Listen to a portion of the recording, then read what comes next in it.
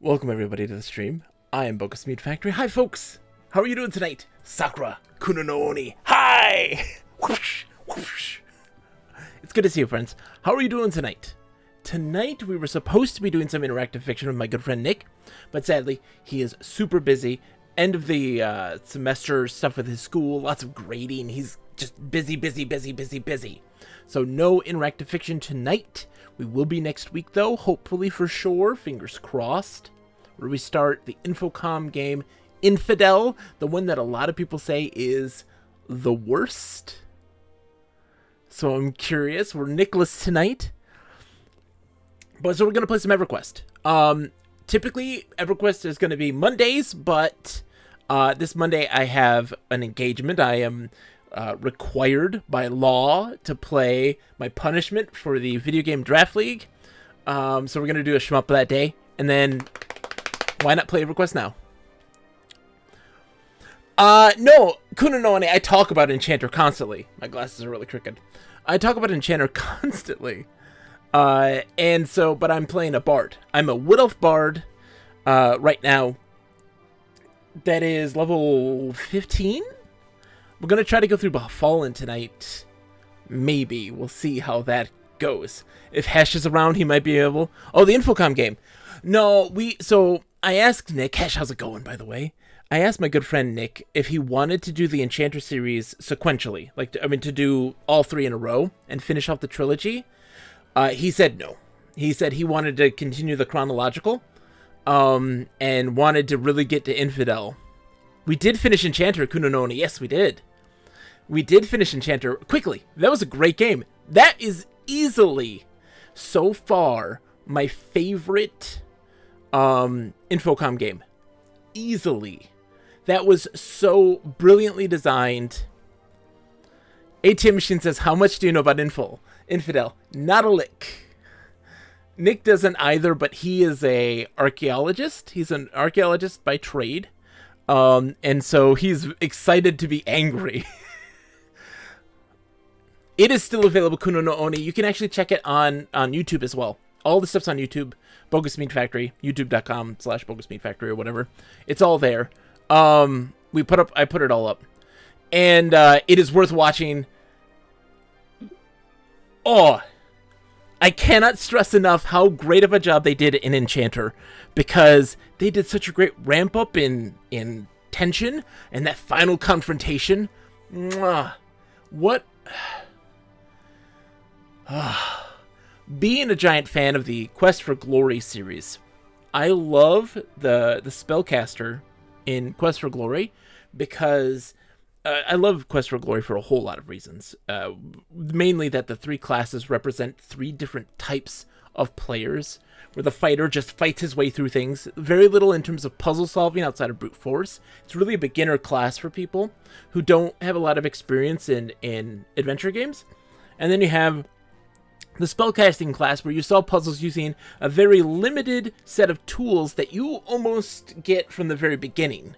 And that's what you use to solve puzzles. And then you have the thief, which is like your hardcore adventure game fan. You're you're solving things with your wits. Um, and it's all about solving puzzles the way that Sierra adventure games are solved. And Enchanter feels very much like how the magic user is in Quest for Glory. You have those tools, you're collecting some more, and using those to solve puzzles, not, you know, the random inventory items. Uh, ATM Machine says it's interesting how Quest for Glory was a major influence on LucasArts' Indiana Jones and the Fate of Atlantis game. Absolutely. And each class got their own content hash. Yes! You had a reason to replay. Um, so yeah, Kuno no Oni, uh, two years ago. It's wow. Is it two years? No, it's a year and a couple months. Uh, December 2020 uh, was well 2020 as as a whole. I went through the whole series. So we did all the Quest for Glory games and had our thief. Uh, Wretch was his name. He went through the whole thing because I had played through one through four a million times, but I had never beaten five. I was like, I can't, I can't pull the trigger on that game because it's um it's not true quest for glory. I don't want it to come to a conclusion and not be the way I want it to be. Blah blah blah blah blah. Quest for Glory 5 ends up being one of my favorite Quest for Glory games. It was really good, especially for the thief. The combat, terrible. The the rites of rulership, the the first two rites of rulerships are uh, stuff is is, mm, eh. But the side stuff and the story and the characters were pure quest for glory. Some of the most memorable characters, I love them to death. Um, you know, uh, and I just I loved it a bunch. It ended up being really good. I'm weird. I really liked it a lot. And uh, so yeah, I love Quest for Glory. It's my favorite Sierra adventure game series. Arguably my favorite adventure game series in general, but there's a whole lot of primo stuff like Callahan's Crosstime Saloon, uh, Loom, like those are all amazing. And Enchanter's crazy good. It's crazy good. I liked Planetfall a bunch just because of of Steve Meretzky making the world first. I feel like he made a uh, the map, and like he had this idea, and he made you know a lot of rooms. Whoa, you never played four or five? So Kuno no Oni, number four is my favorite all time. Five is my second favorite. I should get out of my character disc and do that at some point. Yes, you should. Yes. Go through it all. Four is my favorite all time of the Quest for Glory ones. Five is my second favorite. Um, anyways, we're ranting. Let's go play EverQuest. What y'all don't know is that I played a little bit with Hash on his stream. Um, it's uh, yeah. Well, that's the thing, Hash. What what makes Quest for Glory so good? Well, we'll get to EverQuest just a second. I have to rant here. I have to rant here. Hash, what makes them so fantastic is that is that they aren't bound by the basic tropes of adventure game issues that Sierra falls into. sorry, chat. Uh, because they they base it off of their own, you know, RPG experiences, their tabletop RPG experiences, um, and they really did build foresight in the world. They definitely planned how the games were going to progress. They didn't do this all on the fly. Um, and they they designed them in such a way that is innovative, interesting, engaging, and puts characters in the forefront. Um, more so than the puzzles. The puzzles are a gateway to the characters into the story, into these amazing and interesting set pieces. Um, and they're all about the world and the characters. That's what they are. You know, it's it's a, such an interesting thing, and that's why I love it so much. It's so good, and just the way they design puzzles for the three different classes to cater to those specific needs, having those little side quests that are unique to each class. Some of them are better than others. Uh, in like some games are like this is clearly a better experience if you're a paladin than you are a thief. That sort of thing. yeah, and fair to the player because also ATM machine. If you get a dead end, they're pretty straightforward in telling you you messed up. You know, uh, Quest for Glory 2 maybe notwithstanding. Quest for Glory 2 is a little the ticking clock. A lot of people aren't aware of it until it happens, and it's kind of a drag in that in that regard. I'd say Quest for Glory 2 is probably the least fair out of all five games. But, you know, still not bad. I used to really like Quest for Glory 2, and I'm starting to like it less and less in comparison. Yeah. Oh, man. Yeah. ATM Machine. Oh, my gosh, yes. Also, great, great Easter eggs. Oh, the mini games. Dude, the mini games are fantastic. They're so much fun. I I love the throwing knives game in all of the Quest for Glory. Quest for Glory 5, Quest for Glory 1. Love the throwing knives. Um, the the wizard um, maze thing in Quest for Glory 1 so good. Which one do you think gave the most opportunities for thieves to just go steal stuff unattached to any storyline stuff? that would probably be Quest for Glory 1. Quest for Glory 1, I would say, does. Uh, if we want to rank Quest for Glory games, my ranking of Quest for Glory games is Quest for Glory 4, Quest for Glory 5, Quest for Glory 1, Quest for Glory 2, Quest for Glory 3. 4 is uh, back to the basics of what makes Quest for Glory 1 so interesting. Um, a small area to explore, uh, intimate interactions with characters that they take the forefront. The quests revolve around them very specifically. Whereas in Quest for Glory 2, it's much more grandiose and and and uh, a bigger scale thing, but you lose sight of a lot of the characters. Quest for Glory 3 um, has some great character moments, but the world is too big and too empty. It doesn't it doesn't feel like there's much there. You know, there's not a lot of in, a lot of there's not a lot of set pieces. You know, you have Tarna, the Simbani village, uh, the tree, and ruins, and that's it. Like that that's all you got. Whereas in like Quest for Glory One, I mean, you got Baba Yaga's hut, you got uh, Erasmus's, you know, tower, you've got uh, Sp- Spielburg in general, the castle. You have, you know, uh, the the meeps. You have all these things that really stand out. I'm derailing me so I can get my shaman ready into my banking and vetting. Not a problem, Hesh. Um, but for real though, uh, four and five are really good. A lot of people will crap on five.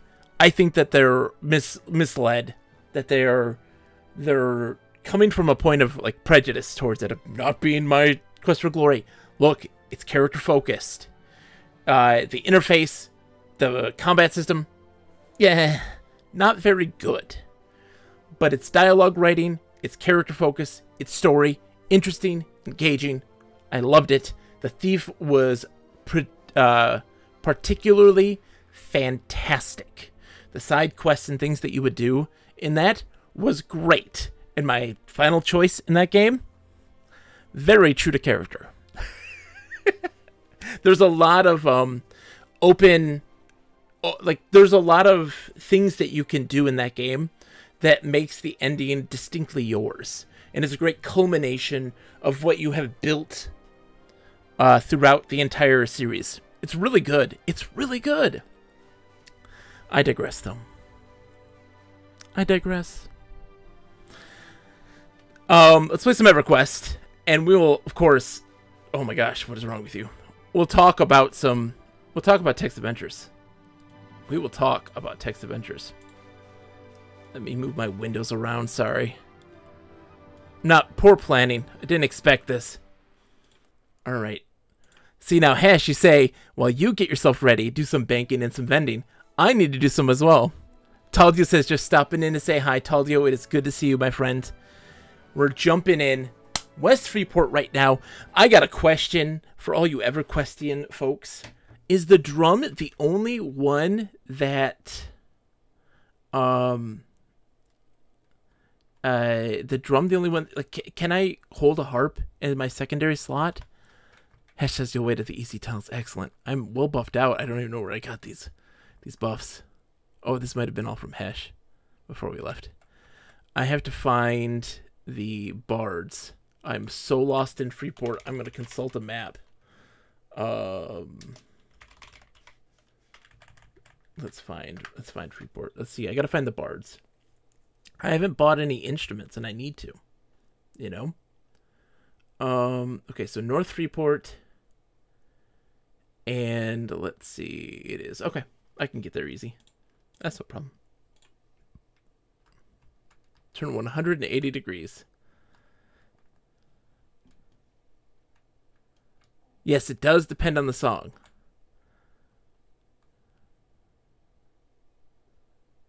Does that blonde elf from the various covers uh, back in the day actually show up anywhere? ATM machine, that is uh, Firiona Vie, I believe. Am I right in this? I'm pretty sure. They actually appear in the comics. Um, I believe the character appears at some point in other places as well. I might be crazy though. There's the Bard Guild.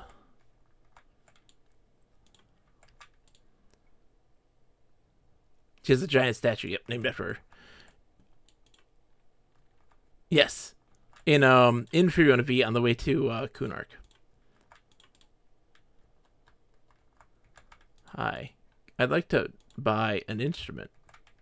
Felicity Starbright, you got any instruments? No. Okay, let's see. Do you have any instruments? No. not you. How about Jekyll? Hey, Jekyll. All right, Jekyll's got some stuff. Let's see. Um, so the horn. So this is what, yeah. So you can hold these in your secondary. All right, I just gotta know what my spells, what they. So that's singing. Stringed instruments, singing. Stringed instruments, singing, singing. Percussion, stringed. Okay, so I just need a stringed instrument. It looks like. Okay. So that is, the lute is. What's the difference here? Between a mandolin and a lute? Any difference?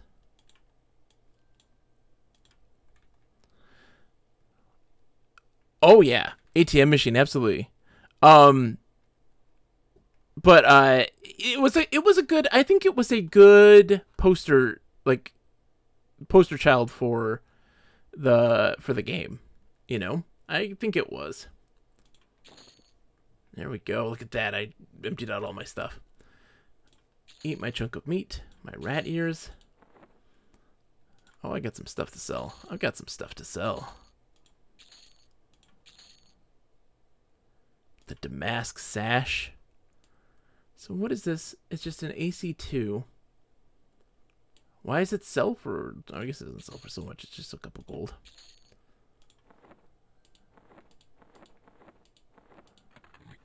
There we go. I gotta sell all this stuff. I don't need it. I think it's pronounced Demusk with the emphasis on the first syllable. It could be. I don't entirely know what that is. Hold on. Okay, so I need that's just like the the sword or with the drums.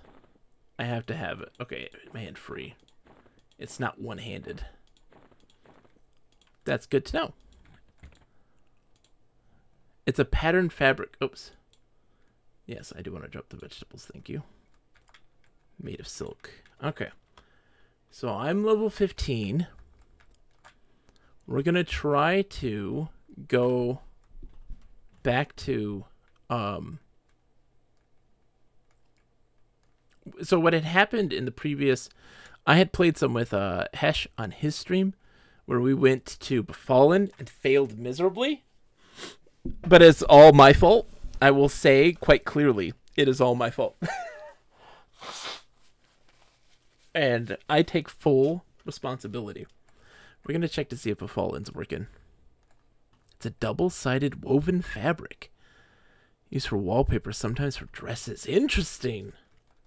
I knew not any of these things.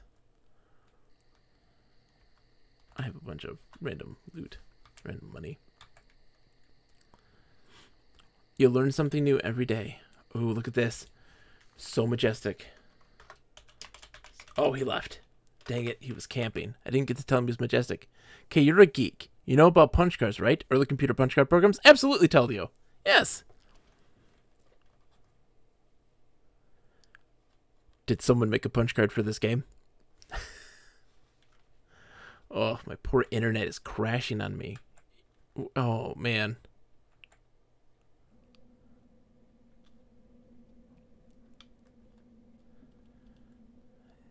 So punch cards were originally used in jacquard looms, used to weave uh, damask. Damask. Interesting.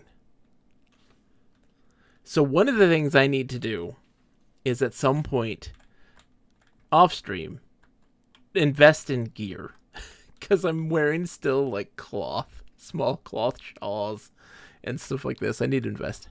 First syllable emphasis Damask. Damask. Damask. Am I doing it right? Am I doing it right? I don't know. Sorry, buddy. Ready for some Dark Elf Mask? okay, so Mod Wolf, Mod Wolf, if I do the Dark Elf Mask, how what what is entailed in this? Cuz maybe is do I do I actually is it something that I can honestly get or is that something that I am just along for the ride? I'm very curious. I Hesh, you want to go get a, a Dark Elf Mask? I'm oh man. This is uh I'm I am terrified. I'm legitimately anxious. My palms are sweaty at the mere thought. Mod Wolf. I know not. You'd be along for the ride. Okay. Well, Hesh, do you want to go for along with me on a ride to go get a dark elf mask and Guk? I don't know what this entails. Talia says you could have just rolled a dark elf to start with.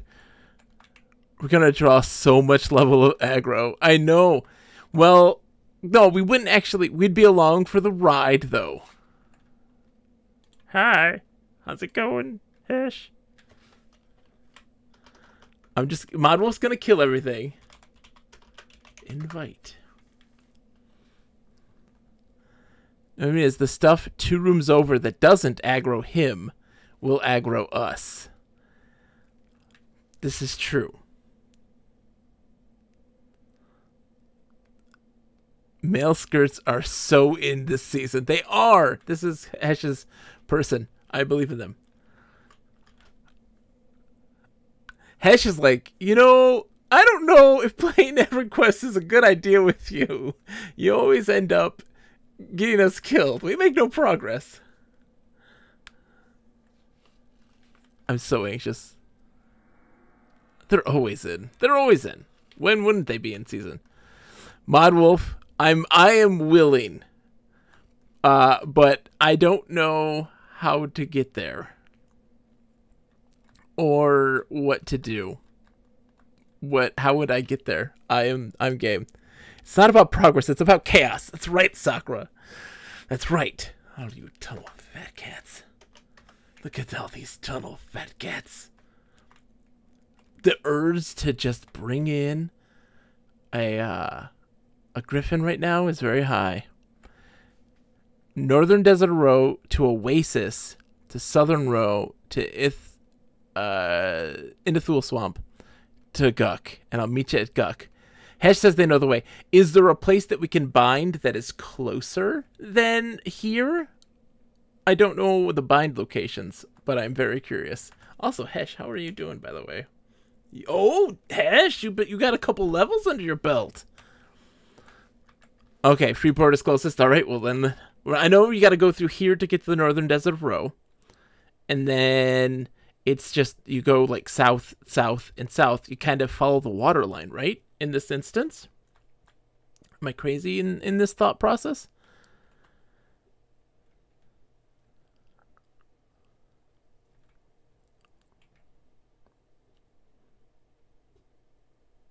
I think that's the case because I remember when Nick and I we had to do a quest to get some stuff with the halflings, and what we needed to do was gather um, uh, stuffing from the scarecrows in the western plains of Karana, and take that to be blessed by a priest of Cazic-Thule in uh, just outside of Oggok, um, in uh, the Feerrott and we had to go, I think, that way. I'm pretty sure. Poor Ash is like, we're gonna die. This is a terrible idea, and I'm into it. All right, Hash, I like it. I like that you're on board, Hash. I'm, I am on board with you being on board. Me and my cloth, my cloth shawl. yeah, that's a real problem that's that needs to be addressed at some point. I don't know what's good for bards. Not an excellent saber-tooth tiger hide though. I know that. Ooh. Can we stop off for evil eye bags on the way down? What does that entail? Tell me more. Hash, can we stop off for evil eye bags on the way down? Pray tell. Oh. Pray tell. What does. What evil eye bags do you speak of? Alright, sorry. I'm supposed to be following Hesh. I don't even know where Hesh is. I lost Hesh. Hesh! Are you still in the tunnel?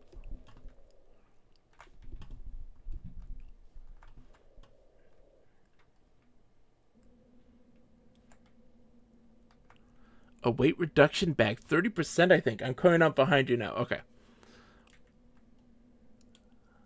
How do you get an evil eye bag? I mean, isn't my small box and small bag clearly enough? That's the thing. My guy doesn't have any issues. I'm going to do slash follow. I'm slash following you. Um.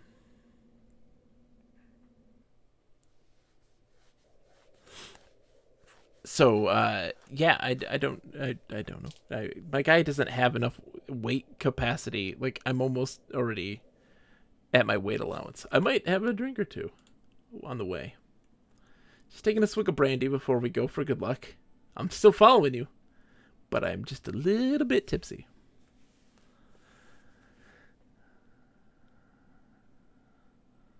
Like I can't carry enough. His strength is not good enough. I can carry just like 75 pounds worth of stuff. I'm gonna see how Ahesh does this too, because I it's up to our tour guide really, but there's an evil eye sort of on the way to the mask that drops the bag. Ooh, okay.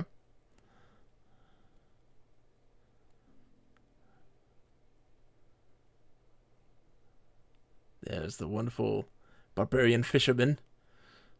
Ah, the desert barbarians. A rare breed. It isn't on the way, says Modwolf. I thought he, we were Songnesty. Now we're this guy in a chainmail skirt. No ATM machine. We're in first person perspective. There's Songnesty. He's a little drunk right now, so he's kind of swaying back and forth just a tad. We are following my good friend Hesh Ballantyne, who is Muzadel. That is, the guy in the chainmail skirt. Can't change the view because I'm drunk. There we go.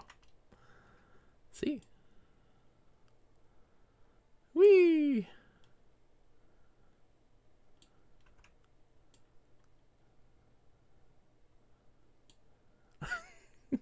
That's a guy slowly swaying.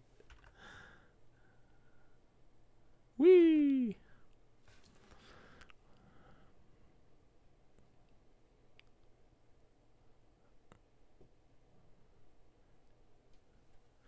To, okay, so yes. Interesting, okay. So yeah, this was terrifying for us, especially because, like, not for Nick necessarily when we took this journey, because Nick could bind himself wherever he wanted. So he could just bind himself in the Feerrott, but, like, there was a, a roaming assassin uh, that was wandering in the area where this priest was that we were looking for, and he would just want to kill you if he found you. And so we were so, like, screwed just trying to dodge this guy and work around him uh, Nick just would bind himself near the bridge in the Feerrott that led us over to where that priest is supposedly located. Finding him was very challenging. Because he's just this little lizard dude running around in this big old swamp.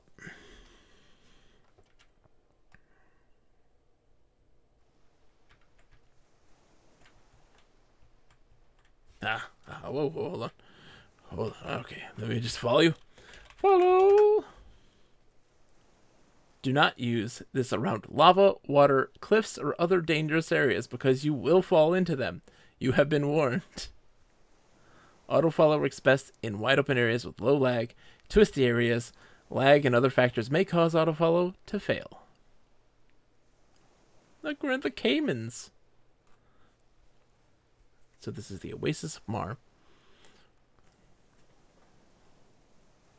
Still a little tipsy. Dude, that uh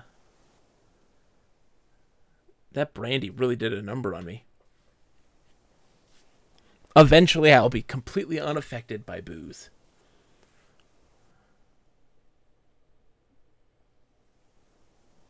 I've never seen the old man, lots of people fighting. Whoa. Crocodiles here. Wow. That's a lot of people. Why are they fighting all the crocodiles? I guess it's just something for the disenchanter, yeah. Alright. I'm down. The sand scarab looks at me dubiously. Because, yeah, I'm level 15.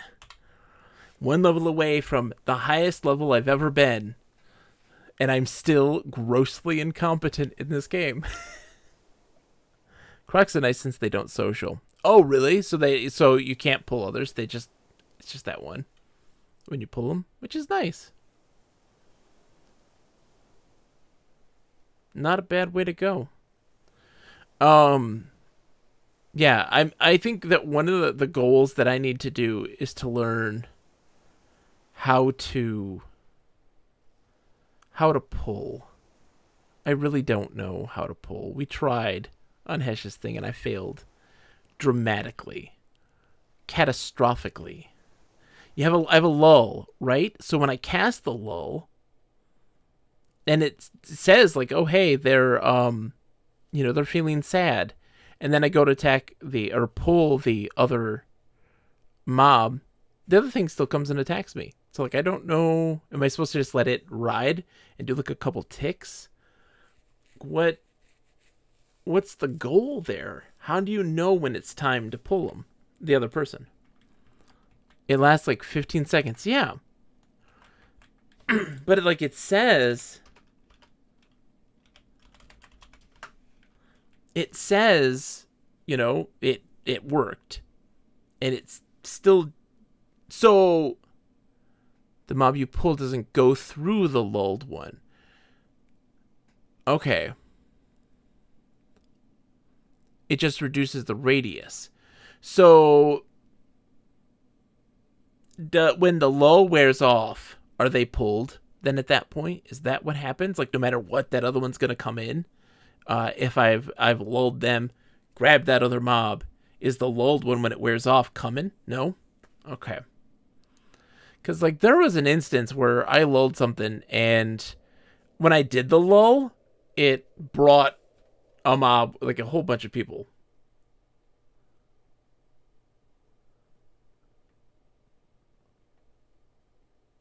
Oh, yeah, we got, we got, so. Just goes back to normal. Okay.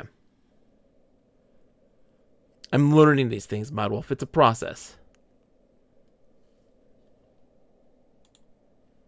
Whoa. That's a good sword. The Combine Empire. No. I didn't pull that one.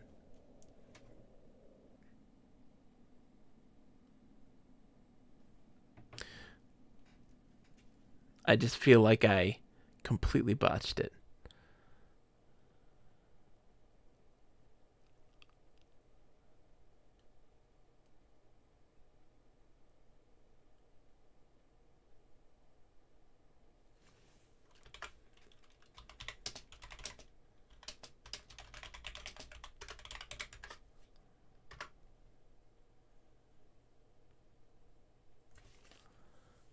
Is leading me to madness.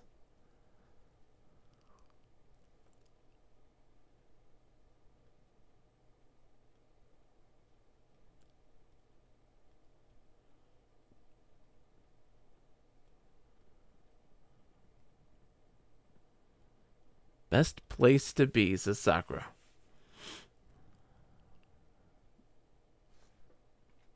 So we're still we're in South Ro now. Okay.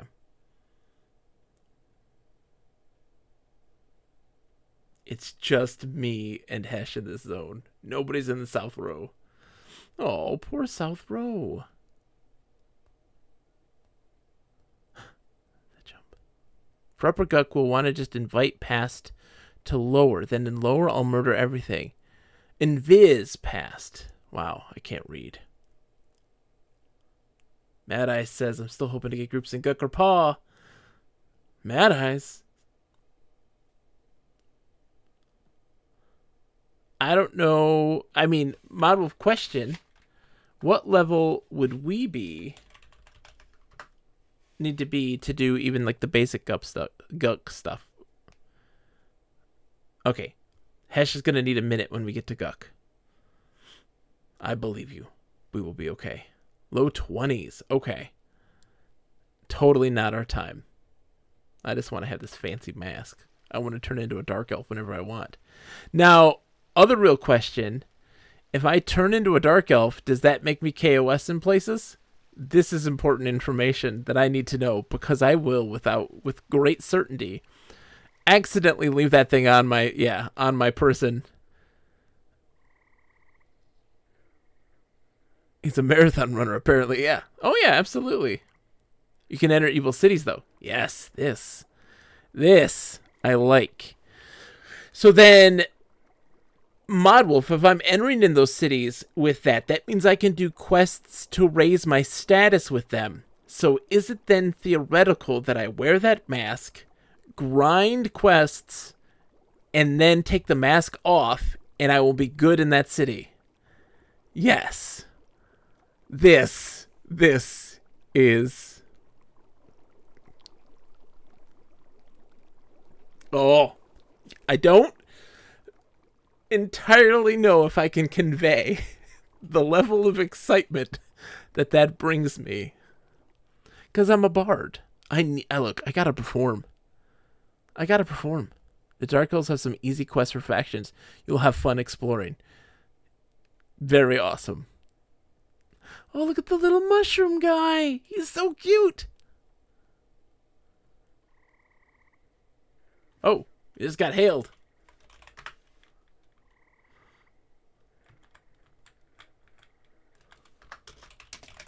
Oh, go back, Ash.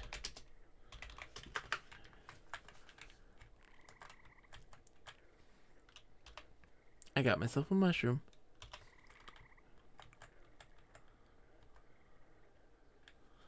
Oh, far too kind. Thank you very much.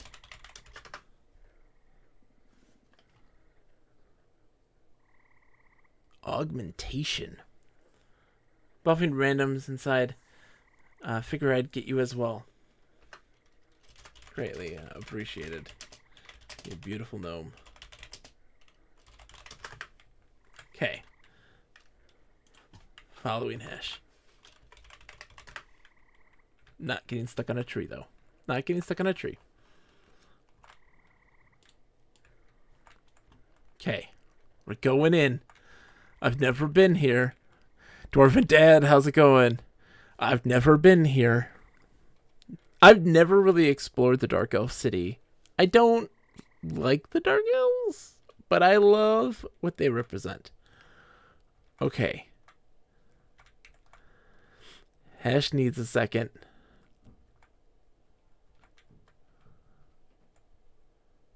BRB. Okay. So Modwolf I'm guessing you're Wormney. That's my guess. Oh, jeez, we're floating. Dead man floating. Yep. Do I invite you then? You want to be part of the group, or is that not how this works? I don't know what we need for this. Dwarven Dad says elves are trash. Exactly, Dwarven Dad, but that's why we infiltrate them. Okay.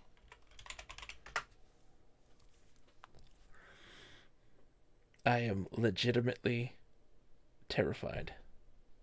I feel like I am going to die horrifically and unequivocally, like uh, uh, dramatically. Does Hesh have invis? I don't think so. Not I can just kill everything on the way. I don't think so.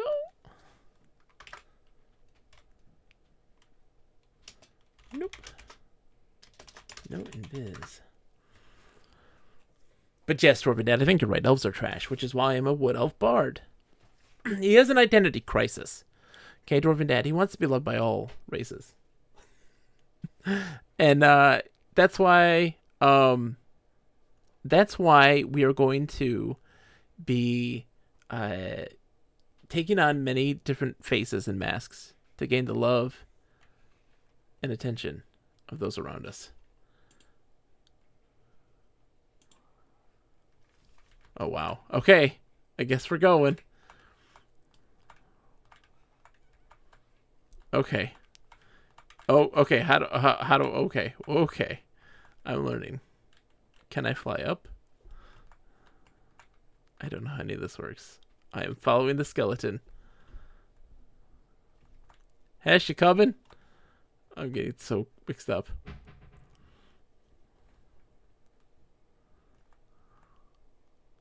Clan is crashing. Go on without me. Okay, Hash, no worries. We're here.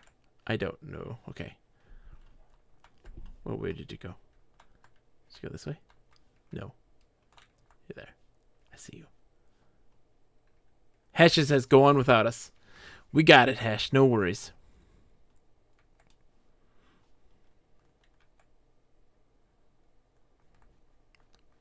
How long will this take? Is another true question.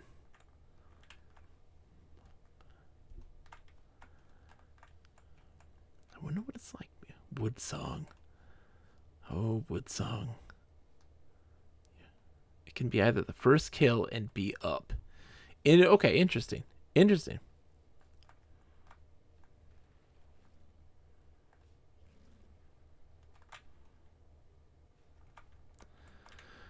The wonderful world of necromancers. You guys and your wonderful little toys.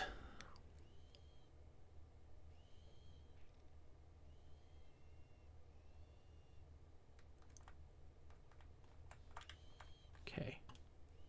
There you are. What's up with these floating skeletons? ATM machine. That is uh, Modwolf, who is a Iksar necromancer they're using some major buffs to get me deep into the realm of Guk, the home, well, not the home of the Frogloks, but the current fortress of the Frogloks. Um, these spiders I could take, they're blue to me, right? and uh, we are on the way to get a Dark Elf mask that I can wear to take on the form of a Dark Elf and gain access to the evil cities.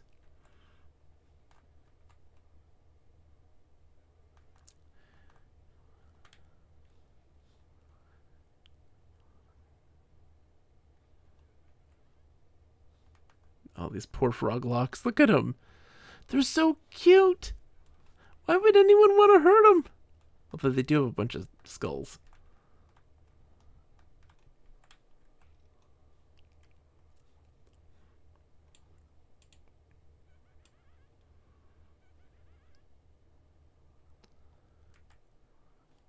So, let's see.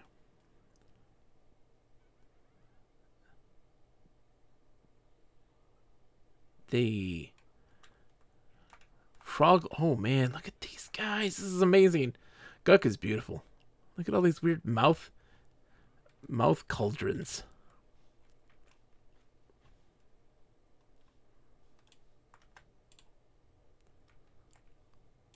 Yeah, the frog looks look at me.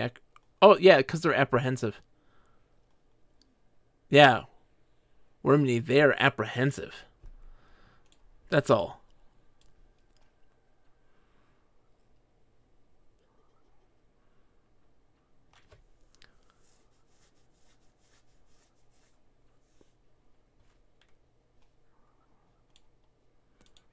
I hope so. Yeah, they're just apprehensive. Okay. So we're going in here. So was this, was Guk originally the home of the trolls and the Frogloks took it from them? I forget. I forget what the lore is.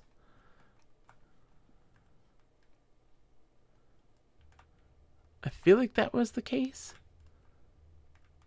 I could be completely wrong, though. Something like that, yes.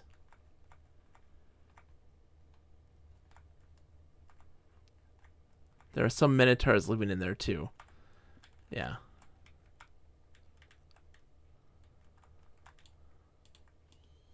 yeah. Okay. Don't fall. I feel like I'm gonna, even though I have the floating thing. I feel like it's an inevitability.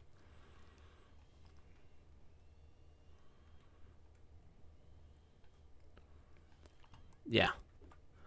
I am not going to be drinking anything. Okay. It's so pretty. You're so majestic, Wormney. So majestic.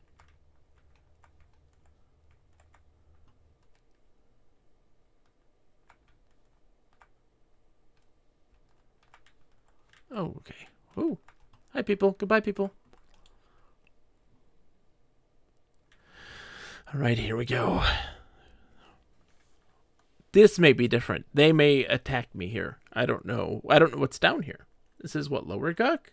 Ruins of Old Guk. I don't know what's here. Now here, you want to stay behind me. I got it. Okay. I am behind you. I'm staring at that delightful prehensile tail. Bigger pet time.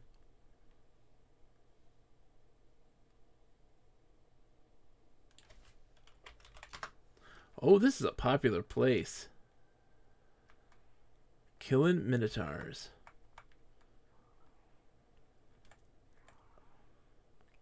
Zabobbin. This is the dead side of like everything will attack you. Okay. So this is like where the undead remain. Okay.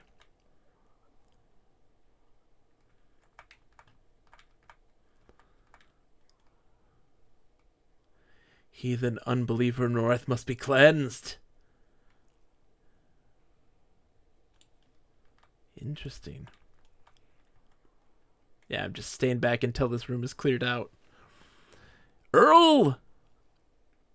So, I am being taken through the depths of Lower Guk. The ruins of the troll city that was uh, taken over by the Frogloks and claimed by them. Creations of Mithaniel Marr, I believe. Okay, coming. Just taking it slow. Slightly terrified. Um, and we are going to gather a mask that will transform me. Okay. They root on hit um, to get a mask that will transform me into the shape of a dark elf and give me access to the evil uh, cities. Chainmail skirt guy Hesh, uh, his client crashed. He's outside now, doing Hesh awesome Hesh things. Look at these guys, Ghoul Knights.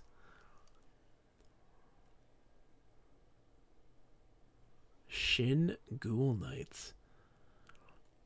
It's like the Majora's Mask. I wish, Earl. okay,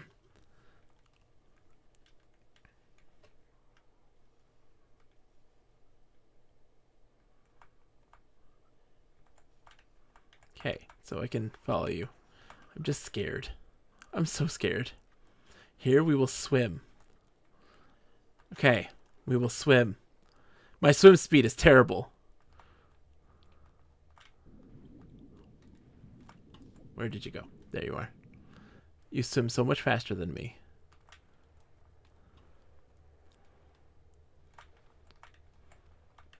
Okay. Okay, following. I'm I'm definitely trying to keep up. Okay. Oh, look at these guys. Greater bone. Ice bones.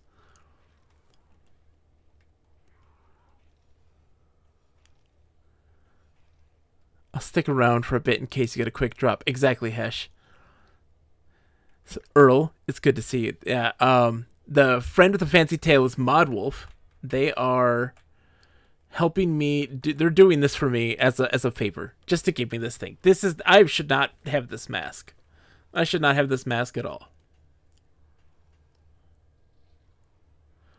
Um, and they're gonna help me get this thing. I'm in a place that I should not be in. This is too dangerous for me. Way too dangerous for me. I do not stand a chance in a place like this. This is for I don't know what what is the the the ruins here. What levels for this place? Typically, like I'll con it. It's red.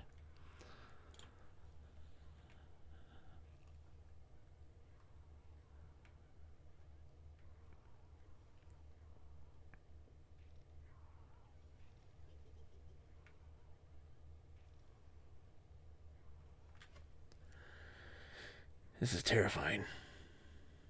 The stuff at the end is blue to me. Whoa. Worm. The fantastic. Stuff at the end is blue to him. Oh crap. Oh crap. Shit. Help. Help. I'm gonna die. Oh no. Hesh saw that coming. I didn't see it coming. I said to stand behind him. I stood behind him. Should have wagered on. Oh, we should have wagered on that happening. Hold on. Where am I going? Uh, it'll be just easier for me to go to the comments. I can res ya. How does that work? Does that summon me? Okay. Okay. I have to make it back there. That correct?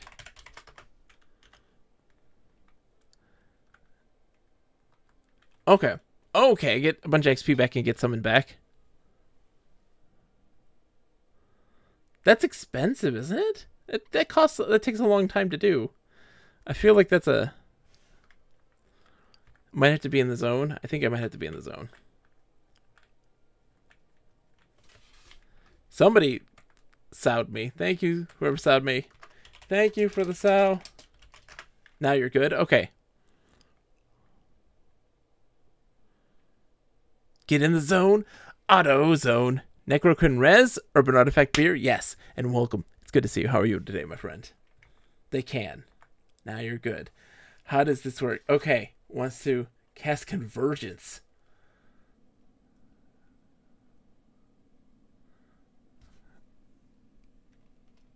I just got sucked. I just got sucked. Through a straw. Okay. Alright. I'm going to move very slowly and be absolutely terrified. You stay here. Okay, I'm staying right here. Now I'm moving a muscle. Oh, I got to loot my corpse. Where's my corpse?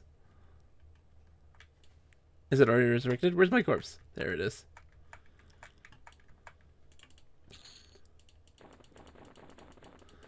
I don't know how any of this works. I'm so sorry, Mod Wolf, that I have cost you all this time and effort on such a lowly worm such as I. Oh yeah, I'm now greatly. I'm uh. Yeah, I can't move.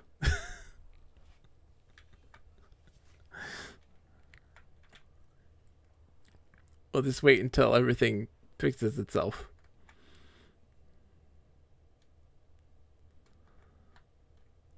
Will these things respawn on top of me? I hope not. I'm very scared. I'm so scared. I'm hearing the croaks. I hear the croaks. They're coming for me. Yep. Okay. 20 minutes. Just sit there. Okay, I will I will just sit right here. Skeletons like you are better left dead than alive. Well, I mean, they're not really dead or alive, you know? They're kind of undead. It's not the same.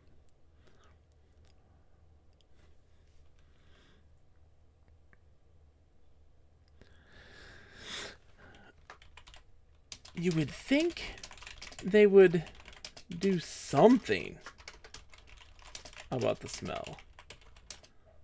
Frogloks have noses, right?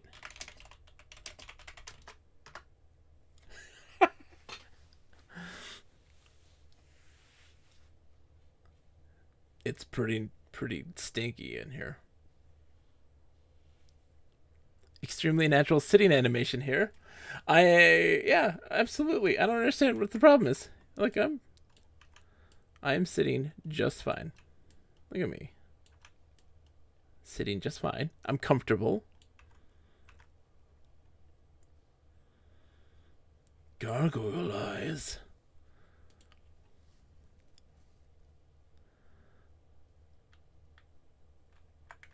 I can move slowly now. Wait. Oh, geez. Okay, those are corpses. It is for your Bard Lambent breastplate quest. Loot this basil gar gargoyle. Okay. The basalt carapace.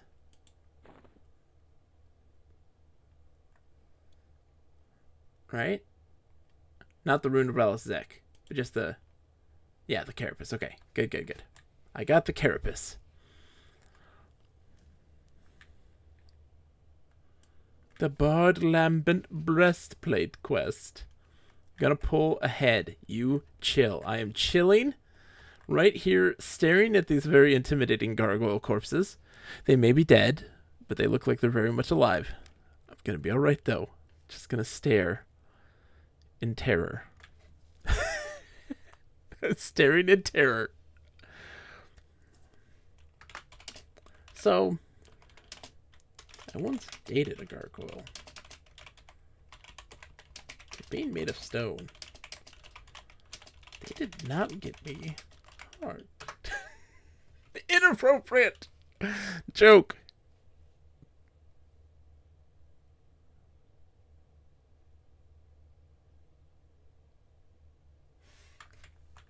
The Stairmaster. I am the Stairmaster. Can you defeat my riddles? Hi, folks. How are you doing? This is the great moment when we're waiting here. I am a level 15 Wood Elf Bard. I am currently in Lower Guk. And uh, waiting while they pull and kill things in the distance. Uh, some people will scream and cry uh, shenanigans. Shame on you for being a person who is getting something that you shouldn't get to at this level. Here's what I have to say. Um, it's just a game, and all it is is a mask so that I can go to Evil Towns because that's just what I want to do. I'm not like, I need it. Exactly. Who like some people would be very upset at this. Sakura, some people would be very upset at this. You dead son, rip. That's what I say. Like we're just playing a game and like I'm not going to be going into like hardcore, you know, raid things. I would go into raids with people with the sole and express purpose of just watching it happen and not fucking it up.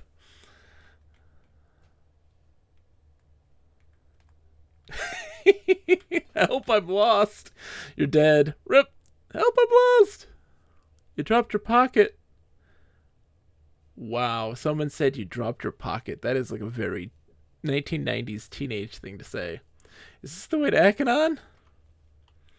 Yes, it is.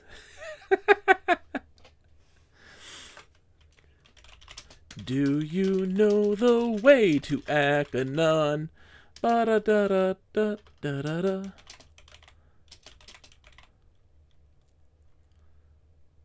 That is. Like, do you know the way to San Jose? Okay, let's move up. Okay, I'm moving up.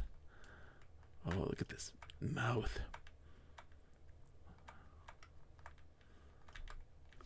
I'm hearing things. I'm hearing the sloshing. Stay in this room I'm in. Okay. Oh my god. It's just a cacophony of sounds. I have it kind of low on your guys' end. Nick says, hello, just finished emailing 40 parents. Okay, I'm not leaving this room. I am going to enjoy the wonderful amenities of harpoons and netting, uh, and really admiring just the froglok craft. Look at how they made these walls with little footprints. It's a game. Play it how you want. Exactly. Exactly, Kunanoni. I'm just apologizing for anyone who's coming in here being like, you you power leveling asshole. It's like, I'm not power leveling. Just get a stupid mask to look like an evil guy. Nick, how many people did you have to email to say your child is failing? Real talk. Real talk.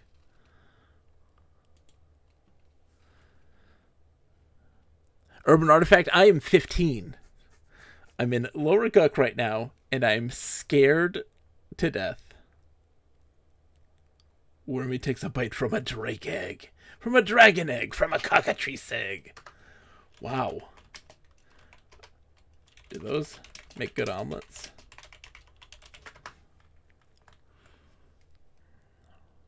About 40. Nick, we're getting I'm I am being given a mask that will uh, allow me to take on the form of a dark elf and get access to the evil cities while still being a good person. Including D's. Oh my gosh. I ate them hard boiled. Whoa. Makes sense. Okay, this spot up here is the safe spot. Uh, so I'm following you then. Okay. Following you. Okay. Right here. Safe spot.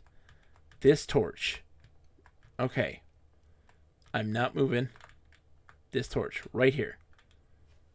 Got it. Not moving. If you can, use hide too. Alright, let me see if I know hide. I do! I begin to hide. I think I'm hidden. Okay, I've hidden. Good person, exactly. It says you begin to hide. Oh, I'll try it again. Okay. You begin to hide.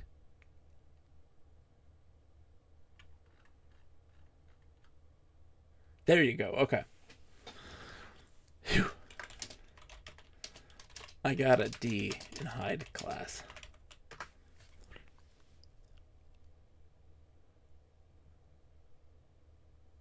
Zar, I'm scared. Your head skulls one, I'm guessing. The room with the spawn is up this ladder. I killed the placeholder, so we wait on the respawn. Okay, I don't want to know what the real world analog to that mask would be. Well, Nick, um, to give you uh, a a comparison, the so remember that quest that I discovered that we that was a, an undocumented quest. Um, the Dark Elves have a parallel quest that, or not a parallel, I guess it's a one that intersects with the one that we had discovered, where they have to find that halfling messenger. And what they have to do is pose as a halfling, and they do so by wearing a skin mask of a halfling.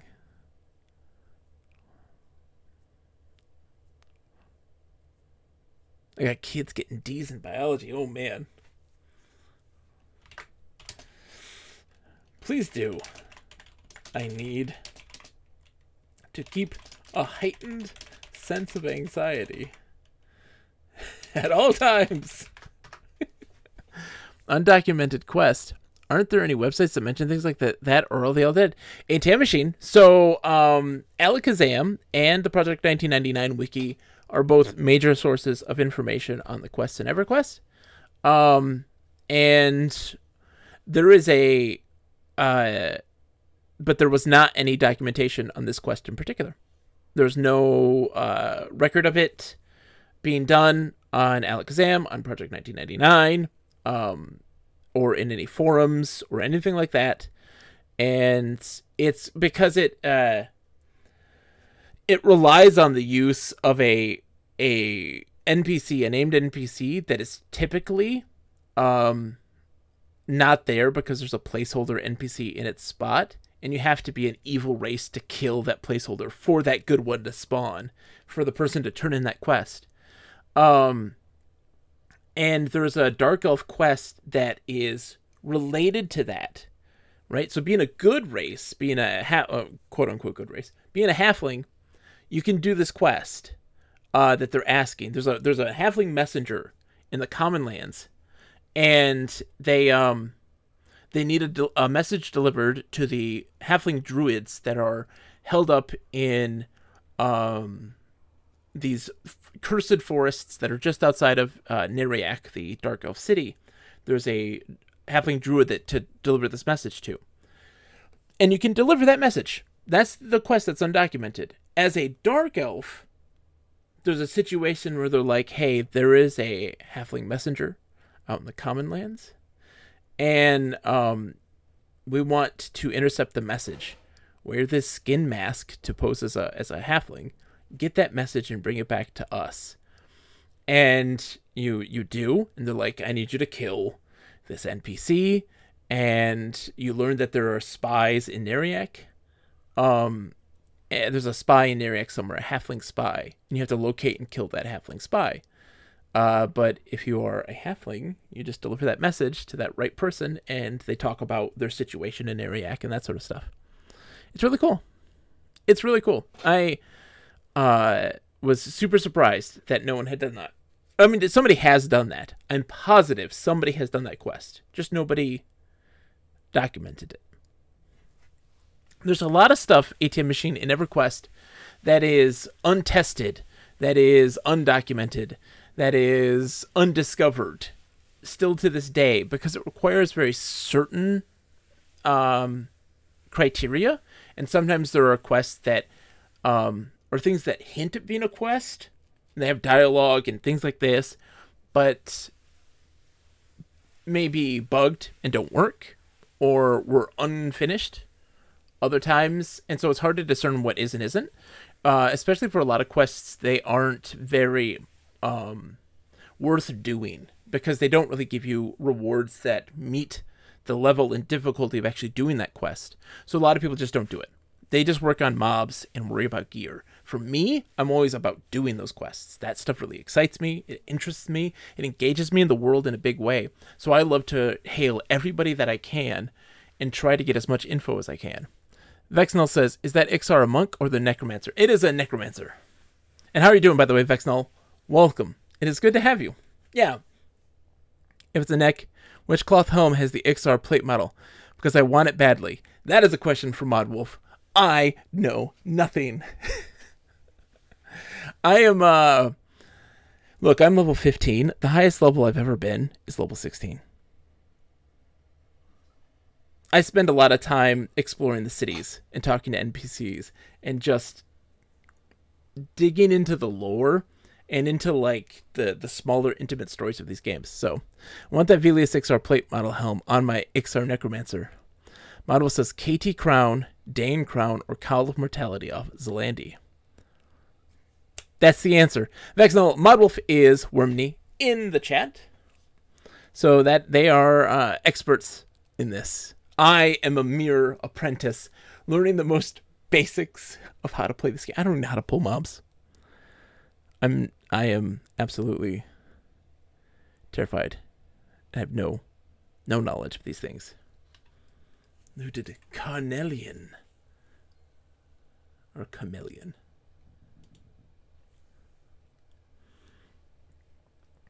So we are simply waiting in an attempt get a mask that makes me look like a dark elf so that I can get access to the evil cities. One of the big reasons why I picked a bard was because I wanted to. There was there's two major choices here for me, was to be a bard or to be an enchanter. Um, because en- enchanters in the game can take the form of of multiple different people. Um, but and then I learned that bard has this mask they can get, and Modwolf is beyond kind enough to be like, I can get you that mask. Like, let's do it. And so I am now sitting patiently trying not to pee myself out of fear and anxiety, which is purely natural for me. It's my natural state of existence.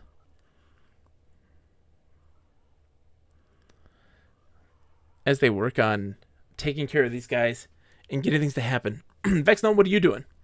what uh, character do you play?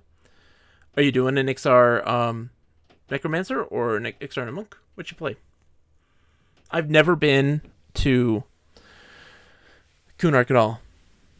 Very nice. Very nice. I've never been to Kunark in my life. I spent fear anxiety is what makes EverQuest EverQuest. Exactly, Urban Artifact Fear. This is exactly the case. Um, I spend a lot of time in Kinos and not much else because I I love I love Kino so much. Um, the risk of it. Oh, dude, absolutely. Uh, EverQuest is a dangerous game, and what's so funny, one of the things that I stress to people, you know, there's always that that that conversation about you know like, um, uh, Dark Souls games, right? About the the dangers and challenges of a Dark Soul game and why it's so fulfilling because it's it's it's hard, it's challenging, it's punishing, but it's also rewarding once you understand the intricacies of its of its um, mechanics and how things work and intertwine and, and stuff like this. And you get access to a world of lore and world building at a level that's you know unprecedented. And i'm like you should really check out everquest. It is uh you know it is punishing dangerous always dangerous. And but you actually do get a sense of accomplishment out of it. A lot of people emphasize, you know, uh, gear and things like this. And while that is one facet to it, that is like, for me, the lowest priority. I don't do, I don't care about gear and, and min maxing and that sort of stuff. For me, it's really all about just exploration, discovery, and uh, playing around with the very silly tools that they give you. So, like for instance, uh, when I I play, so like as an enchanter, I love t- using minor illusion and turning into random props within the zone and just spinning and like being silly and like trying to get people to sign up for my two week adventuring correspondence course or having um, a friend be a druid and turn into tree form and try to get people to pay me money for to consult this fortune telling tree. Like that's my that's my life. That's how i play this game.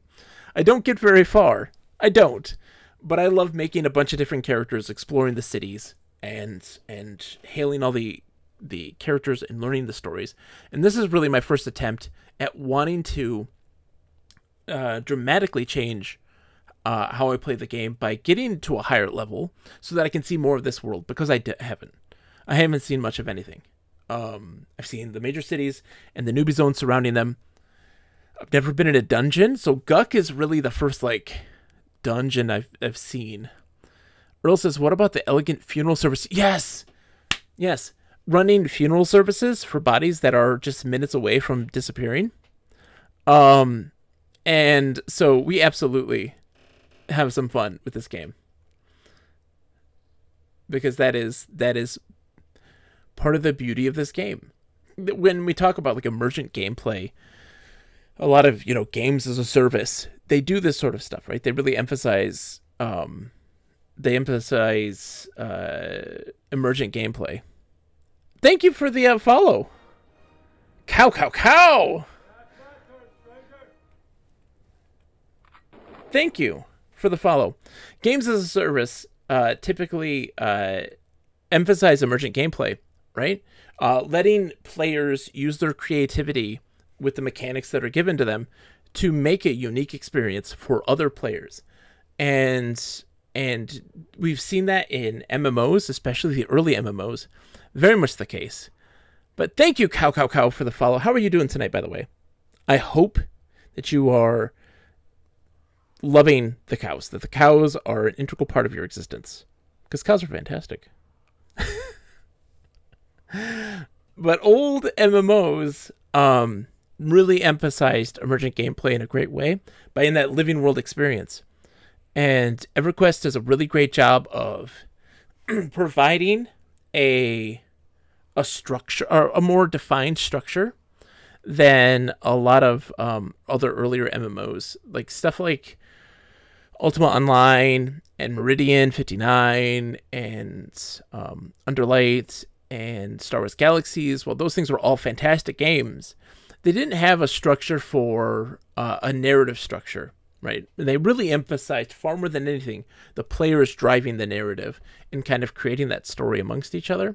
EverQuest has a great balance of allowing for that emergent gameplay, but also providing that structure for people to be able to play uh, and and experience stories, not these epic, grandiose stories of you being the chosen one to save the world, but instead an adventurer in a world of adventure um, and experiencing very smaller scale or intimate and more realistic style stories. Um, it's just fantastic. We've been seeing emergent gameplay in Animal Crossing now. Yes, Audio Eric. Indeed. It's good to have you, Audio Eric. I hope you're doing well, my friend.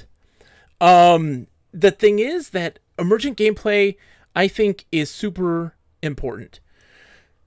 And I find it so interesting, and I've, I've talked about this before on stream, and I'm uh, forgive me for sounding like a broken record sometimes, but one of the things that emergent gameplay is super important for, it allows for the creative and um, those really active players, those ones who like to actively engage in creating those experiences, to then entertain and engage with those players who like to passively experience that stuff.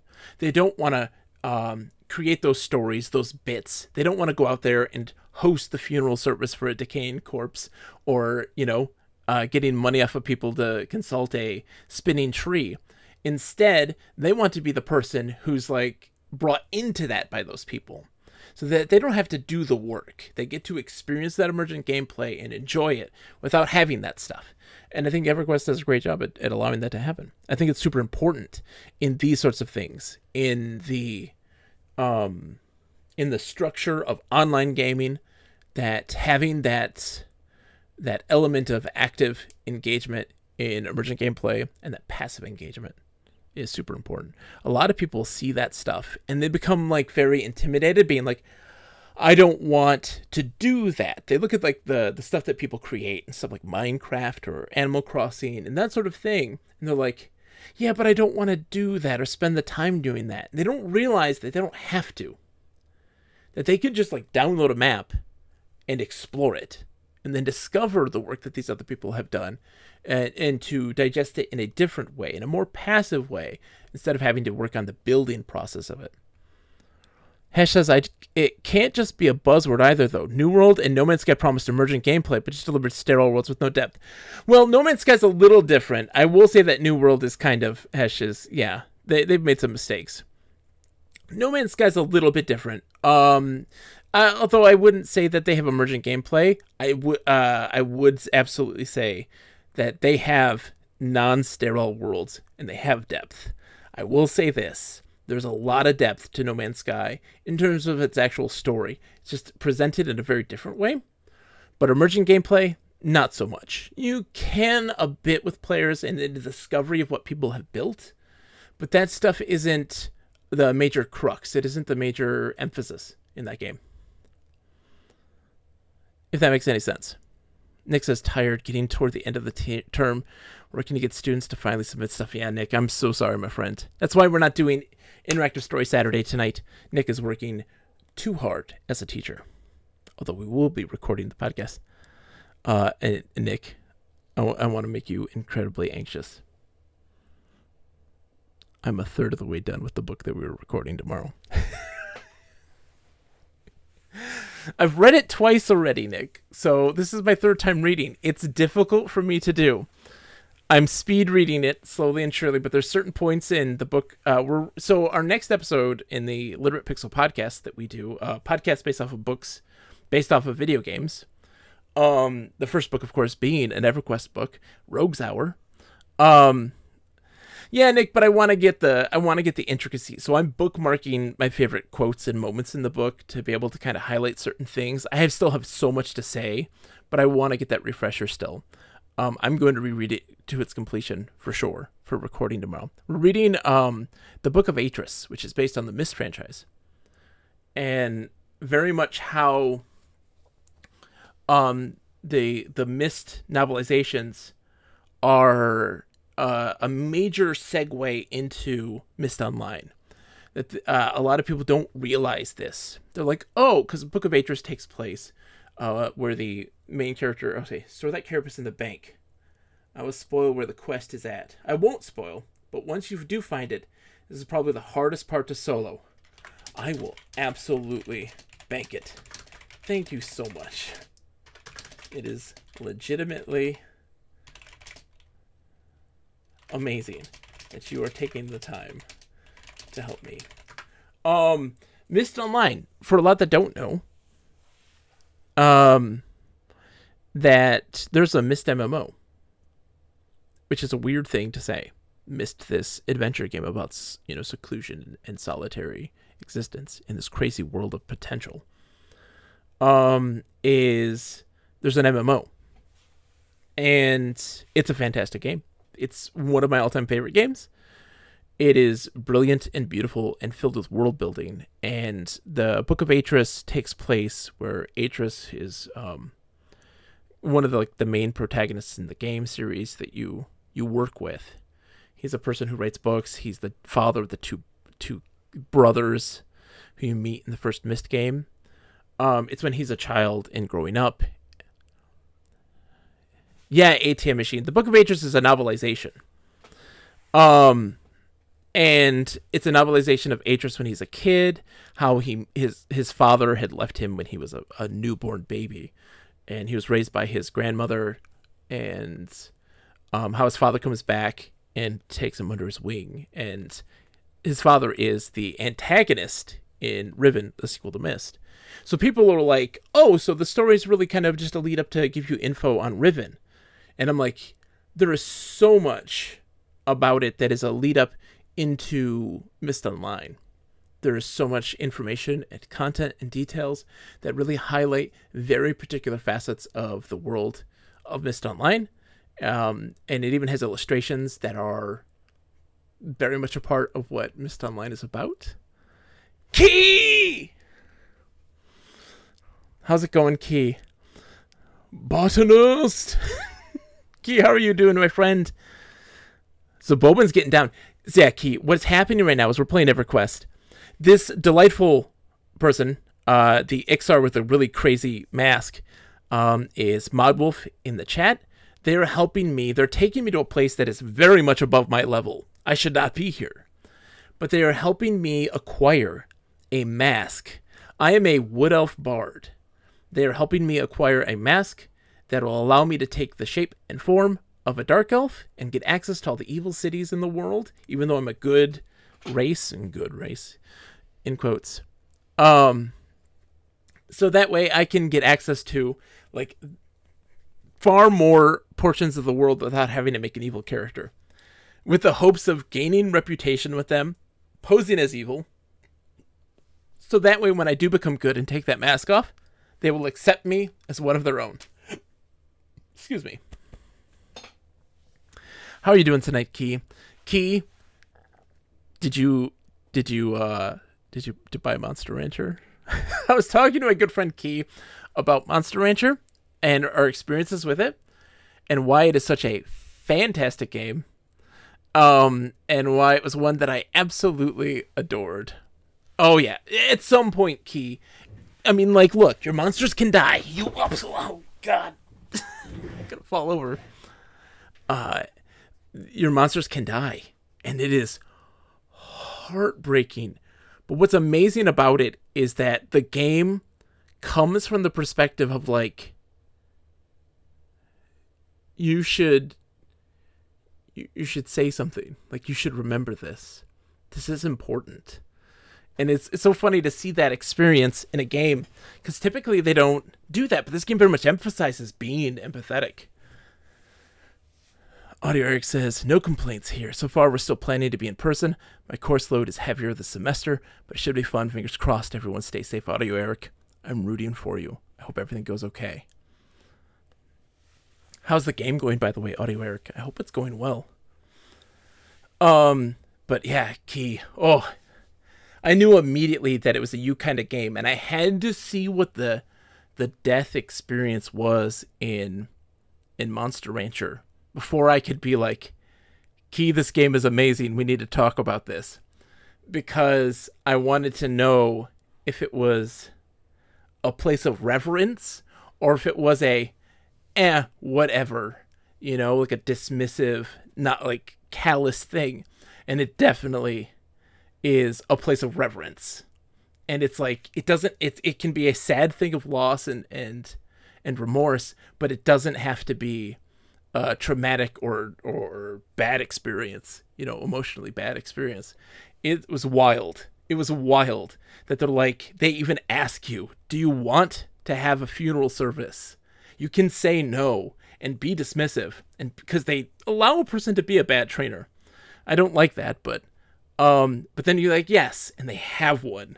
It's so it's so wild, and they're all people come in that you've you've met, and they all talk about your monster that you've raised, and they uh and the tombstone, it does a scroll of its life, the things that it accomplished, the things that it had done, and then uh yeah, and that stays on your ranch, which is just crazy for me to to think because no game really treated it that way. Imagine in a you know a Pokemon game if that was a thing. You know, you know, I can't even imagine it. Uh, but Key, I'm glad you're doing well. I'm doing okay. I'm doing okay. Uh, like, it's weird. I have been man. Seasonal depression gets to me. It's been super cold and super gray here in Michigan, and it's funny because I was thinking about this because our first game of the year for the last two years running, and I think maybe all of my life when I stream, I never thought about it, but for the the first game of the year for two years running, I don't finish. It's Monster Rancher and Unreal, and I think it's just like I get really, um, I get really disconnected. You know, I get like very much like it's not like there's something weird going on in my brain chemistry where I'm like, no, I can't finish this. I have to move on.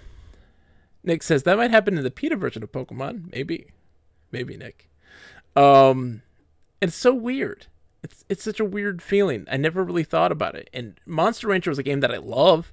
I will continue to play that game, but it was the very first time where I was like, I can't stream this anymore. Like I, I can't it was a weird feeling that it was like a game that I really enjoyed. Unreal was easy for me to, to drop. It's like I'm not having fun with this. It's just really drawing itself out. You know, I've gotten through like three fourths of this game, but I was like done a long time ago and it should have ended back then. And it wasn't.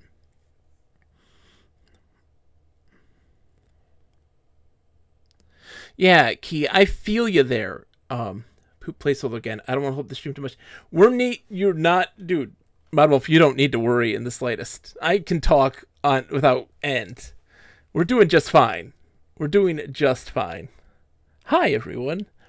Whenever you stream, you will always be somewhat worried about the audience. You need to have your dedicated personal time with certain games to truly feel them in your heart. Yes, Keeklef. And I had felt them in my heart. See, I don't have too much that that uh, immersion without distraction. I can easily. I'm killing five names, so we might get there. Yes, some loot too. Nice. No worries. Take your time, Modwolf. Take your time. Um, I don't have much of a problem with the connection side of things, but what happens is there's definitely a moment where in Monster Rancher we had gone through two monsters. We had retired them. They were encased in ice. Um, I got to S rank, but I couldn't beat the S rank before they would pass away. So I wanted to keep them alive and keep them encased in, in like cryogenically freeze them. Uh, and then we got our third monster, which was like a special unlockable one. But I was like, I don't I don't want to subject them to the same stuff that they've already seen. You know, the people in chat. So I was like, I'll I'll do this on my own. Like there wasn't more for them to see at that point. If I get past the S rank or get strong enough where I think I'll be able to do so, I might bring it back up again. Uh, but I was like, I don't want to subject them to the same stuff. Um, you know, because it's like we, we've seen this already. There's not much more to discover in that regard.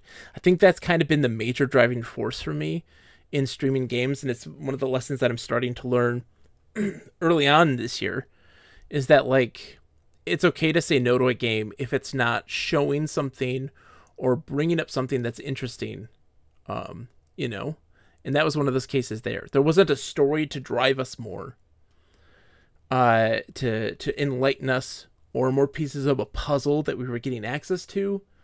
Um, there wasn't more uh, knowledge being gained or things to to see uh, at that point. So Kanako says, "Biggest Matt Folktory." I'm biggest Mac Folktory. Would you like to hear a song? It's a folk song. Everybody, get ready. Dun dun dun dun dun dun dun dun dun dun. Oh, in Lower Guk there was a wood elf. Do do do do do do, and he had delved in with his Iksar friend. Do do do do do do do. And when they finally reached their destination, they found do do do do a mask that turned them to a dark elf. Boom boom boom boom boom. I can't sing. Thank you. Thank you. Invoking Paul Simon. Indeed. I don't know actually what the so- sound of Paul Simon is, but yes. Never mind. Thank you. Thank you. I'll be here all week. Um so yeah, it just it was weird. It was interesting. Uh playing Monster Rancher and being like that one I'm to play on my own. Like my daughter loves it. She's, you know, my 6-year-old daughter uh Roz, she loves that Monster Rancher a bunch. That's a game I can play with her and we can experience this stuff together. We've discovered some really cool stuff. We had a lot of fun. We had this story and narrative that was interesting. Um, and that was really important to have. But it was time to move on, stream wise at least. And um, we'll I'll play that more. You might see it again on stream, without question. Monster Rancher 2 will also definitely be a thing. Maybe next year, at some point, we'll probably try Monster Rancher 2 because it comes with both packed in. Um, but yeah, our schedule is going to be really different. Um, after next week, we will be Monday will be EverQuest Day. That's the day we play EverQuest. Mondays will be MMO Mondays. MMO Mondays. And then uh, Wednesday and Friday will be playing uh, single player games. And then Saturday I play Infocom games with my dear beloved friend Nick.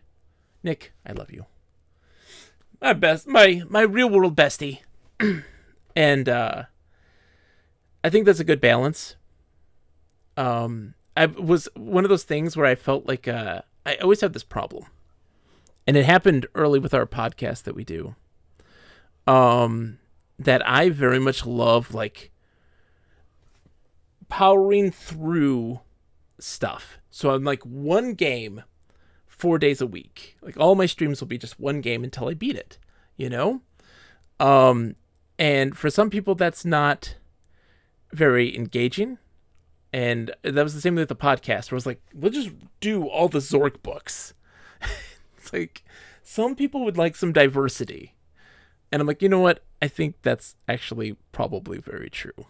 And I was realizing in my brain too that with some games, if I were to do them four days a week, I would easily burn out. Or I just wouldn't be interested in playing the game anymore. Uh, and having that diversity is going to help me get through them. Because like we're going through Shining the Holy Ark, we started that up just yesterday, and uh, that is a very interesting dungeon crawling Japanese RPG on the Sega Saturn. And then, but yeah, key the obligation of having to play it on every stream in a row, it's starting to happen. Like that fatigue is starting to happen to me. ATM machine shining, shining the holy ark. It's true. That's how it is on the box art. Um, and I'm really enjoying the game. But if I were to be that, have that be like every stream, I would probably be bored. Doing this is exciting because I can talk about MMOs, and like that's the thing I love to talk about the most. Um. Oh man, key, key. Oh, I know you're not necessarily interested in this, uh, but there is a game that I learned about MMOs the most. it's gonna be m- Mondays. Um, I I was brought to light by my good friend Sakura as well as Mike, um, uh, wonderful friends of, of the stream, and Sakura, my dear friend who's moderator of the channel. Um, they uh talked about this MMO that I learned about, which I had never heard of, called um, the World, uh, Earth and Beyond, is what it's called. 2002, published by EA, and it is a a, a space MMO that is all about flying your ship, Earth and Beyond, Westwood Studios. Yes, published by EA, developed by Westwood Studios, and you go to like space stations, and um, and you talk to NPCs and get quests, and that's like the social side of things is in these space stations all across the galaxy, and there are and you go around flying, doing missions, gathering resources from asteroids, very much like a uh, if if No Man's Sky didn't let you land on planets, and it was all the space stuff and space station stuff, and was designed like an old early 2000s, late 1990s MMO, and I love it. I remember when Earth and Beyond was coming out, I was in the beta test for it. Interesting Kuno no Oni. When I um you can fly into atmosphere though. Oh, you can, Sakura. Ooh, I didn't I don't know. I'm still in again. Listen. Listen. I love MMOs. I love reading about MMOs. Never in my life have I ever gotten to late game content in an MMO. Never. Never in my entire life uh, that's not true. Matrix Online, I did. Um, MMOs Factory. MMOs are so interesting, though, and and and key. Oh, oh, key, key, key. We're making some progress on the mud. Um, they're so interesting. Sakura's like, yes, they really are. I'm so glad, Sakura, that you agree with me on this.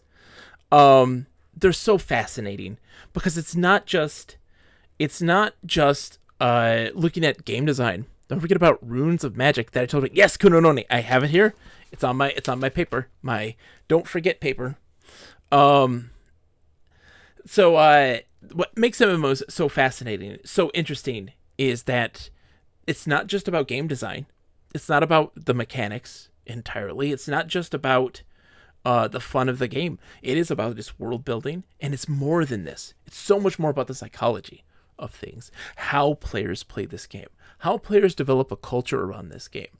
And what's so fascinating. Um, sorry, Audio says, have you heard about the pandemic that happened in WoW? That's a fascinating story. Absolutely. Where they introduced a virus that could spread to other people, and then it, it just went everywhere? Yes. That's so interesting. they need more of that in in in games in general.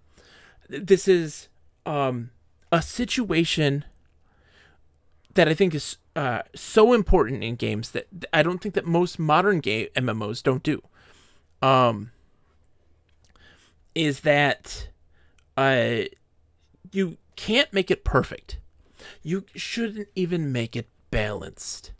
You should make it interesting. You should just allow people to kind of shape how things are going to be. And I think what would make it very interesting is that they see these sorts of things and then begin to start catering to them. Walrus is not like the Pokerus, apparently. No key. Scientists have studied that plague to understand how viruses spread. It's true. It's very interesting. Um, it's not like a real virus key, but like a like a, a one that was actually made just to, to mess with the player base. It was a a thing in the game. It was it was developed to be this way. Yeah. Um, and uh, but yeah, uh, it's it's just it's fascinating to see how these things shape and change, and I think that it's so important for us to be able to study MMOs, not just on a level of like how to make an MMO better, Well, Eric says, in fact, it was intended for a boss, I think. Someone dragged a world boss into one of the cities. It wasn't meant to get out. Interesting. I didn't realize that, Sakura. That's fascinating. That's awesome. Uh, but this stuff tells you also, uh, this tells you also so much information about people and how we work in society and how societies work. They are, uh, literally a a self encapsulated society, culture, how we behave, how these things can be regulated and defined, how we can, how, uh, how the, the citizens within a society define the culture, not the people who run, you know, the, the system of government, that sort of stuff. Kuno Oni says it was a dot damage over time that would normally be removed from the player when the fight was over, but the devs forgot to remove it from pets. That's how it spread. Oh, the world boss that was dragged into the city was different. There are so many different things. Um, and so you learn about how people abuse systems for their own personal gain, and that's very much a thing that happens in society in the real world today. Um, and you could learn how to address that stuff using MMOs. How do you make a world where you can encourage people to not abuse to a great degree these flaws? And what can happen to people who do? What things can they abuse? What systems they can they abuse? How can those things be um you know channeled into something more productive? Kuno he says, That is funny, Model. I never heard that one. Which world boss was it, if you remember? Yeah, I'm intrigued. Cause there was a there was one that was like a holiday plague, wasn't there? That they did just for fun. I feel like they have a lot of fun with plagues. But MMOs have this ability to teach you so much about people, to teach you so much about how we interact with each other, and how they're reflective of modern culture and how we can change that stuff, how we can alter people's perspectives on things to make them more productive.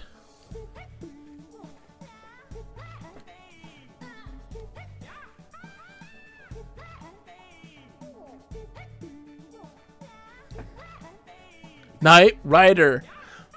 Busting in. Nine months. How's it going, Knight Rider? Thank you, my friends. Mm.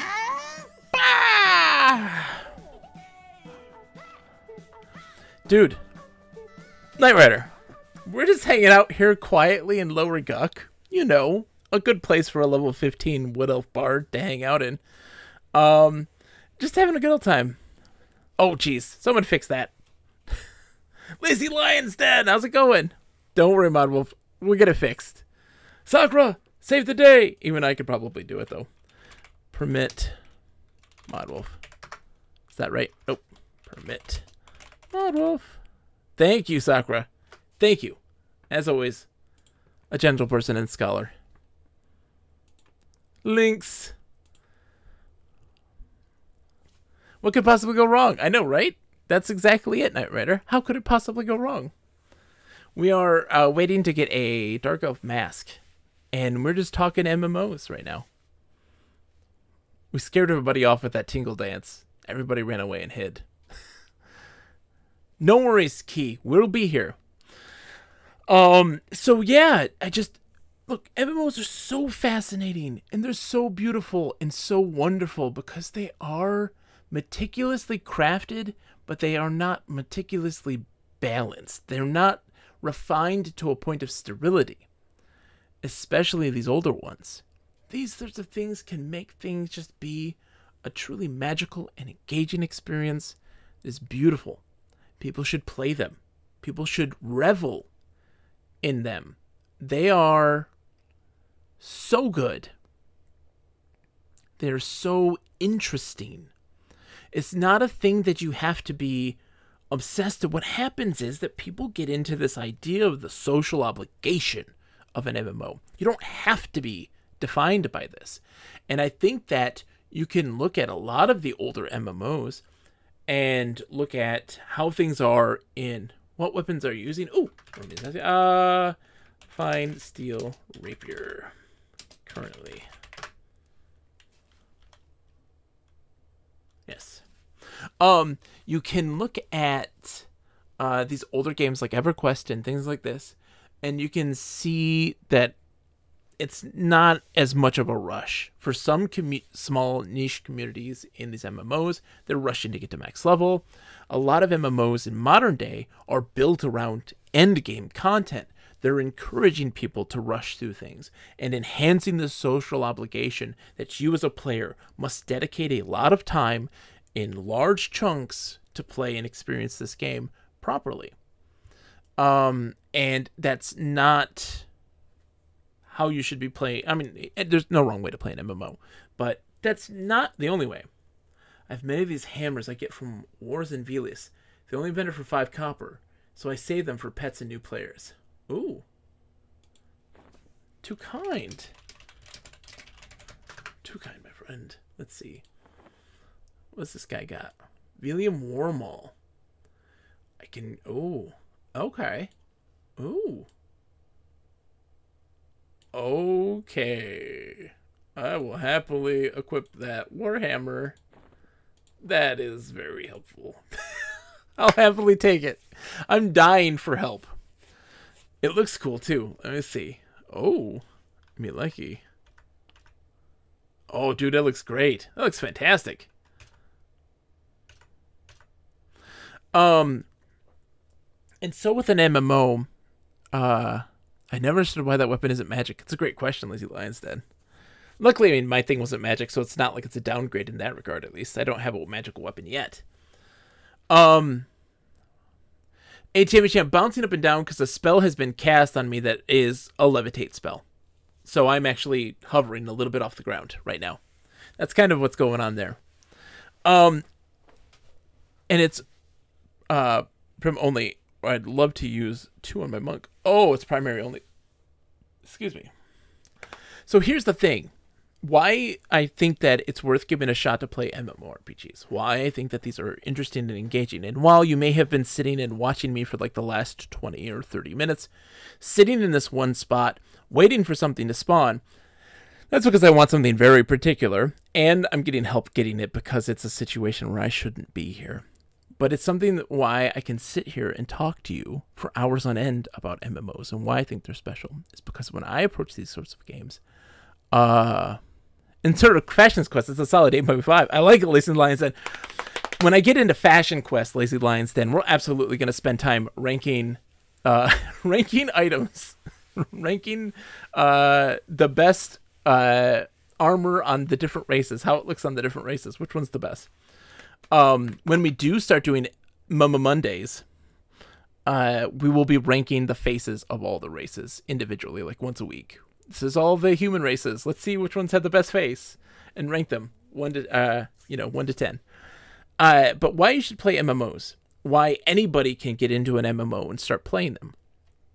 You don't need uh, to fit into this social obligation. You don't have to play catch up.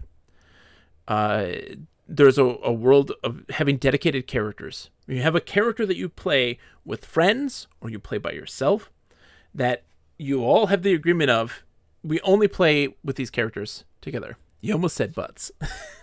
Shut up, Nick. Um, you only play those with your friends.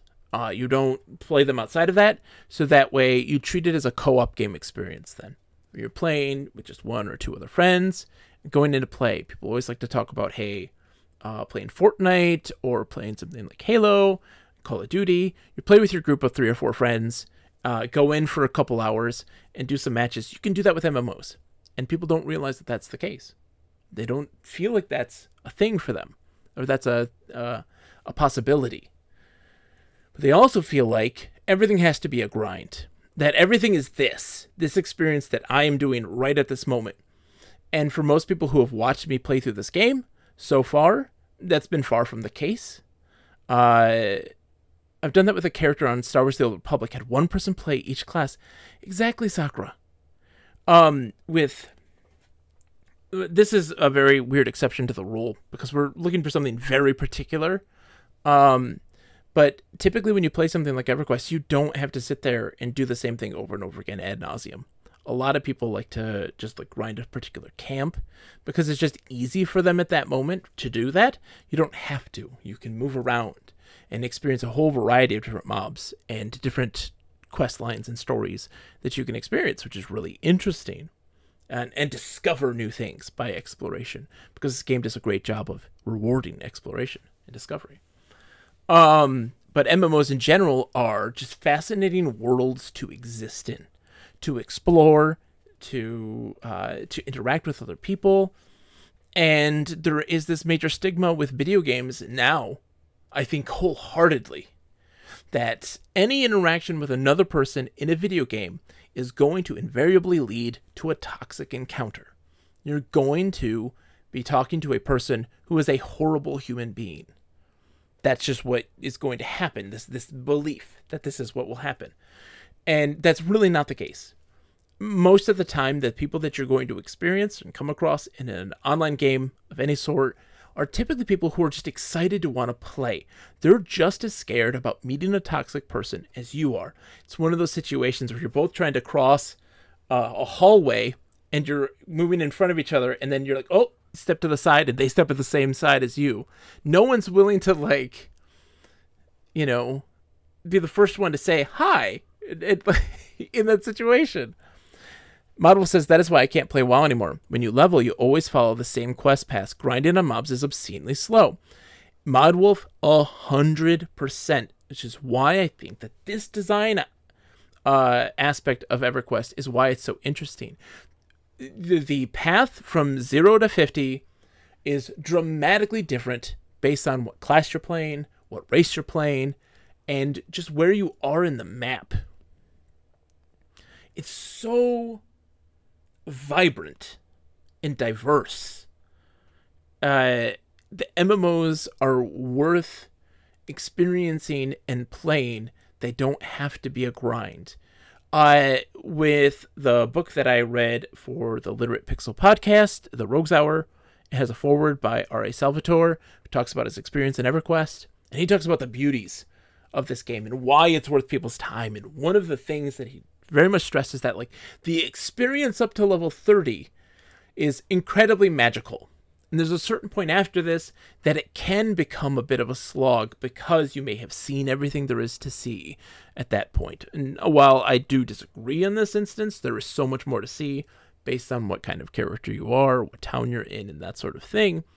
Um, things do start to filter into more specific zones and things like this.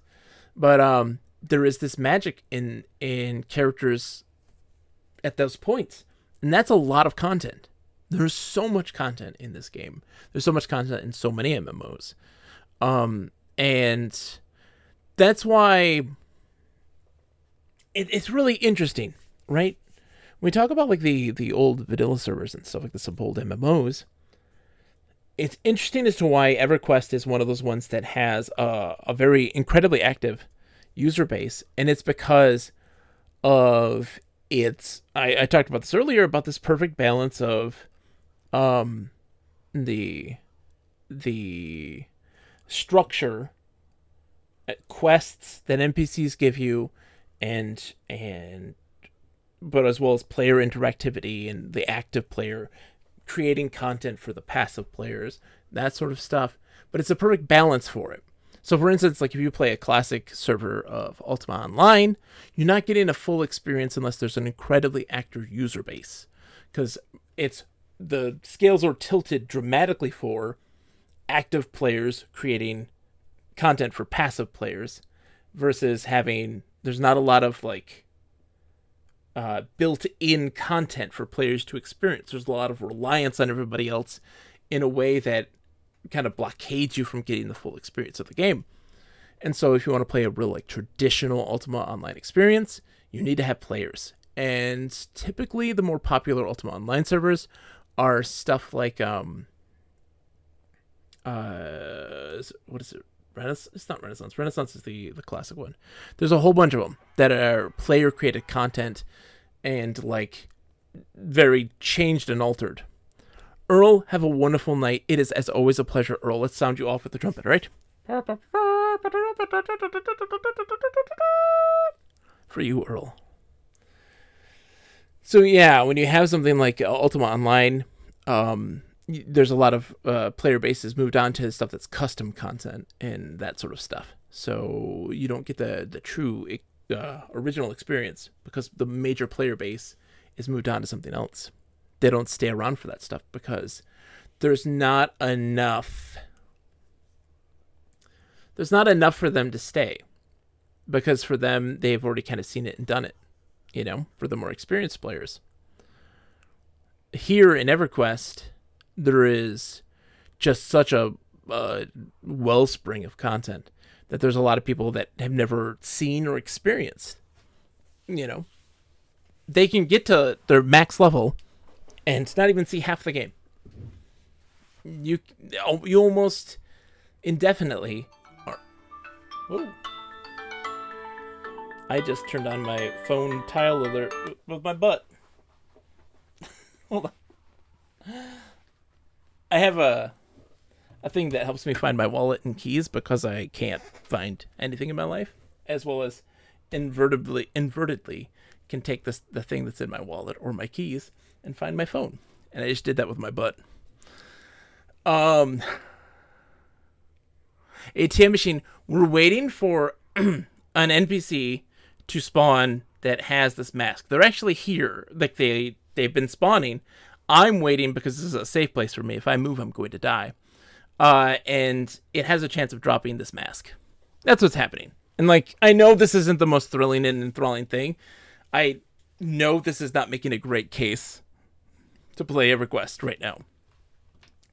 Luckily, this was not my. So this was like a perfect time um, did I locate my butt? I, well, I located my phone within which my butt notified me about the location of my phone. It wasn't the other way around. I'd have to go on my phone and be like, "Where's my butt?" and then it would tell me. Um, so ATM machine, yeah, what we're doing right now is looking for a very particular item. It's not necessarily the most indicative of my gameplay experience, but I wasn't planning to play this tonight. I was supposed to be playing Infidel with Nick, but no, he has to be a responsible adult and be, you know, a teacher to the youth of America. Sorry, Nick.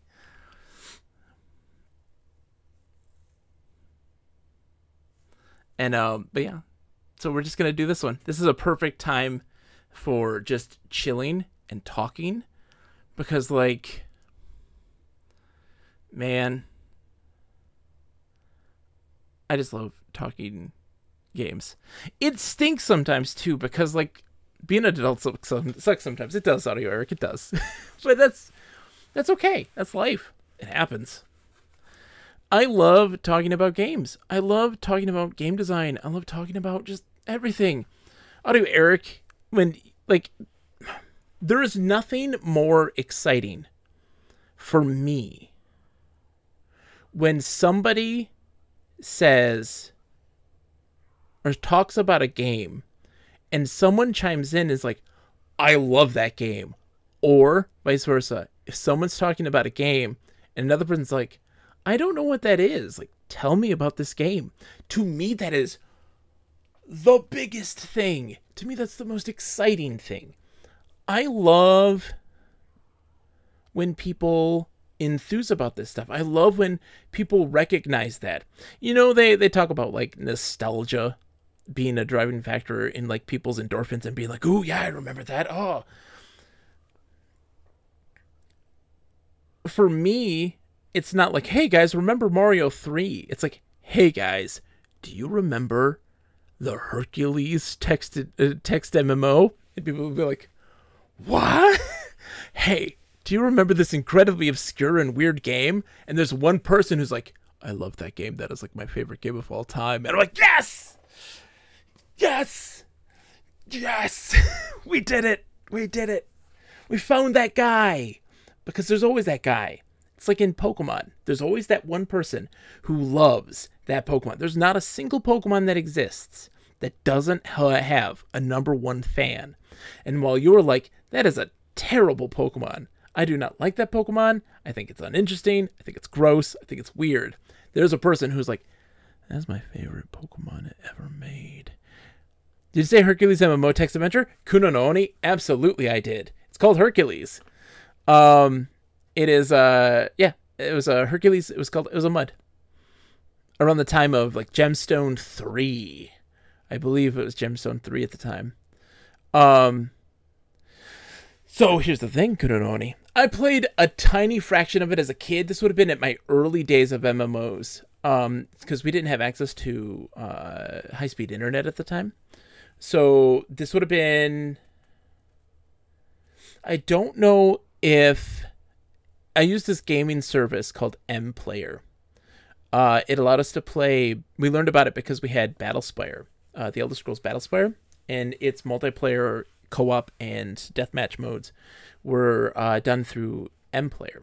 Which, another quick aside, if people like to think that having exclusive platforms for games is a new thing.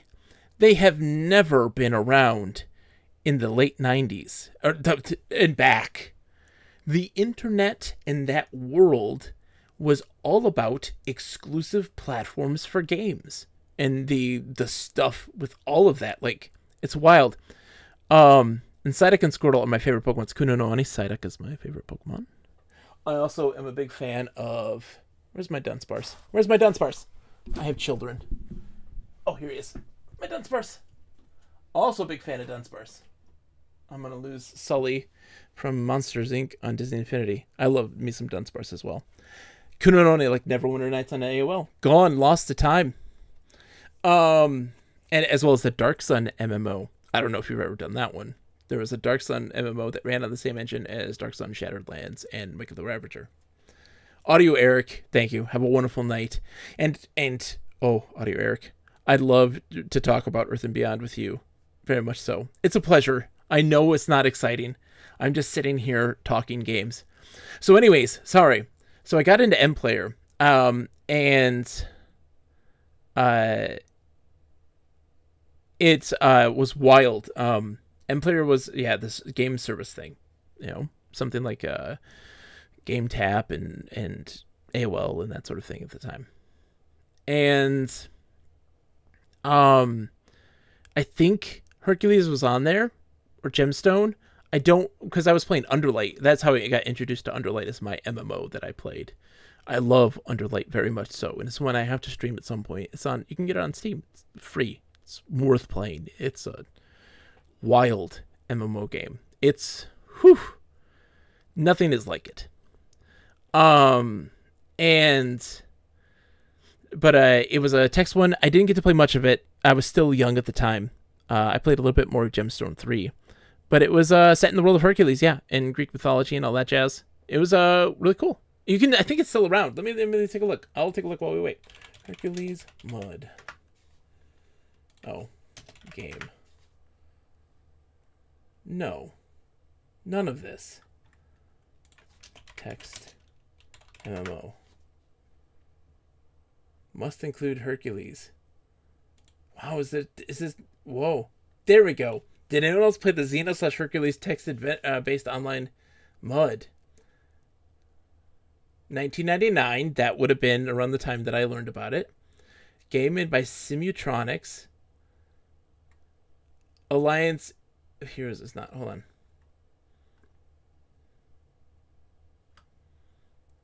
let's see. Hercules Simutronics.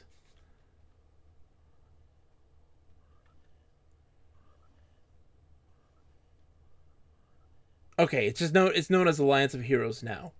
So if you want to actually play it, it's called Alliance of Heroes now. It changed names. And oops.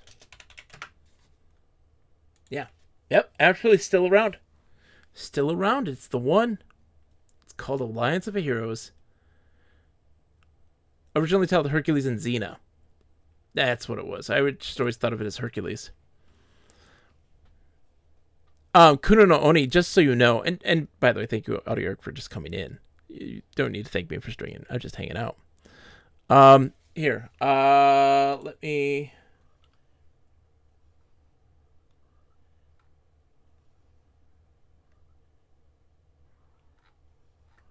Oh, it might not be still around. Hold on, let me see. Mud fandom. Let's see. Let me see. Where's the info on the thing? The game is constantly being updated and worked on in an effort to keep it as updated as possible.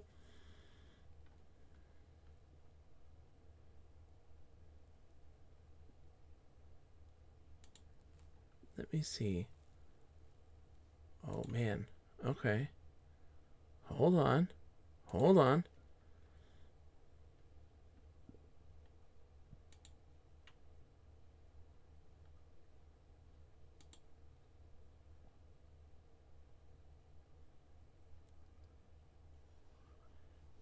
Oh, okay.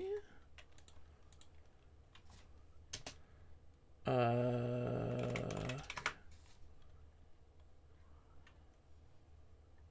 there's a tabletop game now called Alliance of Heroes. No. It might not be around anymore. It might not be around anymore. It looks like it's gone. Is that emu like under wraps? People had to be invited through a friend of a friend type hush hush all sneaky sneaky. Oh, that I don't know.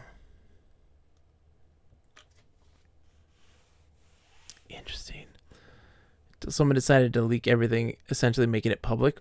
For what thing, Lazy Lions, then? For which uh, emulator stuff?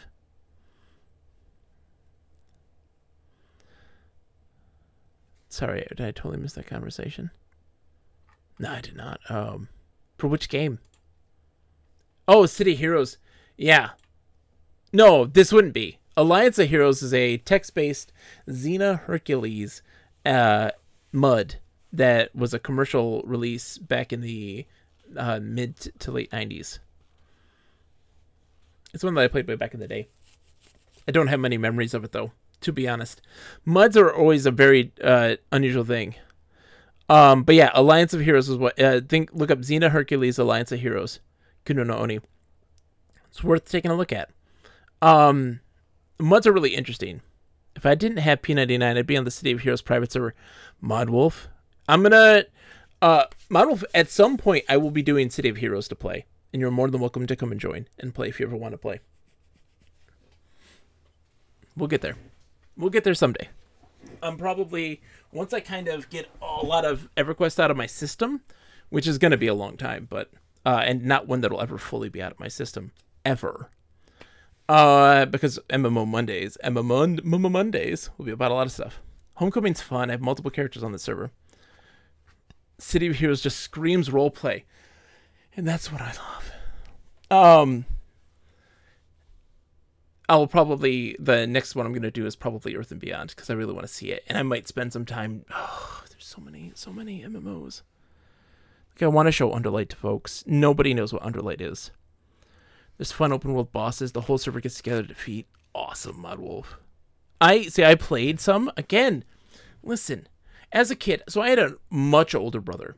My oldest brother, Nate. He um he had a big disposable income. He loved MMOs. He'd buy like every one that ever existed. But I never got to have permanent characters. So I always got to have like a taste of all these different games and all these different worlds, and I never got to delve deep into them. And now there's this major desire to want to do so. I mean, as an adult, I and I I love the genre. Uh, when I was able to actually finally have a disposable income of my own, spending a lot of time in these games that I very much enjoyed, but I never got super far into a lot of games. So like something like even Underlight, the one I played, um, I never got super far because I spent far much more time role playing and um and being this very unique style of play for that character for that game because uh, you could have progression being a pacifist and not engaging in combat at all and being able to be able to progress in that game which is really interesting.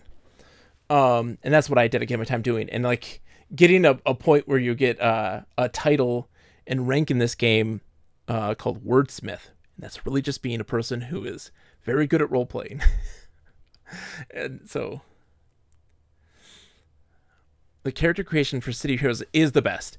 Yeah. So what I did, Modwolf, um, it, uh, no joke, at the time when City Heroes came out and I got to play it, uh, my favorite, uh, I know this is so dumb. Please, like, please do not judge me. My favorite Marvel superhero was Guido from uh, X Factor. I just thought he looked really, really cool. He does not. Um, and so I made him. And I made him like really a, very accurate portrayal of him. And I loved it. It's fantastic.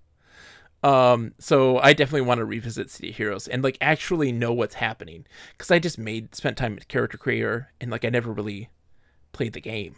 You know, I feel like I do. I feel like the games I love the most are the games that I'm also like not very good at. Tyrone later, John, have you read the other book? I just got it in the mail. Uh, wait, which other book, Nick? The Doom one? I sent you a. You didn't have to buy it. I sent you a PDF of it. I have not because I have to read this one first, Nick. But I'll be reading it soon. I let them know that that um our timeline, Nick, for the next book, uh, and uh, we have time. We'll be fine. Lazy Lions then says, I had an absolute blast reliving, reliving Daggerfall created with Unity. That's high on my list. Highly recommend anyone who enjoyed the original and never finished it to look into it. Lazy Lions then, it's on my list. A hundred percent. What was really nice was uh uh when I streamed some Daggerfall because I was like, I'm hell bent on beating this game. And this would have been like four, five years ago when I had like nobody coming into my streams. And like the only person who came in to watch it was the guy who speed runs uh Daggerfall. and he was like just talking to me and I'm just like I have no idea what I'm doing. Like I have the game as a kid. I own the game, the CD. I have the actual the unofficial Prima guide for it, which is great read. It's very interesting. Um and uh Nick, you say you still have feelers out for Bases Loaded 2? Why? Why do you want to own Bases Loaded 2? That's like the most expensive book of the Worlds of Power series. Don't do it, Nick. Uh, and so Daggerfall's what I wanted to do, but then like I just petered out because also um I was just like I don't know. I just I didn't have any like drive to to finish it, and so I was just like, yeah, other things came up, just had to stop. Uh, but Daggerfall is definitely on my list. I want to play this year. On my list to play this year are uh, two Elder Scroll games that I want to be, which are Battlespire. I want to do an online co-op run through of that game, and uh, go through Redguard, the weird third-person adventure game, action adventure game. Um, both games that I have physical copies for as well. Yeah, Nick, you might get lucky. I think that um, that Bases Loaded 2 is so expensive just because it, it doesn't pop up very often. Um, and somebody recently got it.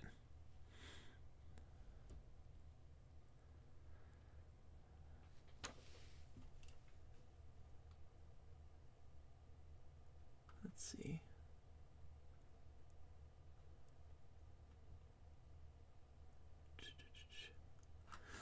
All right, yeah. So it's really interesting. The the the, the stuff that we plan on playing, also really want.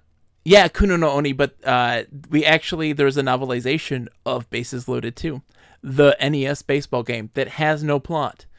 Uh, so back in the uh, early '90s, um, this guy wanted to encourage kids to read, and so he started up a series called the World of Power series, which is novelizations of classic Nintendo games um, to get kids engaged in reading. So, um, Bases Loaded 2 is one of them. Mega Man 2, uh, Ninja Gaiden, uh, Metal Gear. And they are insane. Um, no, it is not an amazing soundtrack. Oh, the Bases Loaded 2 soundtrack is so. Oh, so yeah, it's they're really fascinating to read. Like Mega Man, we did a podcast on Mega Man 2 and Bases Loaded 2. Bases Loaded 2 is actually not too bad. Um, but Mega Man 2 is wild.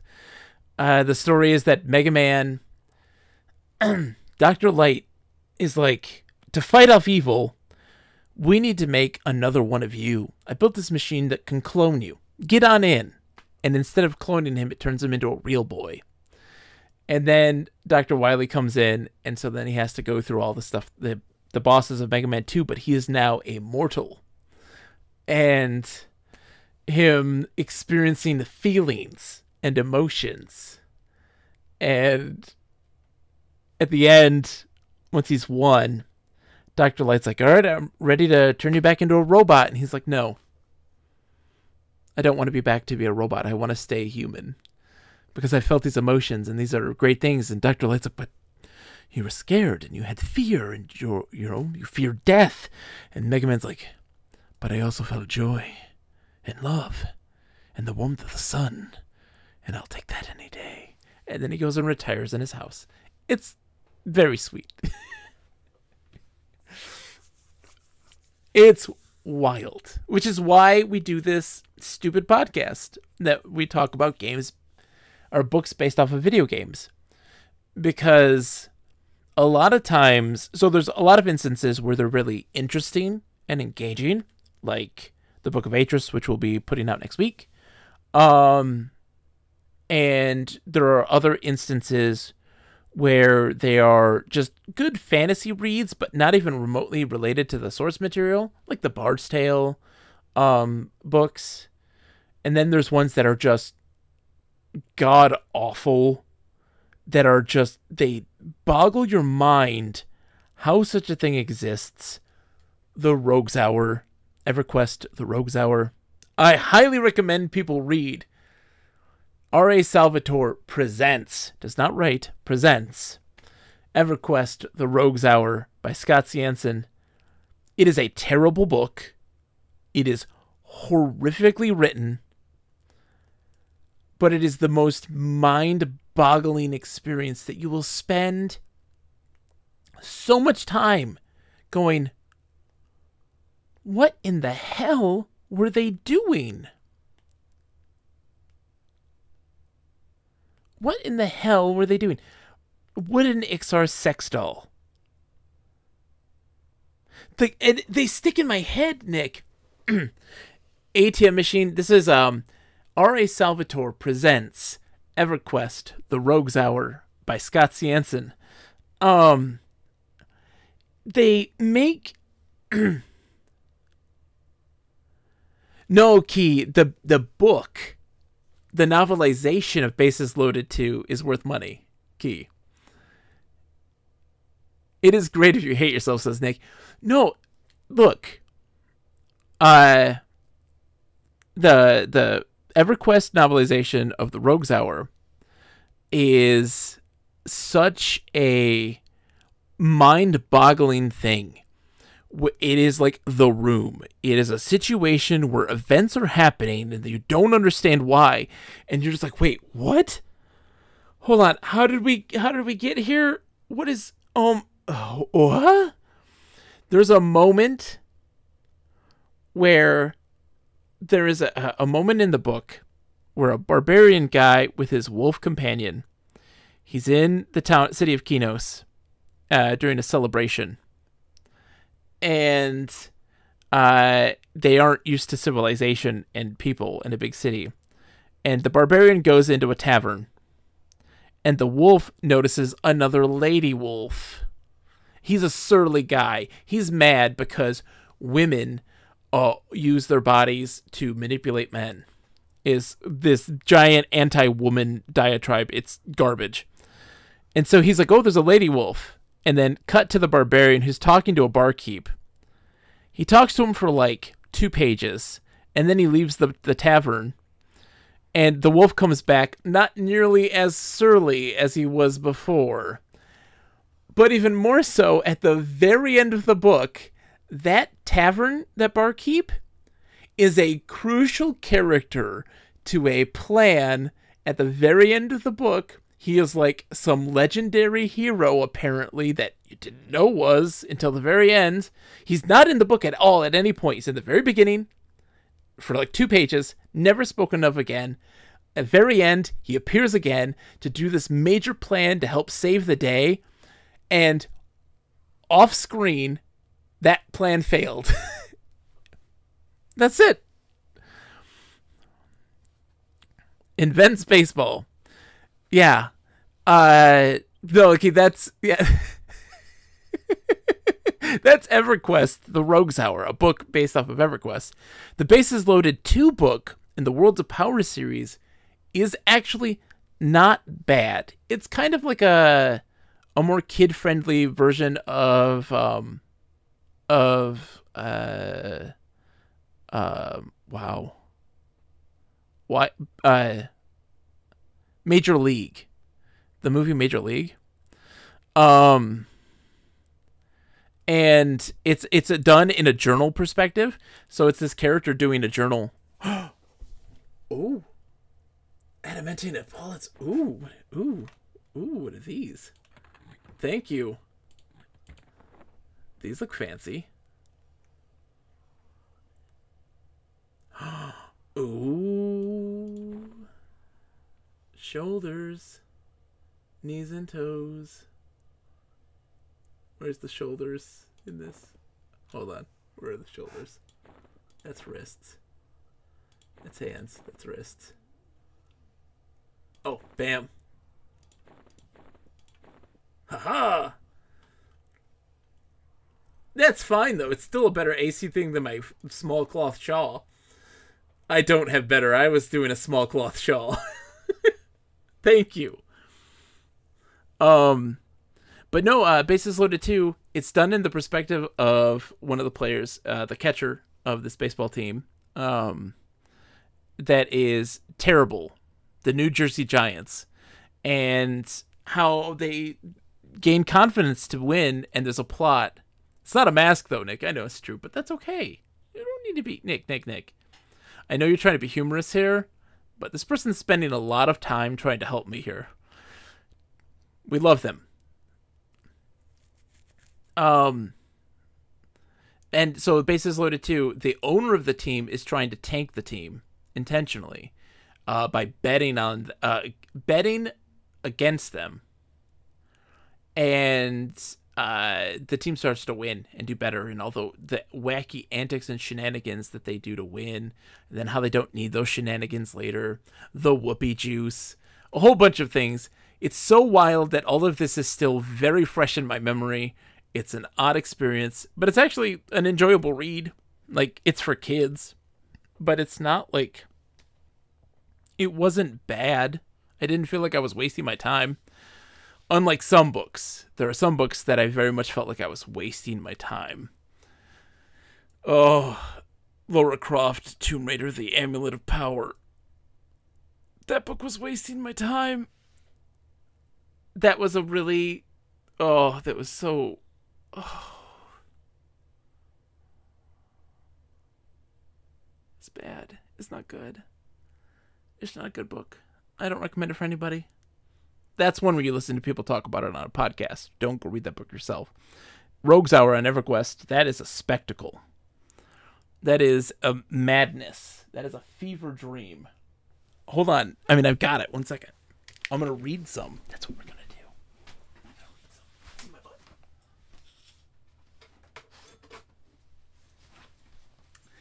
Now I wanted I want to stress to you all that what I'm going to read to you does not have any context. It just happens.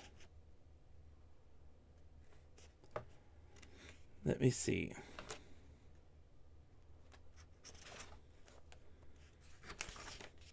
Okay, so they haven't gotten to the city yet. We have to find this. Um, oh, I gotta remember what chapter it's in. We're in the Isle. That's the mermaids who want to have sex with the barbarian. Okay, we're almost there. Blood Savers talking about bones. I didn't mean to make this an extra episode of the pot. I, well, I understand, Nick, that. Rodchen, blah, blah, blah, nonsense. Nonsense, nonsense, nonsense nonsense. Revelations. All right. This okay. I'm gonna uh, this the first word is about a character named Magistrale, formerly of Kunark. We have never met Magistrale. He is never alluded to. Uh and this is a character the main character Riley, he has amnesia and he knows that there is an armor crafter like a, a special crafter of knives and things like this on this uh, on a random island, not necessarily the one that they're currently on, that may be his dad. That's all we know. And this uh, Riley does not say like, "Oh, I'm on that island. I'm going to go find this guy who might be my dad." No, it just opens up like this. Chapter 16, Revelations. Magistrale, formerly of Kunark, strode boldly between isles crammed with the foulest vermin ever to plunder the vast channels of Erud's Crossing. They had to be the worst, he decided, looking at the way they dressed and taking in their wretched smell. Disgusting. Spare some coin for the Widows and Orphans Fund? asked a pirate, holding out his hat. Magistrale frowned into the man's grimy face. You mean to say if I don't support the efforts of the true men, they won't have the funds to snake even more husbandless wives and fatherless children? Don't be like that, the pirate said with a toothy grin. Free enterprises takes many forms. Ah, but it won't be taking me, Magistrale said as he pushed past the pirate and made sure to check that his money belt was still secure. Hold on. Wait. This Magistrale, the thing's attack. Okay. He kills he kills the, the guy. Woohoo. Um, breathing heavily. Magistrale smiled. One would first have to take them from me, the boots. And hope he has boots that have knives in them, yeah and hope they were the right size. Better to pay for what you want, don't you think? Besides, their magic only works for whoever commissions them, and I'm very selective about the commissions I take on. Magistrale, there you are, called the attractive, if heavy-boned hostess. Come with me, you wily old man. I found exactly what you are looking for. Without another word, Magistrale left the gambling hall, and followed the hostess to a small bustling, uh, a hall bustling with visitors. He recognized some of the ne'er-do-wells from previous dealings in recent years, and thought abstractly about the shame he might have felt, were his son alive to see him in this place, catering to outlaws. Instead, he felt very little, and had to push himself to extremes in every aspect of his life to feel anything at all. She's in here, the hostess promised, as she opened a narrow door and ushered him into a room lit by candles and scented by sandalwood. An Iksar female lounged on a cot near the window, her scaly hide wrapped in a rainbow of silk and accented with a scattering of silver jewelry. That's a lizard lady. Um, precisely what you requested? the host had asked. Excellent, Magistrale told her. He paid her, then rushed her out of the room and slammed the door shut. Fast as the old man's reflexes were, and augmented by spells and armor and weaponry it had taken him a lifetime to design, they were not quick enough to save him. A shadow detached itself from the room's otherwise comfortable depths, threw him up against the wall, and rendered him near senseless in an attack that might have impressed the weaponer, were he not its victim. Riley, the main character, soon had the weaponer bound to a chair. Magistrale's boots were off, the old man's knives, and all manner of concealed weapons that had been on his person had been stripped away and were sitting on the bed next to his life sized wood carving of an Iksar woman.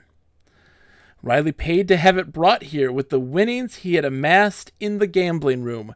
At no point in the story has he gone to the gambling room, nor at no point in the story do we ever hear him uh, get a life size wood carving of an Iksar woman to then draw out a man. I love that I said this, and then like everybody left. They're like, nope. Uh,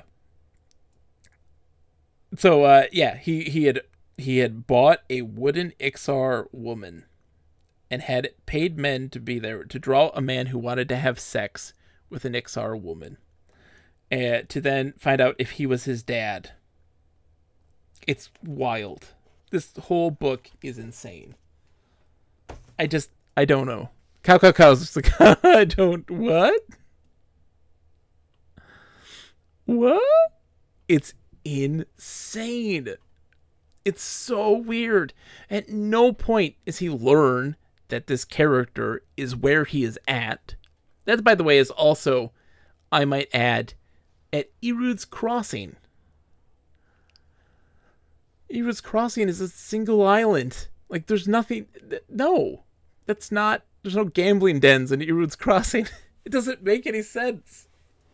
Doesn't make any sense. Nick, we were in Erud's Crossing, by the way. We've been there in this game. That's where we were waiting for the boat. The boat. I have scared off so many people by just sitting here talking about games. I'm encumbered. I am encumbered. Oh, it's because of my water that I'm carrying.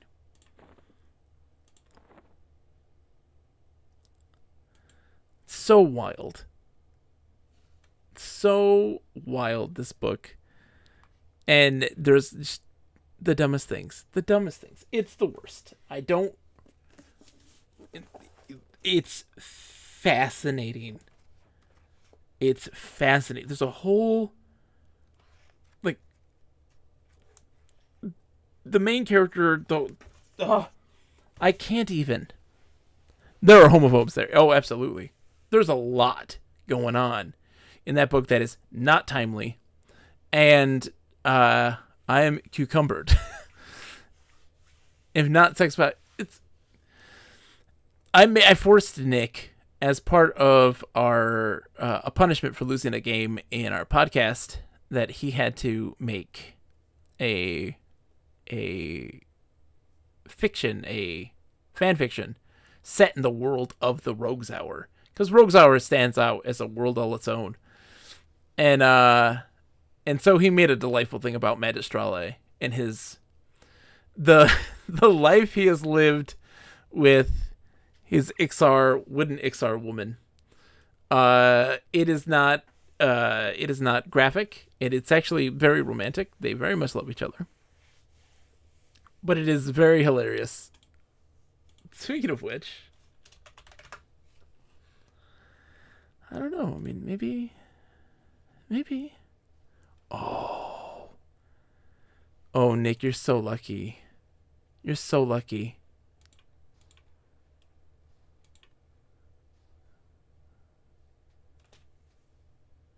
Hmm? My wife signed me out of all of my things.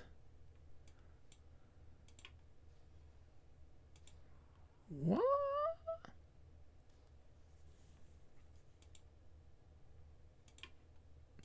I can't sign in right now. I was gonna read your your fan fiction. I can't read it. I don't have access to it in my docs right now because my wife logged me out of all of my stuff. Um, yeah. Oh man. So yeah, sorry Nick, you don't get to hear your uh your fan fiction read aloud to all the people in chat.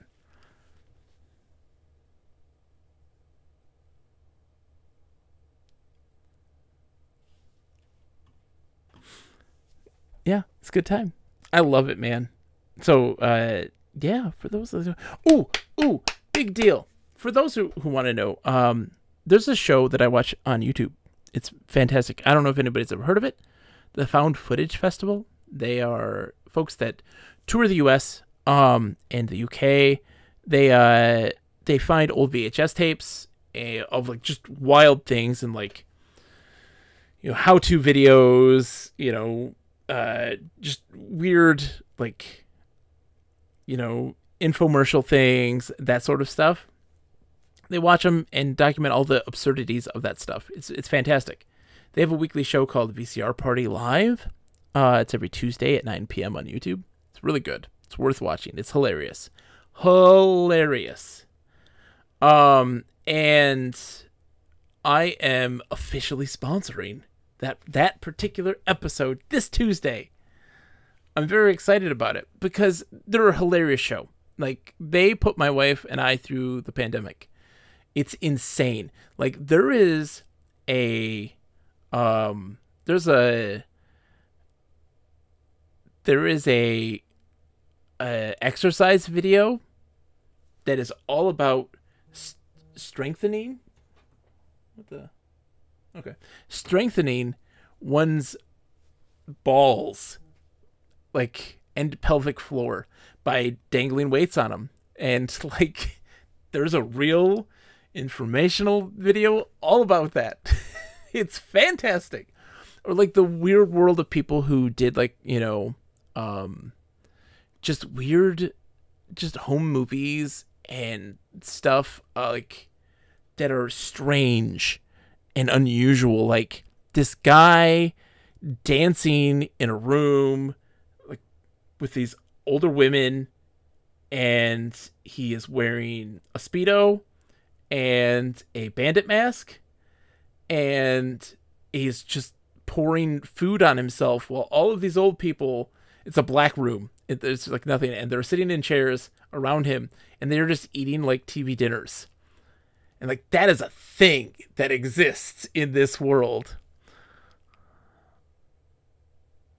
oh i i can't and so it's just wild it's so much fun and like these weird like you know anti-drug stuff like for kids back in the day i mean okay i'm gonna read nick's thing it's called Emerald Wood. All right, are you ready? This is an original. Hold on. Did it download? Okay. Oh, my sweet Esmeralda. I can think of few days as perfect as this one, said Magistrale, as he looked out at the sun just dipping below the horizon.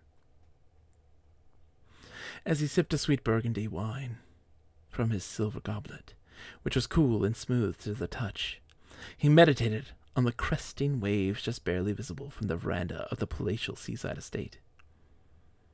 Esmeralda answered his observation with the same sultry silence that Magistrale had come to love and adore in his partner. It had been a long time since that fateful day when they met. Riley believed it to be a mere ruse, a manipulation to trick an old man into giving long sought after answers. Riley could not have anticipated nor understood the decades long love a love affair that he put into motion.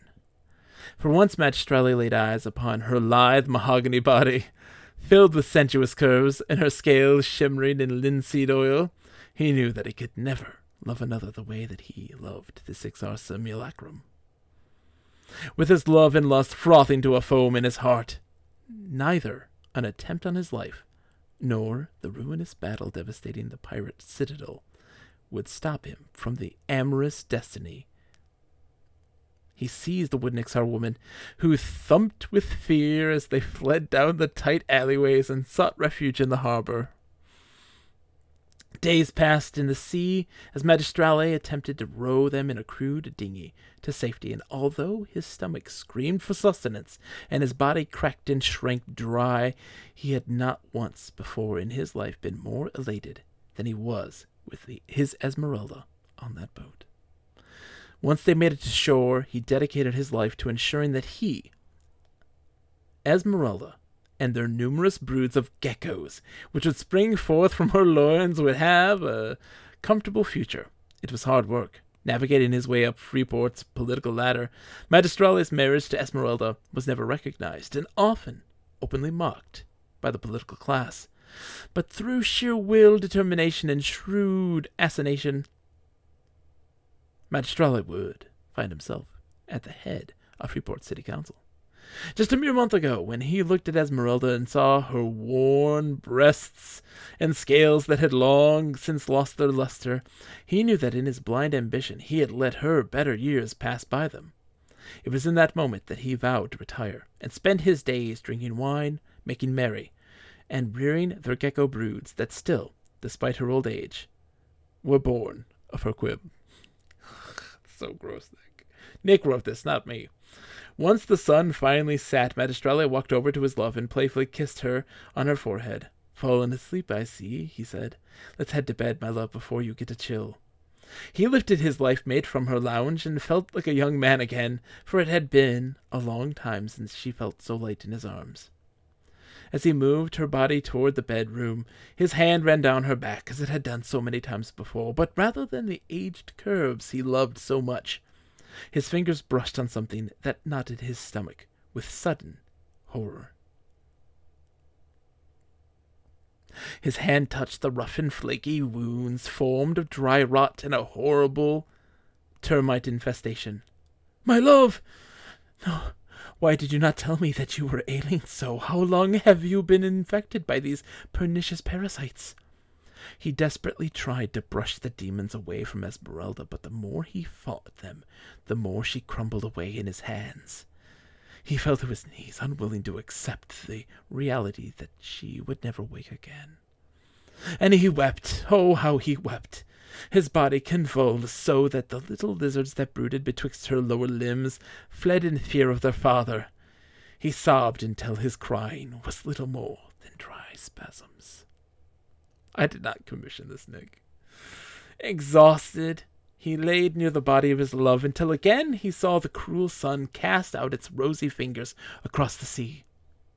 It was in the face of that affront by nature and time, for how could the world ever be bright again? Now that its most wonderful denizen had been lost, that Magistrale steeled himself. He placed a long and sensuous kiss on her cold, languid lips, and gently lifted her once more from the bedroom floor. His feet ponderously thudded against the marble floors of the veranda as he approached the railing overlooking sea, overlooking the sea. As he walked, his gecko kin fled, knowing the terrible fate that befell their mother, and fearing that their father might do what their father might do. He stepped over the railing, careful to not disturb and injure the body of Esmeralda further. None have brought me as much joy as you have, my dear, and I am so sorry that I've squandered it, he choked. A world without you is one that hasn't a place for me. With his eulogy said, he cast himself into the sea, and they were reduced to splinters and pink foam. And this is why to this day, when someone of ambition finds driftwood along the beach at sunset, it is understood as an omen that they neglect that which is truly important. Love.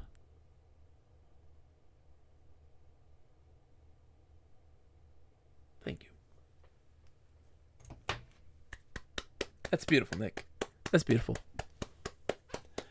That's beautiful. You can see such beautiful prose uh, and litanies all throughout our podcast, the Literate Pixel Podcast. Check it out. It's on all major platforms. It's fantastic. Oh, thank you, thank you, Von Wolf. Great clapping in the game. Thank you, thank you. Um. Oh, jeez. Basal gargoyles. Um, that was fantastic, Nick. Thank you for that. That still to this day sits rests deep within my heart as a beautiful, beautiful work. All I asked you to do was make a fan fiction, a two-page fan fiction set in the world of the Rogues Hour slash EverQuest, and you took it to places I did not expect. Truly, an absolutely divine manifestation of creative genius, unlike any other.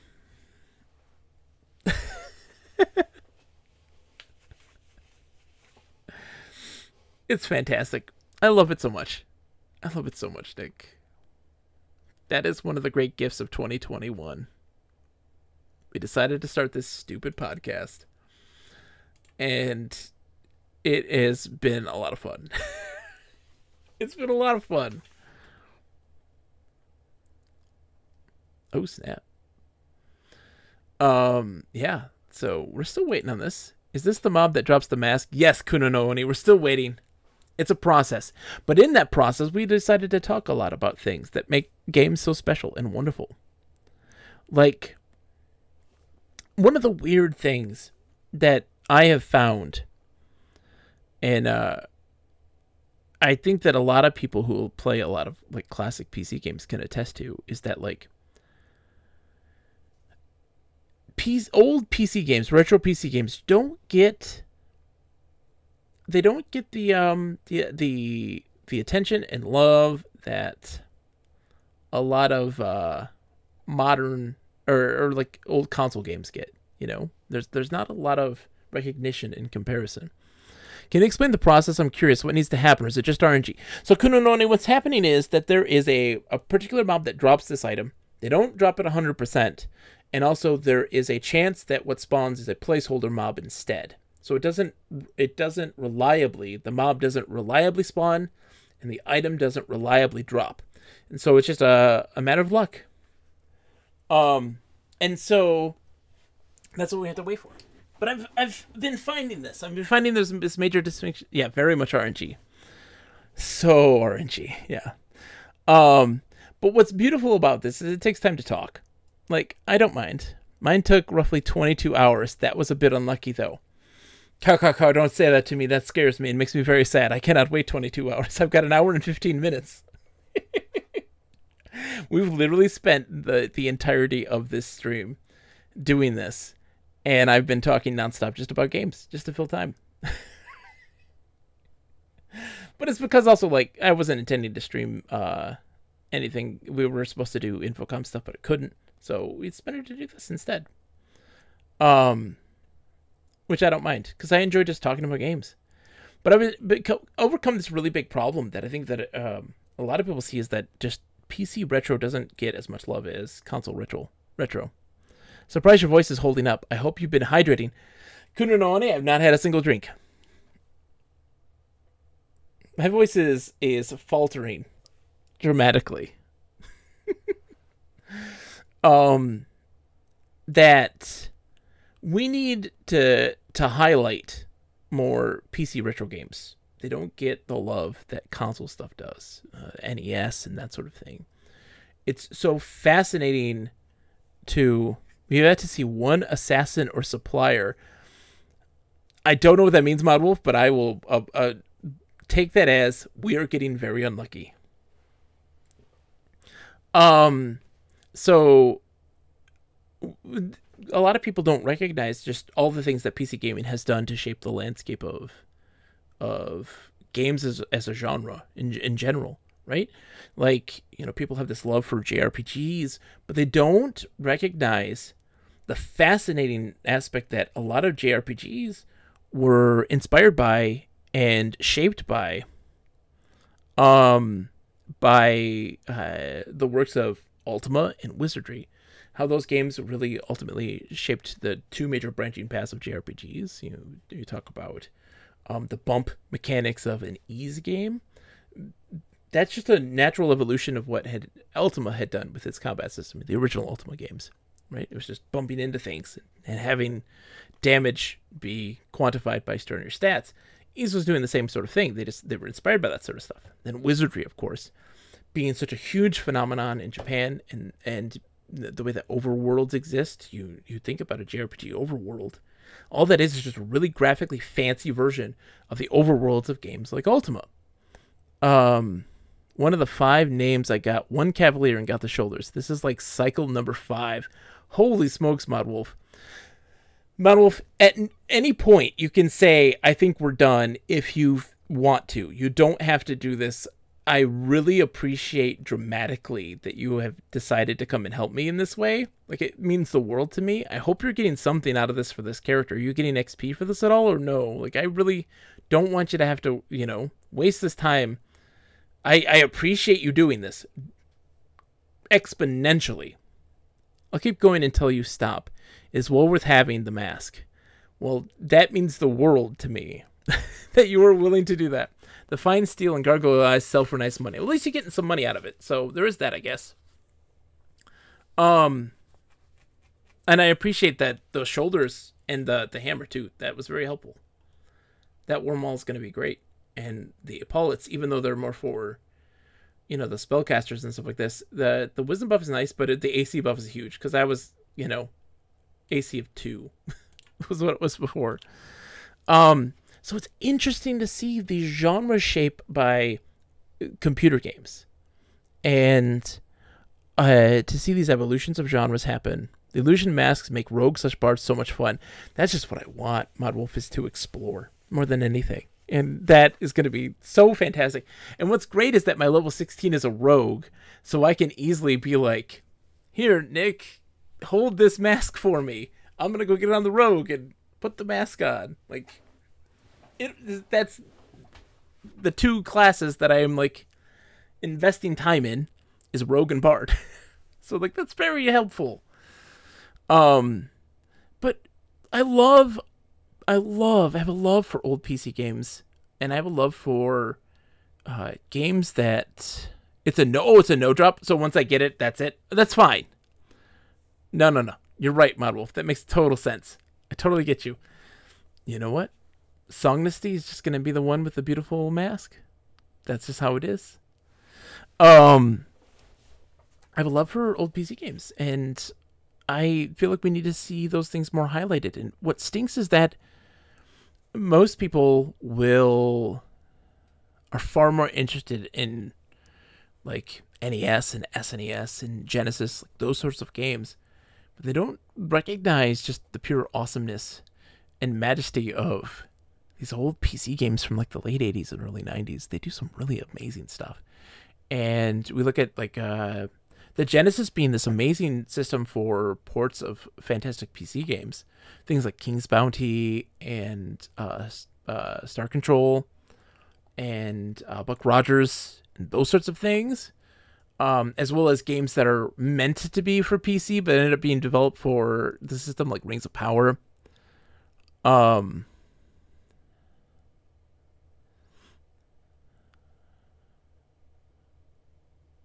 Oh man, Modwolf says rogues can do this at level 1 and just leech off of someone doing the camp.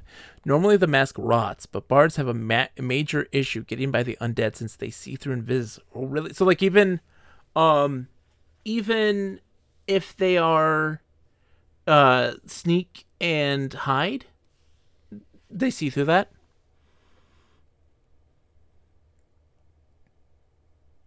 That stinks. Keyglyph says, Syndicate, I know.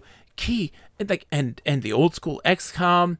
There's just so much that old PC games have to offer that not a lot of people recognize. So full disclosure, I didn't play Syndicate. Nathaniel did, and I love the way the voice in the game says it. I haven't heard of this actually, Key. So in all caps, robot monitor Syndicate. Okay, Modwolf. That, at least there's that then. I mean, as a rogue, I, uh, I can do sneak and hide, so that's helpful at least. Um, and key, like there is a this fantastic game from the '80s that I had on my Apple 2GS that was um uh uh War of Middle Earth. War. Oh, hold on. Middle Earth. O2GS. RTS. It was War in Middle Earth, 1988. Uh, it is a so people always talk about uh, Dune being um the father of real time strategy. Not true. There's many more, but one of another example of one being um, you know, this fantastic uh real time strategy game is War in Middle Earth it's a weird RTS before RTS was a thing, but it's also an RPG.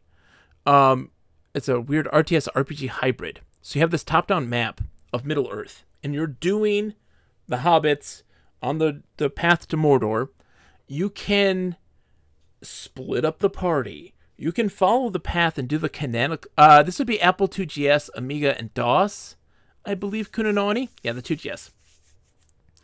Um, and so you could split up the party, follow the path canonically, but you also will eventually get access to other the armies of men and dwarves and you can even like recruit them by going to the cities and things like this and doing like the fights. The nazgul are running around and you're trying to avoid them.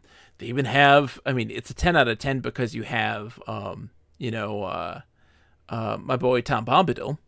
And it's just and so you have this faraway map view of all the units and stuff like this, and you can merge them into parties or split them. And there's like Frodo and Sam and Gandalf and all this stuff. Um, but then uh, you can also zoom in at any point and watch them as they go side scrolling, trekking through the land. And there's items that you can pick up that give you bonuses and stuff like this, and NPCs and travelers that you can talk to. Um, and uh, the combat is done in real time. It's almost it's almost kind of like an active time system. So it's happening in real time, and you're giving orders and commands to them, and you're watching them side by side. You're watching them up close do this combat, and it's just really cool. It's really interesting.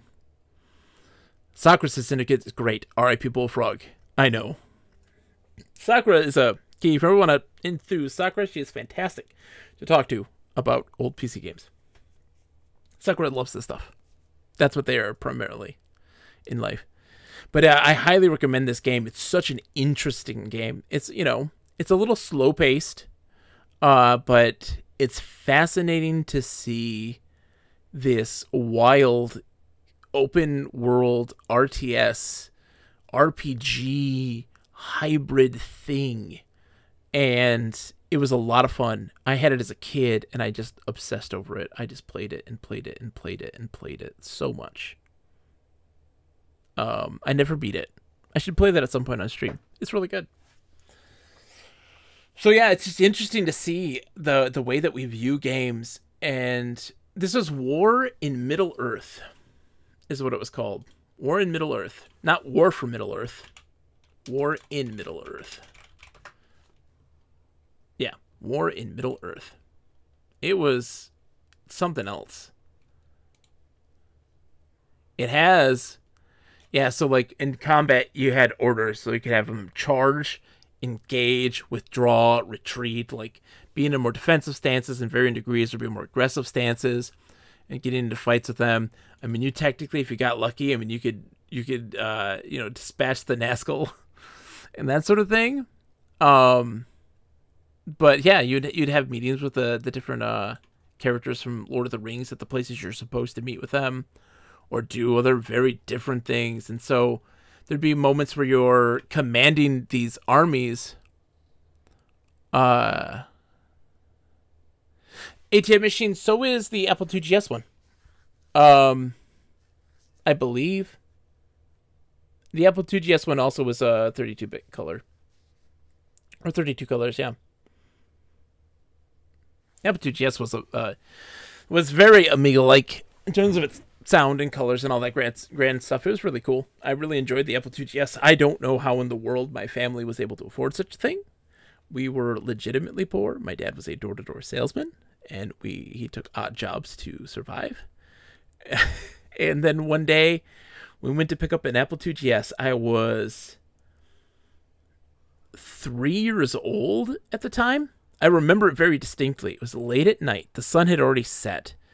Um, and so this would have been like seven or eight o'clock at night because it wasn't fall yet. It wasn't cold. It wasn't fall.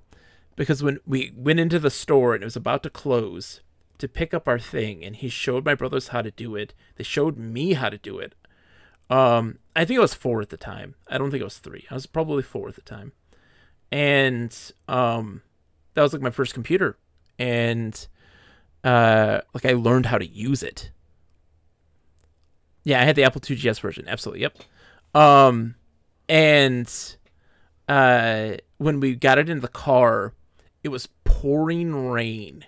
Like it became a torrential downpour. Like you couldn't see out the windshield. Uh, and I was like terrified as this little kid. I thought we were all gonna die. so I was young at the time. I just remember very distinctly this this memory of this of getting this thing. Oh. Ooh, things serrated. Ooh. What is this? I drank some water.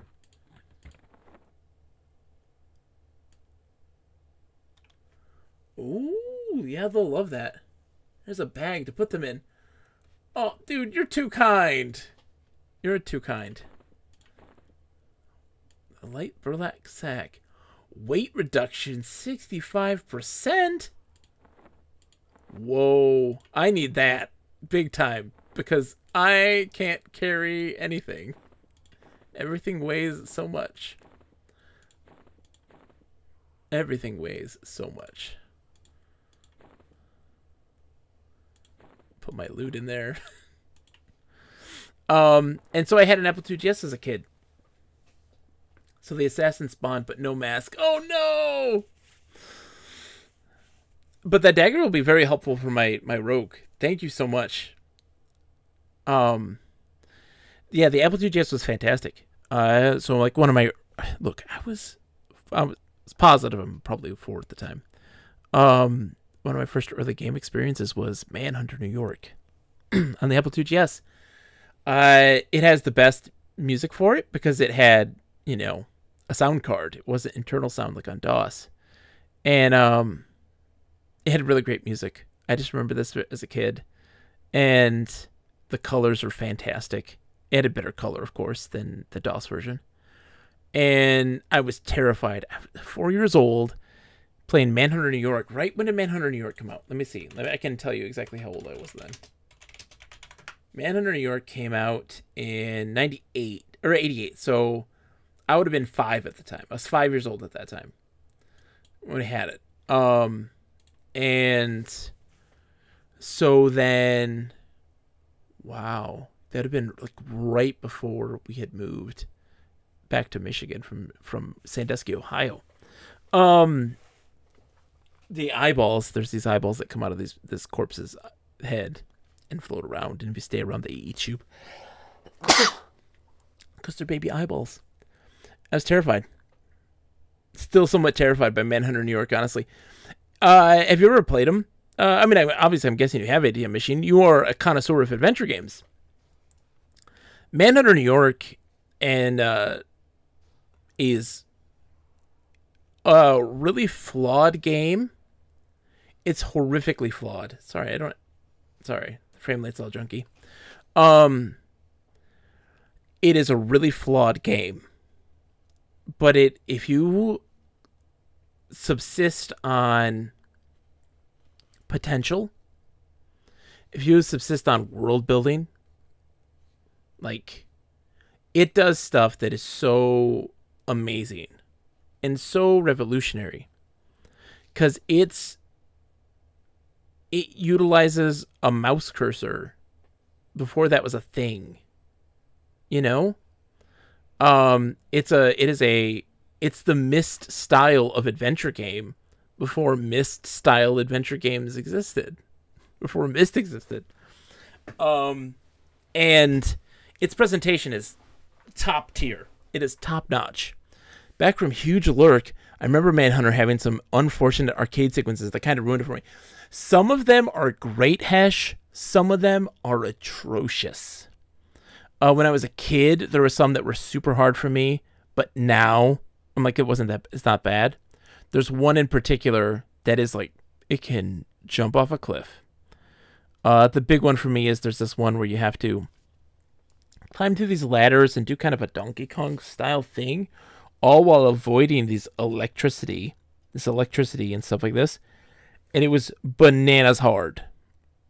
And it was really, really tough. There's some dead ending in the game that is is really uh, unfair. There's a lot of that that happens. Um, but typically when you die, the game sets you up to the point where you um before you failed.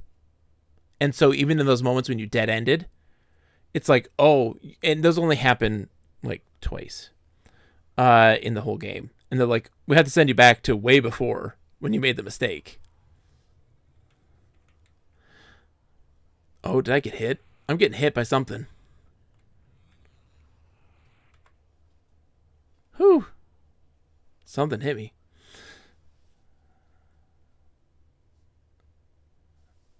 Let's see Bananas hard, totally unripe bananas. Indeed, key. But it's fascinating. Um, its world, its story is interesting. And if anyone has ever seen Sorry to Bother You, the movie Sorry to Bother You, they played Manhunter San Francisco. They made they played San, Manhunter San Francisco. There's so much parallels between Sorry to Bother You and Manhunter San Francisco. There's a lot going on there. Oh, the Wizards cast an AoE. Okay, good. I'm fine. We're all fine.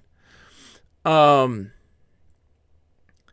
and so, but the Manhunter series is so interesting. I wish they'd come back. I wish we would see that series again remade. I would love to see that remade, not Gold Rush remake, like a real, honest to God, you know. Let's try this again because there are things that it does that modern adventure games and that style of stuff definitely attempted after the fact. It's a very much a precursor to a lot of these really interesting um, adventure game designs that happened a decade later and uh, and more. It's interesting. Key, what have you been playing? Have you been playing anything good? What has Nathaniel been playing? I'm so so happy to see you. Key. It makes my day. For those who don't know, Key is my is one of my internet besties. Uh, they have been on in my streams since the beginning, so long ago. Um, her and Capsule J are the like the two people that have stuck with me from the beginning through this wild journey of ups and downs um, who I appreciate greatly in our talk of No Man's Sky. I mean, Hesh, you, you were you're talking some No Man's Sky trash. Keegliff and I can tell you, No Man's Sky is beyond brilliant. um, in its story and world building and how it presents itself because it follows the the Myst world of uh, closing the circle. You know, closing the circle is so important um, in narrative. I think allowing the player to fill in gaps and using uh, critical thinking to discover bits and pieces that uh, fill in the context of the world. And No Man's Sky does this in spades. It is so good. It's so good. Um, but uh, Key and I knew each other way back in Newground, not Newgrounds. Wow, Racketboy, which is an old retro game forum, and uh, No Man's Sky definitely emboldened our friendship. My experience with No Man's Sky was very different. Oh, Hesh, I understand. I want to stress, Hesh, that I don't think that you're wrong because I, I can see a person uh play No Man's Sky and not encounter or experience even a single lick of its lore and history and story. I can see a person going into this and not experiencing any of that. Um and so I get it. I'm looking into ways to play the earlier versions of No Man's Sky. It's not really the game that sets my heart on fire anymore, sadly. See, I'm with Key here too. There is like we're not talking vanilla No Man's Sky. The the current day No Man's Sky is is fun, but it's a lot more like, hey, we're all having fun. Woo! You know? Ways to keep people just more engaged with the world like uh the base building and, and playing together, and those aren't bad things but there are certain aspects of No Man's Sky in its earlier versions that are really interesting. Um,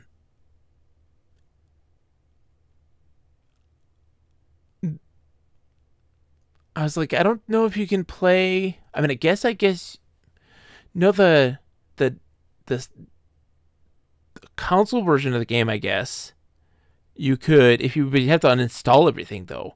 That's a thing that Key is not willing to do. Key says, I know we love MMOs here, but I feel my experience was hurt by the MMOification of the game. Yeah. You can play vanilla No Man's Sky if you uninstall everything and never connect to the internet, but I'm looking into other ways. Yeah.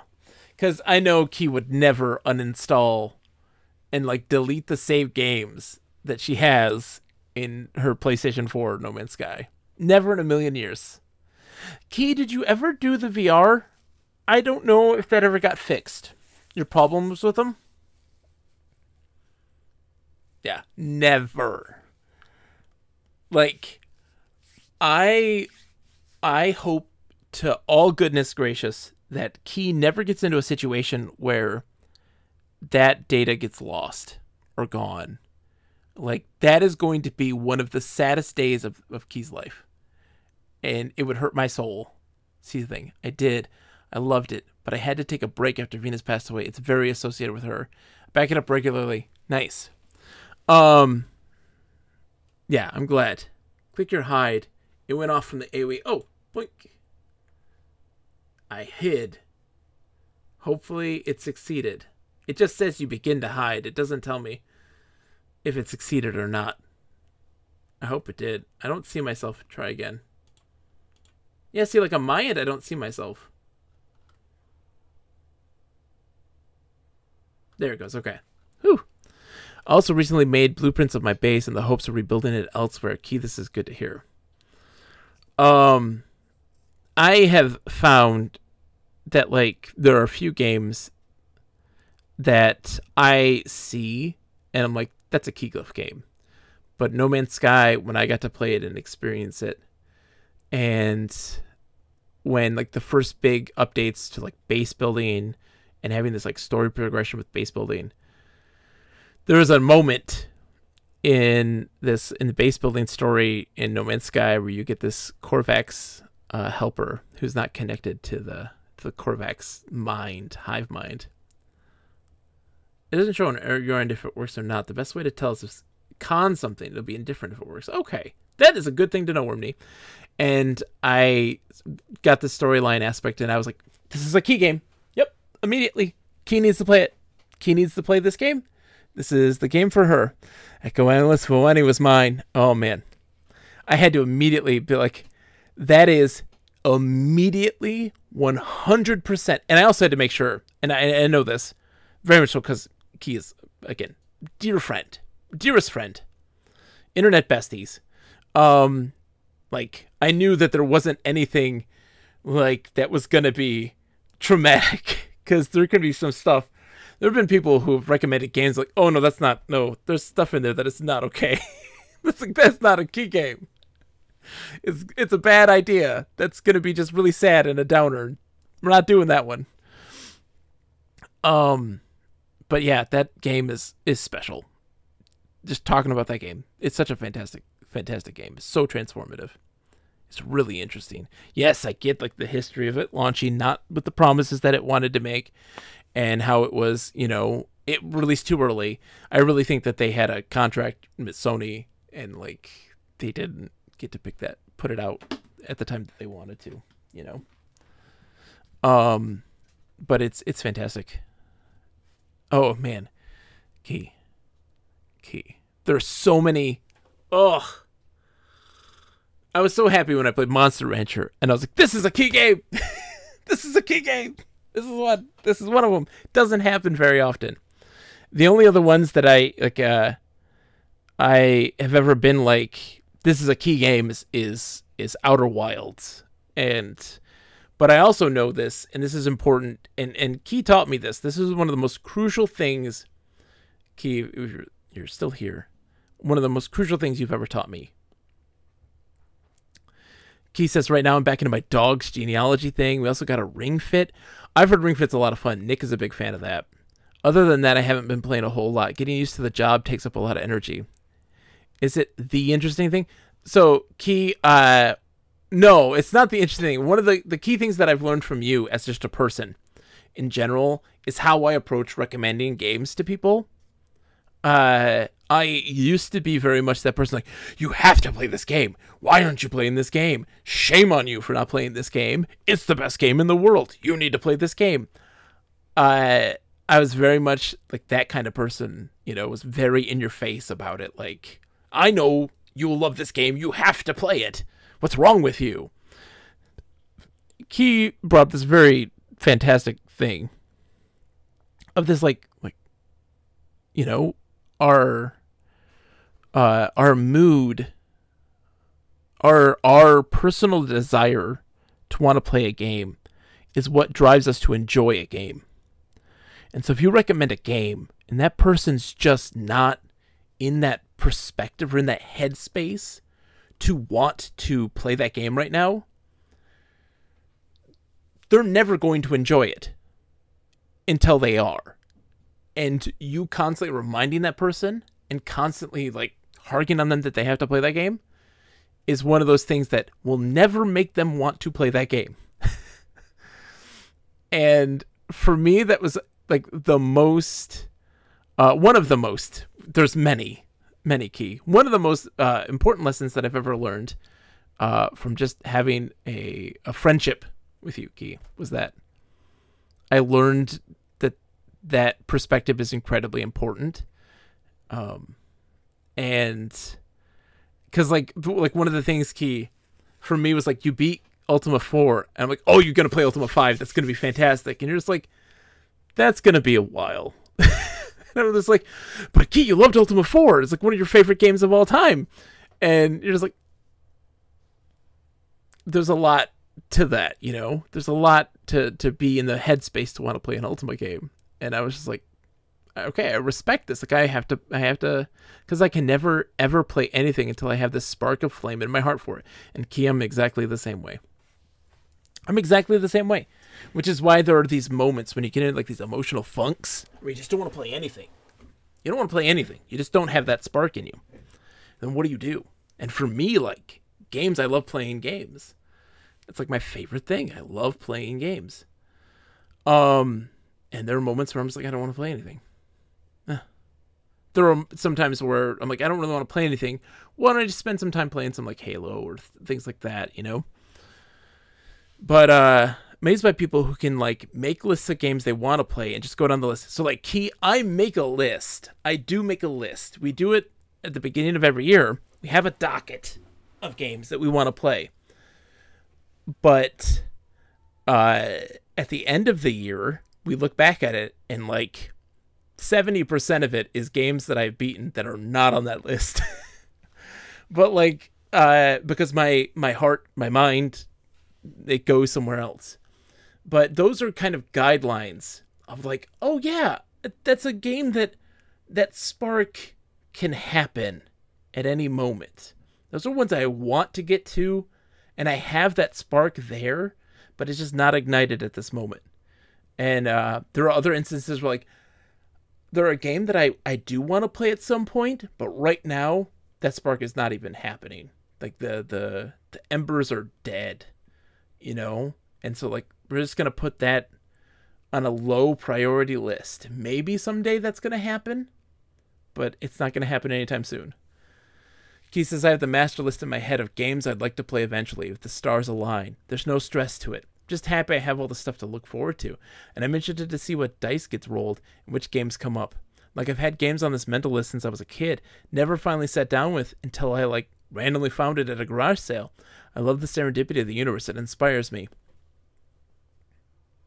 That's really how I do this. So like I make the list because I want to be reminded of some games because my brain goes to so many and I know so many games, but like now so many of them sift through my brain.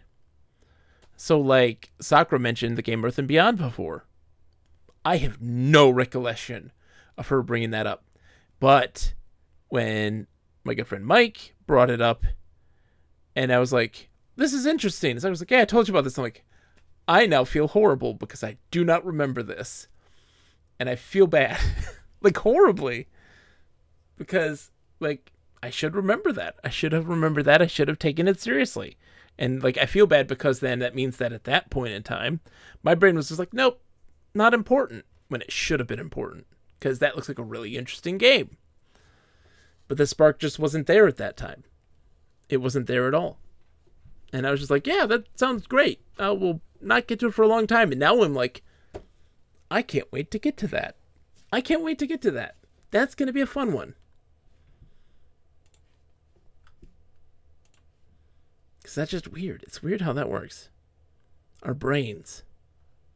That's why I think it's so important to go and and and think about the whys of things when you're playing these sorts of games. Uh, yeah, I know. This is this is one of the strangest streams I've ever done. This is really legitimately one of the strangest streams I've ever done. I've been streaming now for 3 hours and 23 minutes. For 3 hours and 23 minutes. I have been sitting in this spot just talking. Um like think about the whys. Why am I enjoying this game? Why am I driven to play this? What is it that compels me to continue? What what engages me? These sorts of things can uh, these sorts of things can help you better understand you as a person and your taste in games and what are the elements that you find to be attractive and engaging and interesting so that you can identify them in other games and enjoy them more. Kunononi says, I've enjoyed the chat. This is what a lot of people say they stay for. I don't know. I don't know. I I feel like I talk all the time.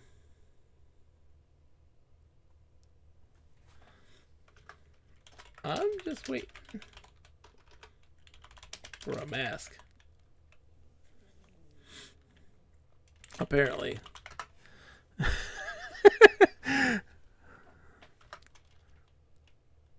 but darn dead. Head badoob. Um, I'm glad you do Kunononi.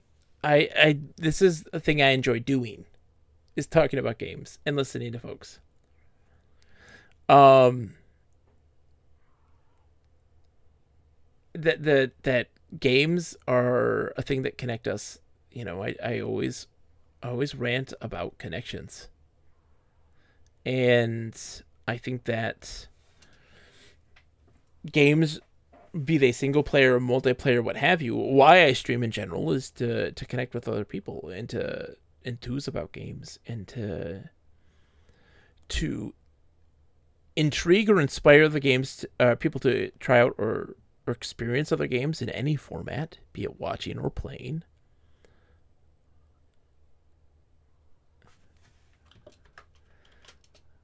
really we've been here for three and a half hours.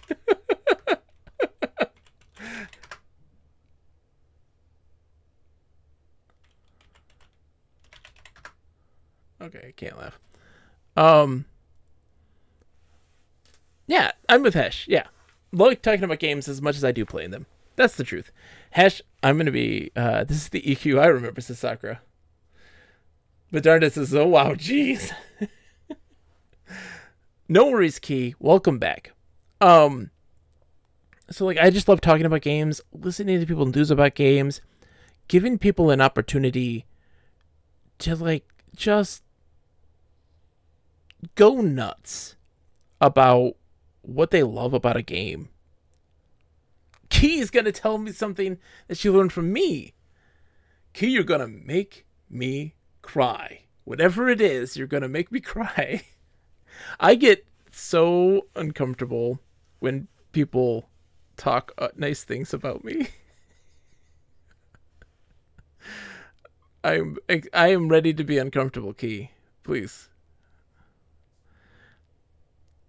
Because I've lived in a, a a vacuum where I don't get nice things said about me. so, since I played zero MMOs growing up, I did not ex- actually know that fans were keeping old MMOs alive by running servers out there in the ether. And the tour you took me on through Uru was such an amazing experience.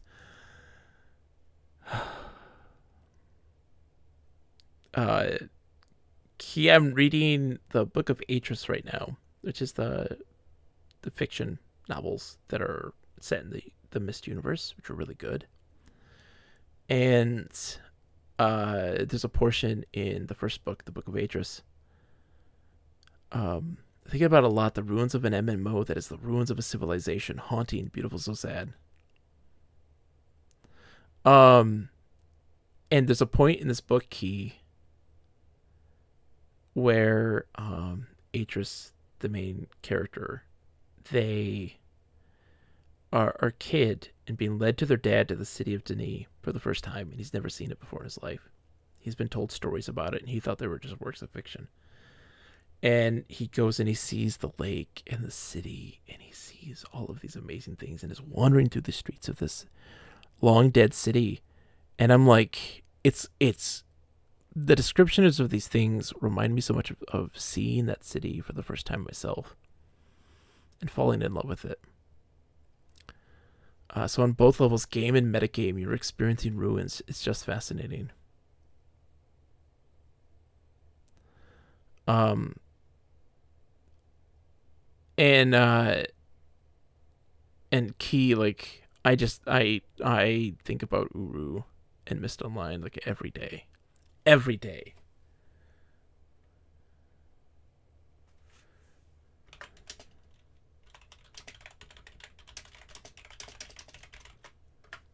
Ghoul Executioner has his axe.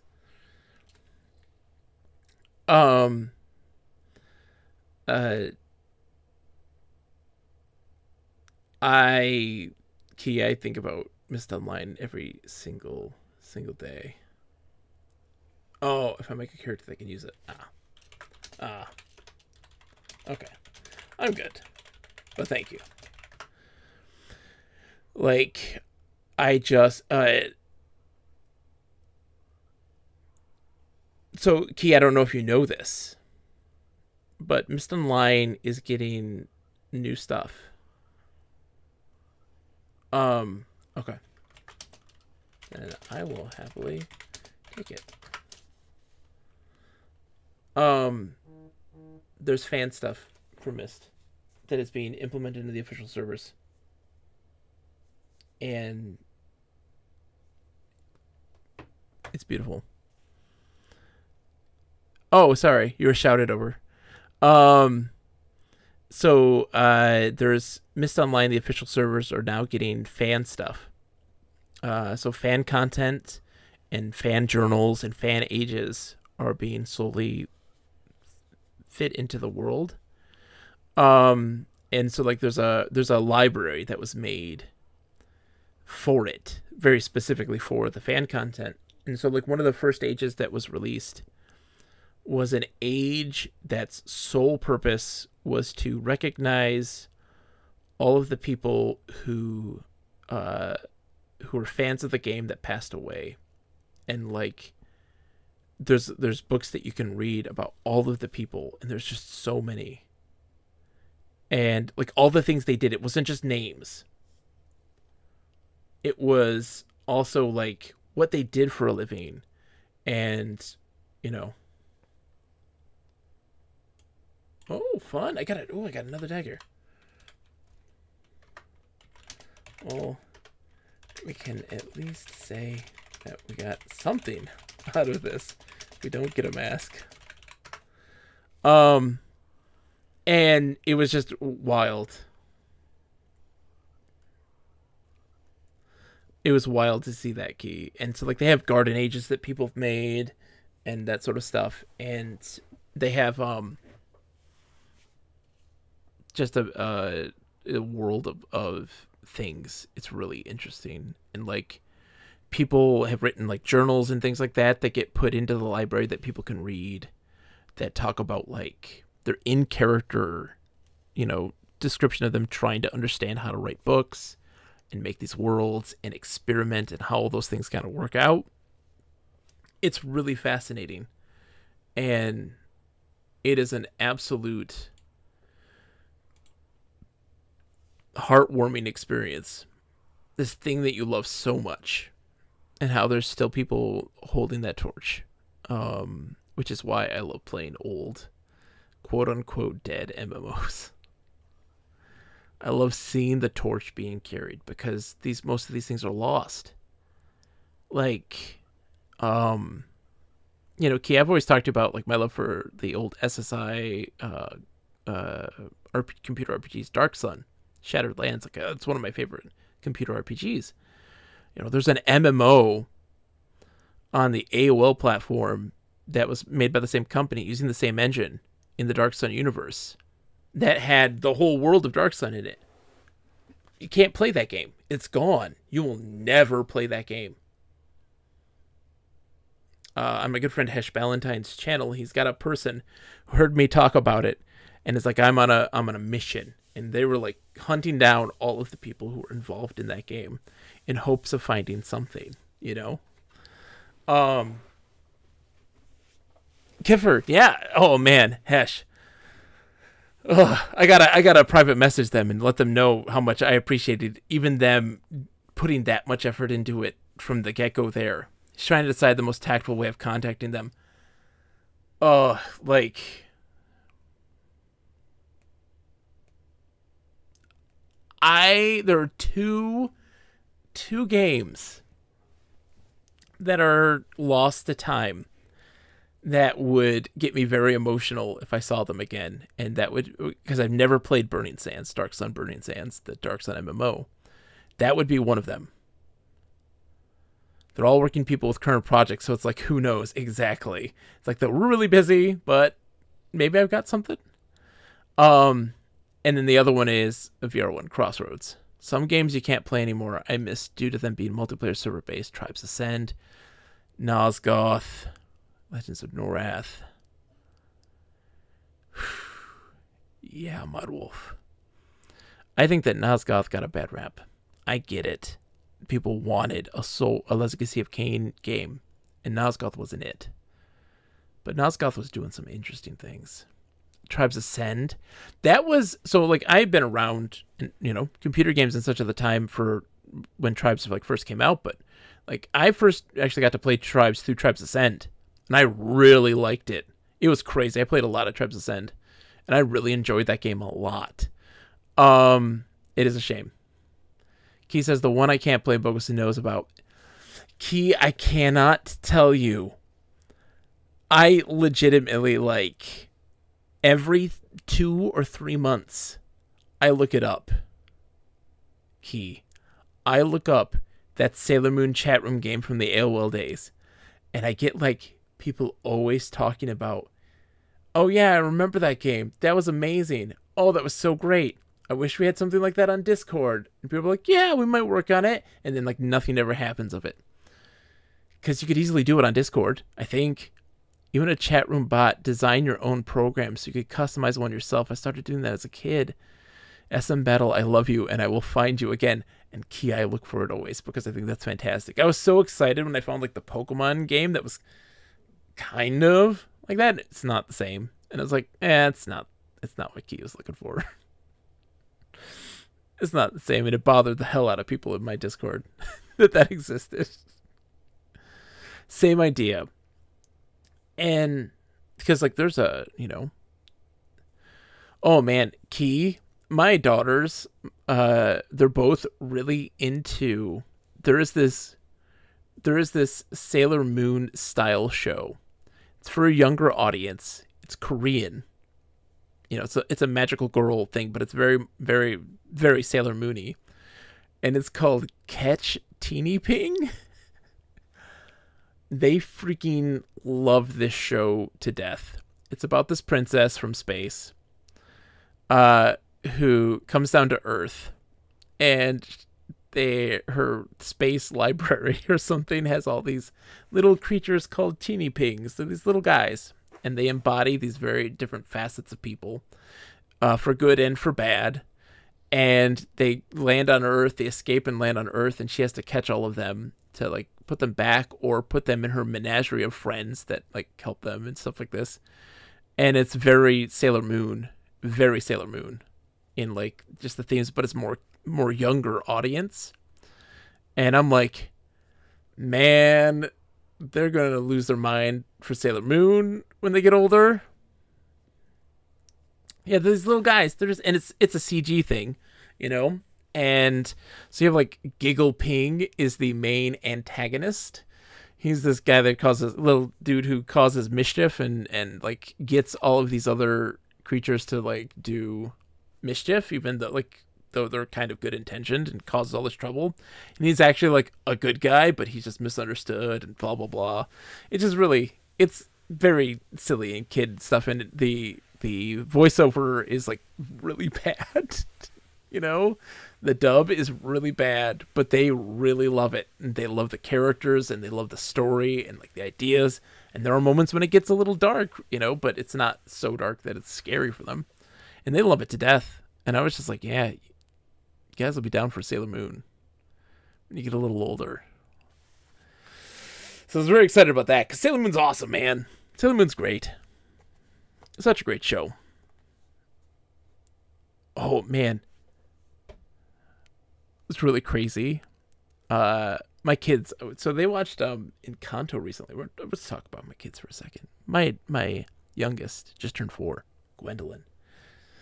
We watched um Encanto recently. Key, great movie Encanto.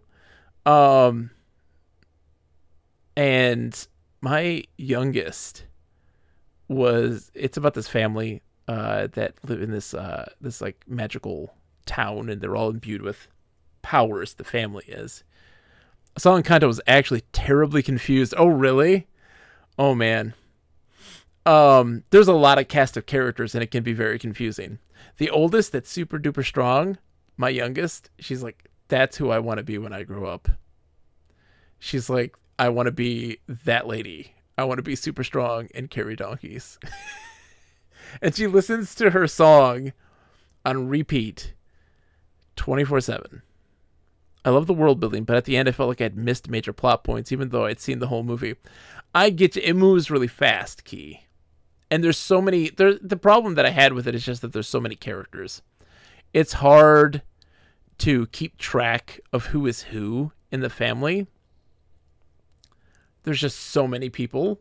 And so it's just like, wait, are you her sister or her aunt or are you cousin? Like, wait, which wh- wh- who are you again? um, so there's a lot going on. I don't think you're crazy, Key. Um, but yeah, my youngest uh thought that the uh the oldest sister of the main character, who's the super strong one, she's like, I want to be that person when I grow up. I want to be able to pick up houses and move boulders.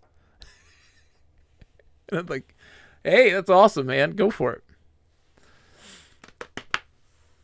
We support these things, these silly things that our kids say they want to do. I'm like, yeah, why not? Go for it. You want to go bodybuilding? Why not? Sure. You're four. Kunanoni says in 97, Activision bought up this game called Netstorm Islands at War. Real time strategy game, but not in the traditional sense. The game is played on a bunch of islands in the sky. You have to build bridges to the different islands to build different offensive and defensive units. You defeat your opponent by capturing their high priest. Whoa.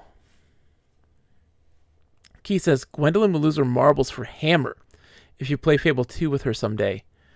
Oh man, Key. Fable 2 is coming up soon, by the way. It's coming up soon. I might play Fable 2 right after I beat Shining the Holy Ark. Um Key, I got hold on. Do I have them all here? Where is that at? I don't think I put where did I put them? Maybe they're in here. Are they in here? No. What did I do with them? Key. So I bought Fable, Fable 2, Fable 3, the Fable Connect game, and the Fable family oriented beat 'em up game on Xbox Live Arcade for the 360. I bought them all. I bought the whole series. and uh uh, I had I had this old Xbox 360 that was given to me because my old one had died. Um, uh, this guy I knew ran a like a computer store, and he's like, "Oh, I'll fix your your red ring, no big deal." And it's like, "It red rings though, like it gets fixed, and it red rings after like two hours. It'll red ring every time." He's like, "Ah, I'll get it. I'll get it fixed." And he was like, I can't fix this. and I was like, no one can. Even like go send it in officially to get fixed. And there was like, nope. Can't fix it. Um and so he was like, here, have mine. And I was like, what? You don't have to give me that. It's no big deal. Here, have this one. Uh, and it worked great. And then the drive died. Like the disk drive did. It wasn't reading the disks. Or so I thought. Years and years and years later, just recently. I took it out of storage because I was going through stuff in storage. It's like, I wonder if this works. I plugged it in and I tried it and it worked just fine. Read all the discs. And so I was like, I want to play some 360 games. What should I play? I was like, Fable. Oh, so I went to an old used game store just to see how much they were. And like I got Fable 1, 2, 3, and the Fable Connect games for like five bucks. like five bucks. And I was like, yep, there we go. Sold. Because you can't get Fable 2 anywhere else but the 360, right? Um, sorry. Kunononi says it was so different from the RTS games coming out. Sadly, Activision didn't market it well, so it didn't sell well. Can you still play it, or is it multiplayer only? Kunononi played the old RTS game called Baldies. Oh, I have not. My oldest brother got into was an alpha tester for Settlers 3 for online multiplayer. It's in the manual too. Credited for it.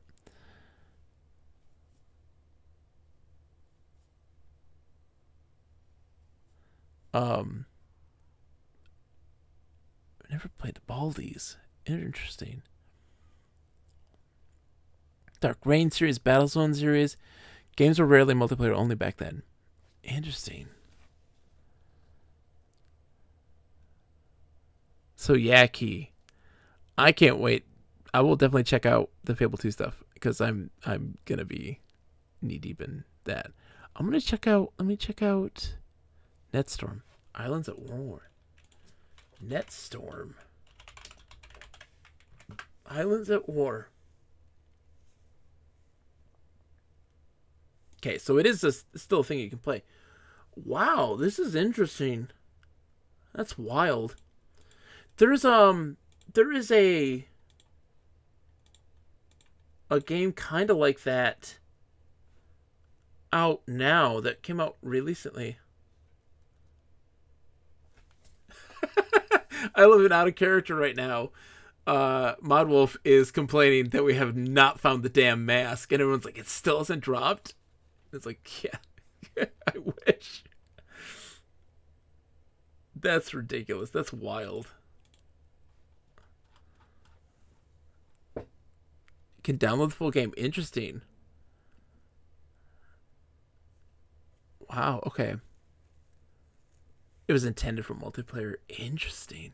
One I really love. There's one I really really enjoy. Um, that you can get on GOG now, which is really nice. But you could get it for free previously on there. It was uh, like a vaporware. Um, I really liked the Warlord series. Um, it was a turn-based strategy RPG. Uh, Warlords Three uh, was fantastic. I don't know if anybody's ever played Warlords. That was a really good one that I enjoyed. It was a hero-based uh, strategy game, uh, turn-based strategy. That was really just wild. Kunanone says, and the website doesn't exist anymore. Oh man. Sagar says Warlords is excellent. The Warlord series is fantastic because I I can't do I have a real hard time with um I have a real hard time with real time strategy games just because my brain can't parse everything. You know, it's too much for me. It's too much for me. You guys even saw when we played Suspended, the Infocom text based adventure game, the moment when you can issue orders to a variety of different robots, like simultaneously, and then just kind of wait for them to, to do those acts was too much for my brain. Real time strategy games are crippling for me. That is the genre that is the hardest for me. I I can't I can't understand how to play those games.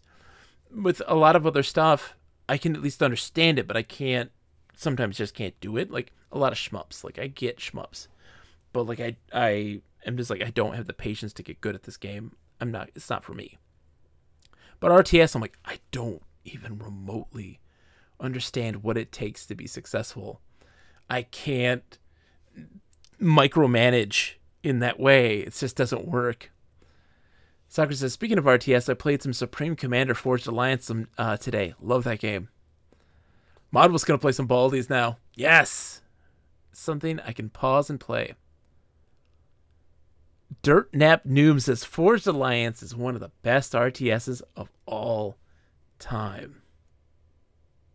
Forged Alliance. Supreme Commander. Um that's great, man. I I need to understand. I need to understand. One day, probably not this year. One day I'm gonna play an, an RTS on stream, and and summon the help. I mean, Black and White is an RTS. Quiet Sakura, it's an RTS. Um, and Black and White's on the list. My problem with Black and White is that like I uh my problem with Black and White was weird is that like back in the day I didn't care at all, but now as like an adult, a responsible and compassionate person, like having to chastise your animal and the only way to do so is to hit them like, this is actually really terrible. This is actually really terrible, and I'm very reticent to play this game because, like, I don't want to hit anybody. I don't want to hit my little creature that I'm raising. That is not okay. You could throw them too. Ugh. Total Annihilation is great uh, if you get over the graphics as the father of Supreme Commander. Interesting. It was a Peter Molyneux game, Hesh.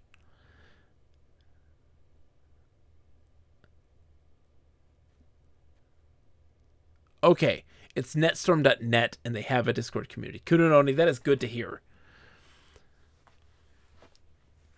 Wait. Oh, wait. Oh, no. Kunononi. NetstormHQ.net. There we go. That's what we're talking about. Have I gone through all my... Am I thirsty? Oh, I got some water. I'm good. I still got things. got water for days. I got rations for days. I'm fine. Um, that makes my day Kunononi. That's the stuff that I love. I love, I love just communities. Like, I love seeing those people who love this game more than anything. What I hate is, like, ooh, I will, I will take that cooler break. Be right back. I'm gonna get a cooler break. Be right back.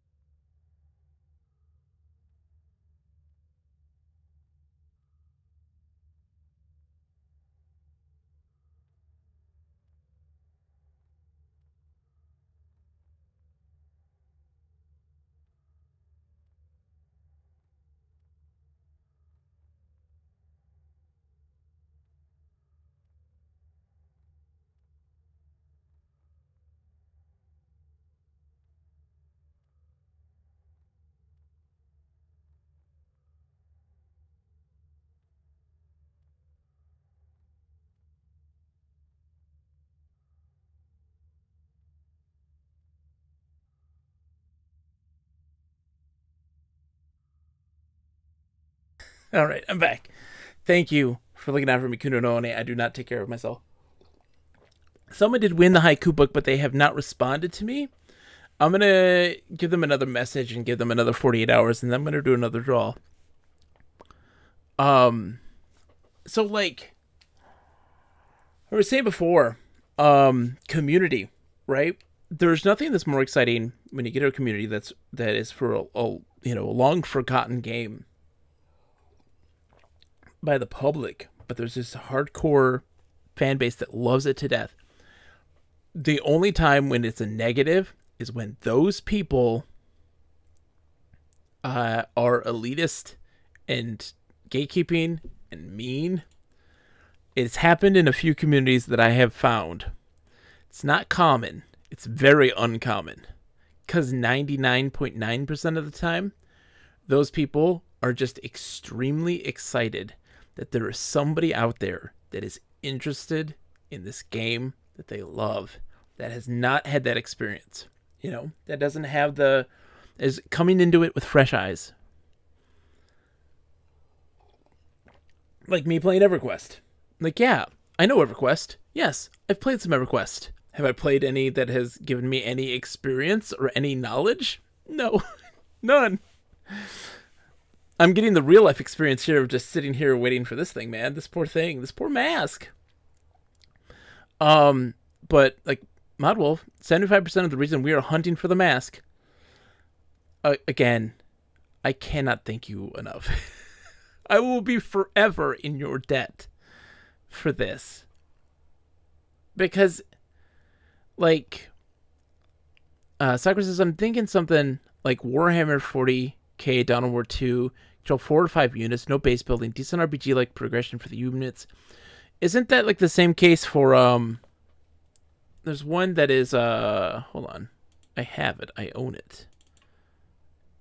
It's uh like a Greek one. It's like a Greek mythology one. Isn't that one also like a what is it? It's it's near the bottom of my list. Um so I've got Warhammer 40, 40k Dawn of War, Game of the Year edition. Um, where is it? Titan Quest. Isn't that one also like that? I feel like Titan Quest is. It's a. Isn't that an RTS?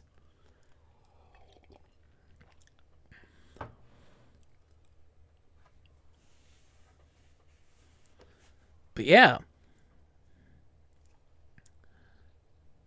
It's Diablo in Greece. Okay. I always was under the impression that it is a RTS. Not Dawn of War 1. Dark Crusade is such a fun world map where you take over sections of the map. Titan Quest like Diablo. Really? I was always on the assumption that that was like an RTS, like a hero based RTS. What I would give, what I would give to play Warcraft 3 in its original, you know, concept, the screenshots from back in the day, an RTS with just like a singular hero and small scale units of like four and five people Yeah, yeah, we're going for something smaller scale. I get overwhelmed easy. I can't micromanage. Key, it is so good to see you. Thank you so much for coming in, Key. I mean this it Okay. Fingers crossed. Um, but if it doesn't, eh, that's okay. Key, before you leave real quick, thank you. I know you have a really busy schedule going on, and life has just been life. It is so good to see you whenever you're able to come in. I love to have you here. I love chatting with you. Your dear friend. Good night. Um. So, well, no, Kuno no Oni. Um, I mean, was is that the case with Warcraft three prior to the reforged version? because like from what i remember the original intention of it again uh this is uh one of the reasons why i love old video game magazines is because you get this weird perspective of games that doesn't have the foresight that we have now. But they were talking about warcraft 3 and what it was and they had screenshots. It was almost a like over not over the shoulder but like really close cam. You had your hero and just a couple units and that was it. And you were going through the landscape like doing stuff like uh, and engaging in real-time strategy style but like very hero based and very smaller scale but am i wrong because again i could be mistaken on how warcraft 3 ended up being because I don't know the genre. We're looking for uh Stream Easy, by the way, welcome. We're getting a mask. Scared the crap out of me. Uh thank you for the follow. Um we're camping for the mask that turns me into a dark elf. I am just sitting here looking pretty while a higher level person does all of the work. they added that as a scenario that you play as Thrall. Okay, Kunoni, that's interesting. That's good to hear. I didn't know this. That's exciting. Um, so I don't know what I'm camping. I don't know the name of this mask. Uh, I am Stream Easy. I am a very inexperienced EverQuest player. Uh, I have been playing uh, Project 1999 for like four years. Never got anything higher than a level 16. And that level 16 I got over the summer because I play this game very differently. Wormney, what you got for me? Hello. Hooray! Hooray! Did you get it? No? No, they didn't get it. No. They're just saying hooray because they're doing all the work for me. Run green right now. That dude has an SS robe. um. so uh. That was the first thing I played when I got the game. Kuno that's awesome. Because yeah, I was really excited for that idea. I thought that was that's going to be the gate the the first RTS that I'll get into. Um, you run uh, Project 1999, run green server right now. And um, so I've never had a character more than level 16, which I just got this year over the summer.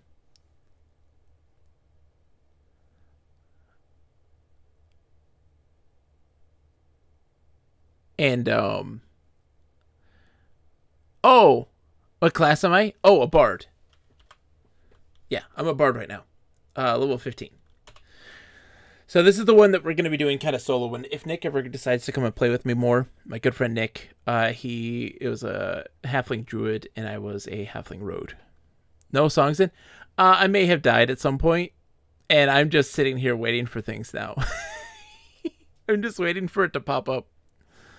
Uh, yeah, you know, again, I'm not, I'm not good at this game. Only so like for instance, I don't know how to pull. I'm starting to understand pulling a little bit better as a bard. Like I'm starting to understand how that works. Look, I've been playing for a very long time. Again, never gotten anything past level 16. What I do most of the time is like make a enchanter, get to level 5, get minor illusion and uh spend my time messing around with people with my minor illusion spell. Um and that's how I spend most of my day playing this game. I have a 51 druid on blue and a level 9 druid on green. Might have to play green a bit more. Maybe during that map, that, I mean, play what you want to play. As long as you're having fun, that's all that matters. Um, and I explore the cities. I talk to NPCs.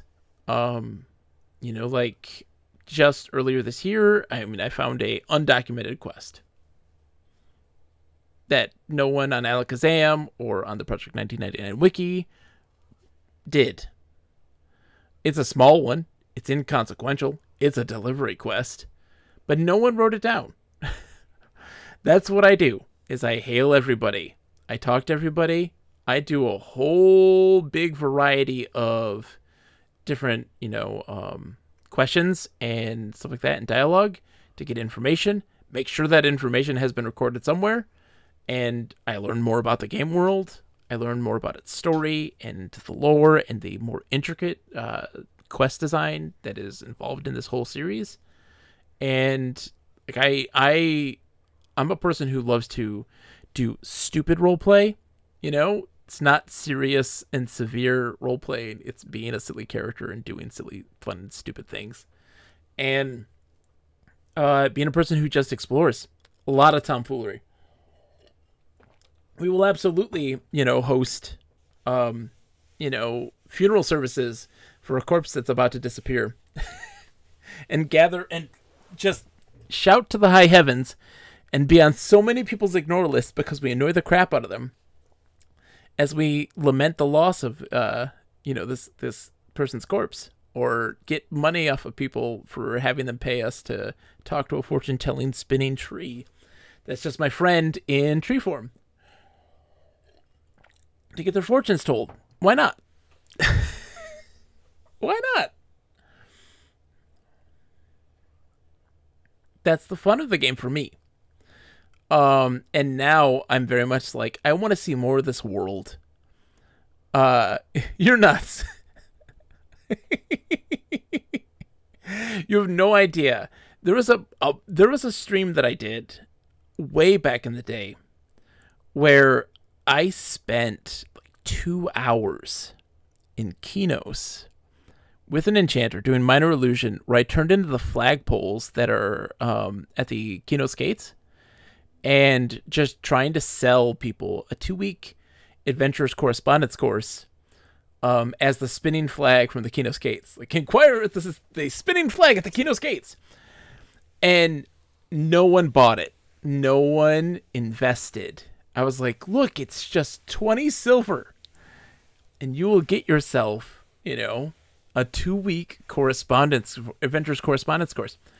And uh, I redid that bit with the rogue, uh, the halfling rogue. And somebody was like, sure, I'll do it. And um, when it was time for my correspondence course to be given to them, I was I gave I like saw they were online I give them a tell. It's like, are you ready for your your weekly correspondence course? And they're like, what? like W-U-T, what? It's like you signed up for a, a two-week adventures correspondence course. Are you ready for your correspondence course? And they're like, are you serious? And I was like, I'm incredibly serious. And they're like, I thought you were joking. It's like, we don't take adventuring correspondence courses as a joke. We're very serious. We're professionals. And it's like, all right, sure. And so I was like, I had the macro all set up, and I'm like, here it is. Here's the tip to survive. Here's the tip. But like, really poor misinformation that was just not helpful. And their response was like, that's weird. And then nothing ever again. And I was like, are you ready for your next week of correspondence course? Nothing. And I was like, I'm going to send it anyways. No response. and I was like, you know what? He paid me two platinum. He got a he got two weeks worth of uh, adventurous correspondence courses. I plan to go for 22 hours until you get this mask or whatever. No ATM machine. I'm gonna be done soon. Soon. I have nothing going on tomorrow except for me reading a book. We're staying home, cleaning. We have so much food in our fridge right now for my daughter's birthday. We were hoping to get it during the stream. Exactly. How nice will it be at the next one? Hey, ATM machine, happy birthday. Happy birthday, ATM machine. happy birthday, ATM machine. ATM machine. Happy birthday. ATM machine. Happy birthday. Folks, I have something to tell you. Something scandalous. So, okay, real talk. 34 years old, nice. I'll be 39 this year, apparently. Uh, my wife, she's a nurse. Fantastic, fantastic human being. I love her dearly. She has a coworker who's a secretary this guy who wanted to get into streaming. He spent $4,000 to get a setup to stream. Not on a computer, but on a big TV and a bunch of lights. Later this year, I'll be 21 again. And their perspective was like, it'll be easy. I'll just, you know, stream and I'll be making money in no time. And I thought this was the funniest thing I'd ever heard. I was like, oh my God.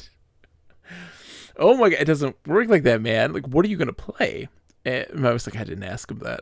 I just thought that was, I was like, you need to talk to my husband. It is not that easy. and I was like, it's not that easy, man.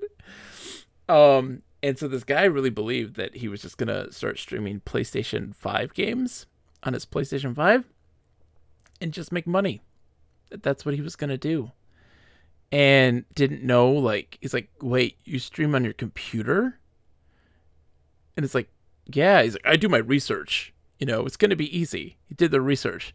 You stream on a computer? Like, yeah, you stream on a computer. How can you see anything on that little screen? I'm like,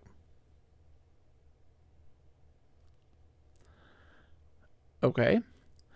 Uh, and like, uh, so have you ever played Asheron's Call? I was wondering how well the Asheron's Call EMU is compared to P99. During that dump, I have actually played the Asheron's Call. Uh, so there's a there's a bunch of them. Um, there is uh, there's an Asheron's Call, like a really popular one that does more um, more fan made stuff, and a lot of the a lot of the all the accoutrements, all the extra stuff. There's a, a hardcore vanilla server that exists. It's a little more niche, but it still has a it has a pretty decent user base. Um, and it's like launch Asheron's Call, and it's really good. Um, it's good. the game is very different, and I have to really like I have to find someone to play with for that. I guess with all the MMOs, I need like one person, you know. Um, but this guy, he wanted to, uh, he spent all this money, five thousand dollars, and really thought he would make it back in like a month. And it was one of the strangest things I'd ever heard. And then all of a sudden, and the name too, he had a name. He paid for like a an opening graphic. He paid this 3D artist, an animator, to do this. And I'm not gonna give his username. Uh and it was like the dumbest username. It's really like, oh that's what you're going with. It's not a good username. It's not. That's oh boy. Oh boy. Okay. You spent you spent how much on that? Okay. Not quite. And then we learned that they were gonna do some and so I was like I felt bad because like I was making fun of this person. And then they were like talking about doing like NFT streams and talking about NFTs and trying to sell NFTs to people and I was like, okay, I don't feel so bad anymore. Uh, but then they decided not to do it. Sephiroth Drizzt 69, yeah. Um, and so he uh he then decided to return all the stuff right but he was gonna still because like i don't have the time to do this i found out that it takes a lot of time and so he's gonna keep the username and he's gonna make his wife stream in a costume related to the name and do uh mukbangs and ASMR.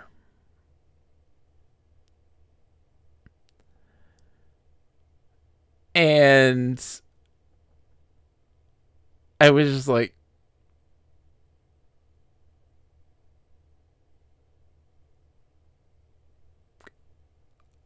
she consents to this? this guy is more nuts than you. And I was just like, because I've seen this before. I knew this um, so about a year, two years ago, about two years ago now, there was a streamer that would come into chat and like engage and like seemed like a really nice person, great person. And they were like, "Hey, check out my streams and stuff like this." It's like, "Oh, that's great." And what it was was this guy was making his wife stream video games in a hope for her to make money. And he was posing as her and doing all the like going into people's streams and talking and advertising and stuff like this, but posing as her. And she did not want to do this. And it was like one of the craziest things I'd ever seen. And I was like, this is tragic and incredibly like sad. And I was like, so this guy's story, I'm like, oh my god, this sounds like this. I'm having like flashbacks to this really shady, abusive relationship thing. I'm like, please, oh god, this is wild. You're gonna make your wife dress up in a costume and eat food and do ASMR. That's not that's and think that they're gonna make money You're not making money with that.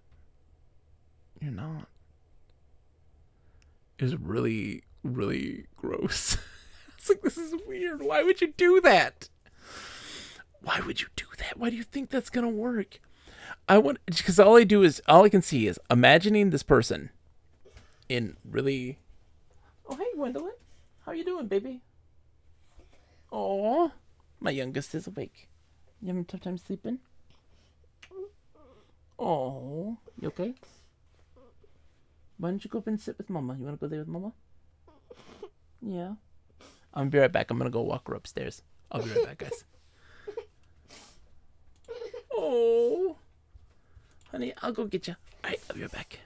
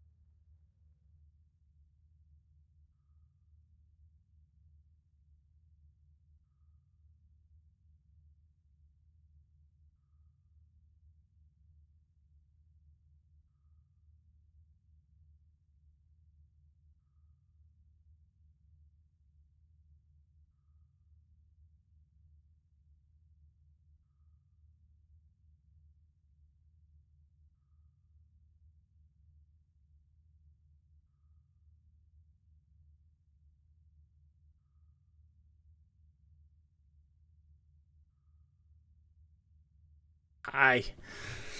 Whew. Yeah, my youngest was just up.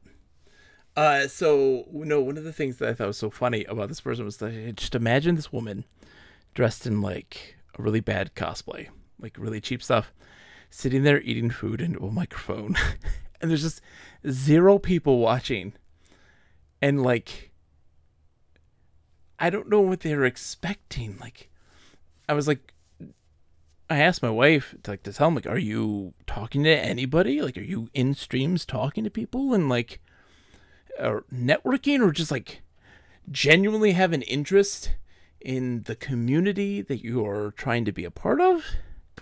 And there's like, nope. I was like, that's. And you spent how much money? Five thousand dollars. I'm having a panic attack for you. I was having a panic attack for that poor guy. Just a bad idea. It was a bad idea. Anyways, now I'm wondering how I'm gonna get out of this place. like, it's one o'clock. We're supposed to be ending the stream. How am I gonna get out of here? We're so screwed. Just a total not get it moment. Yeah, Sakura, it was gnarly. We'll have to fight out. Let's get let's try one more. And Modwolf, we'll try one more. And we'll see how it goes. So man, like for people who stream, like it's a lot of work. You do a lot of work to stream. If you want to have people coming in and talking to people, you have to do a lot to it's not easy to play a video game and talk at the same time. You know, it's not easy to you have to have something. It's 10 minutes until the next spawn. I can wait 10 minutes, Modwolf. I can wait 10 minutes. Well, this will be the last one. We'll see how it goes. My thing is that like if you're streaming, you have to if you are trying to get people to come in and talk, you have to do one of two things. One, be incredibly good at video games, or two, be incredibly funny, or three, have something to say, something of interest. You know, uh, be it talk about game design, you know, that sort of thing. Streaming is only half the job too. There's so much offline. Work. There's so much. I mean, to even just like, like I made a hall of butts. I made a virtual 3D, fully 3D, fully explorable art gallery dedicated to the butts of Shining Force and Shining the Shining Force series, with a guided, narrated audio tour. That's a lot of work. that was a lot of work.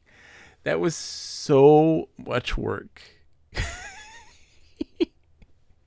but it was worth it because one, I thought it was funny, and two, I enjoyed Shining Force a lot, and I enjoyed rating all of the butts of Shining Force because it was something to do. It's a fun little thing to do. Um, but like, if I was trying to do this as a quote unquote career, like, man, like, no. Have fun with it. You're supposed to be just playing games. Don't go having your wife do a stupid ASMR food eating stream. Like, no. Do you find if you're having fun, sure, do it. I don't know if anybody has ever done a f- like a food eating stream trying to do ASMR that's like this is fun. I like doing this. So I don't know. It's just weird. Streaming is like a lot of work. It's a lot of work. Because like I mean, if you want to do it if you want to do it well, I don't do it even remotely well. And I still put a lot of work into it. I don't do it even remotely well. My lighting is terrible. My microphone is not the best. It's a process. It's a, you know, it's a slow thing. But like you did it for about a year. Yeah, Sakura. Oh my gosh. Even just understanding the basics of how to work these things is a lot. It was just very funny to see this person like, yeah, I did my research. It's really easy. It's like, well, what software are you using to, to broadcast? And it's like, what? It's like, well, how are you capturing your game? And It's hard to hit that live button. It is so hard, Sakura. Um, but like, I don't know. It's it's weird to see people who get into this for money. It's like who I mean, there are some people who I guess are, are genuinely talented, who genuinely have like something, right? But then I see a lot of people who are just like playing this stuff, like doing the weird market research to like find out what games bring in the best audience and doing a lot of like that sort of stuff. I'm just like, I don't that's not that's not for me. I'm fine with other people doing that, but like there have been some people in this world who I really enjoyed as like a person in this like community of retro games and stuff. Who is who had flat out said to me that uh that we weren't going to be friends because I wasn't marketable. And I was like, I didn't think that this was a career move. like, me talking to you and like playing games together, it wasn't me making a career move. And then it's like, yeah, you're not marketable. And it's like, okay, well, that was nice. Playing games with you. Have a good one, man. Like, good luck. oh, they're still doing stuff, Sakura. They're doing great. They're doing great.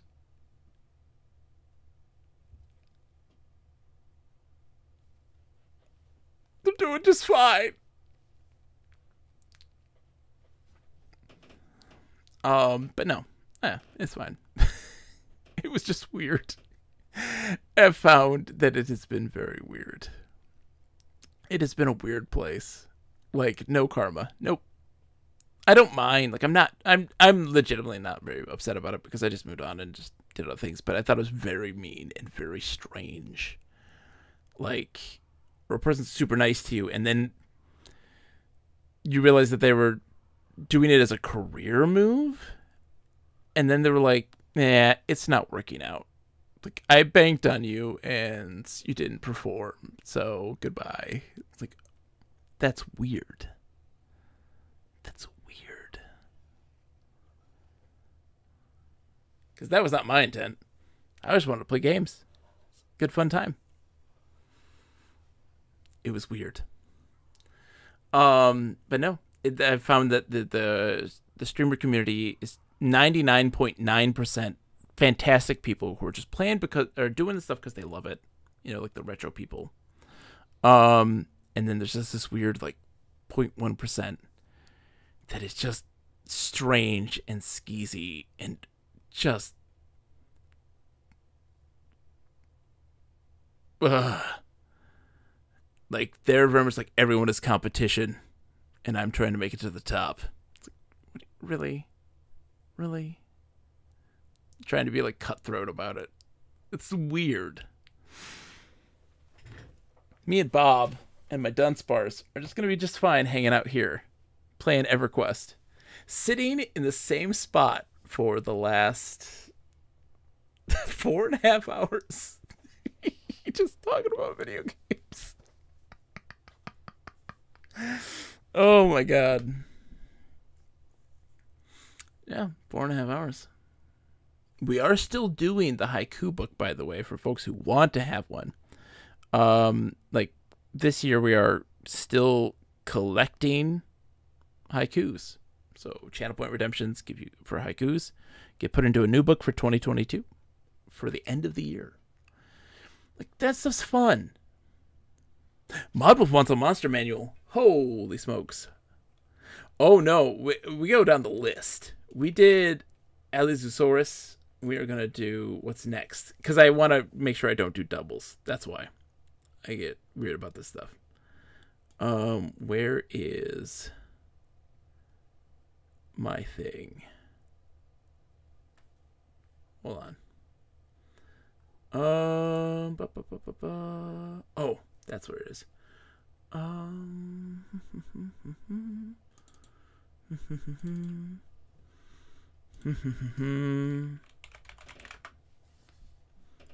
Oops. Oh, jeez. Let me pull it up. Da, da, da,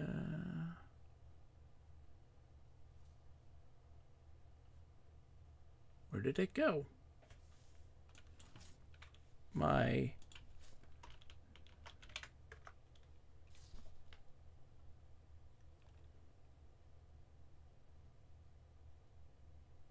That's odd. Hold on. We'll get it.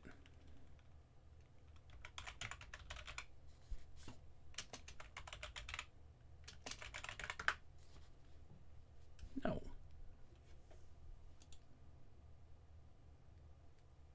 Why in the world? Where did it go? Hold on. Technical difficulties.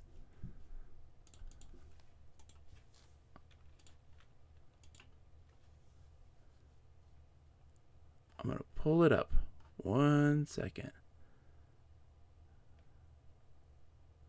There it is. Monsters of Norrath. Thank you. All right. Let's get it pulled up. One second. Um, bu- bu- bu- bu- bum.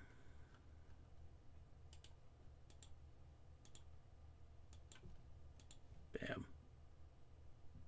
Bam. Monsters of Norrath. We did the Elisasaur. You want to do a froglok? I can do a froglok for you since we're here, right? Let's do a froglok talk. We'll do one. We'll get you frogloks. Where are you, frogloks? Kazakh Thule. Oh, the poor little Chetari. Dark Necromancers. Drachnids. Dragons. Elementals. Evil Eyes. We're almost there. Frogloks. Here we go. It is. Because that's my old phone. Uh, I didn't even realize that was on there. Uh, my old phone. I had like just downloaded so many PDFs. Yeah, Sakura says, I love when people observe how hard it is to get anywhere streaming, and I'm like, try streaming 20 plus year old obscure PC games. Yep, Sakura. All right, here we go. Frogloks. Let's get a description.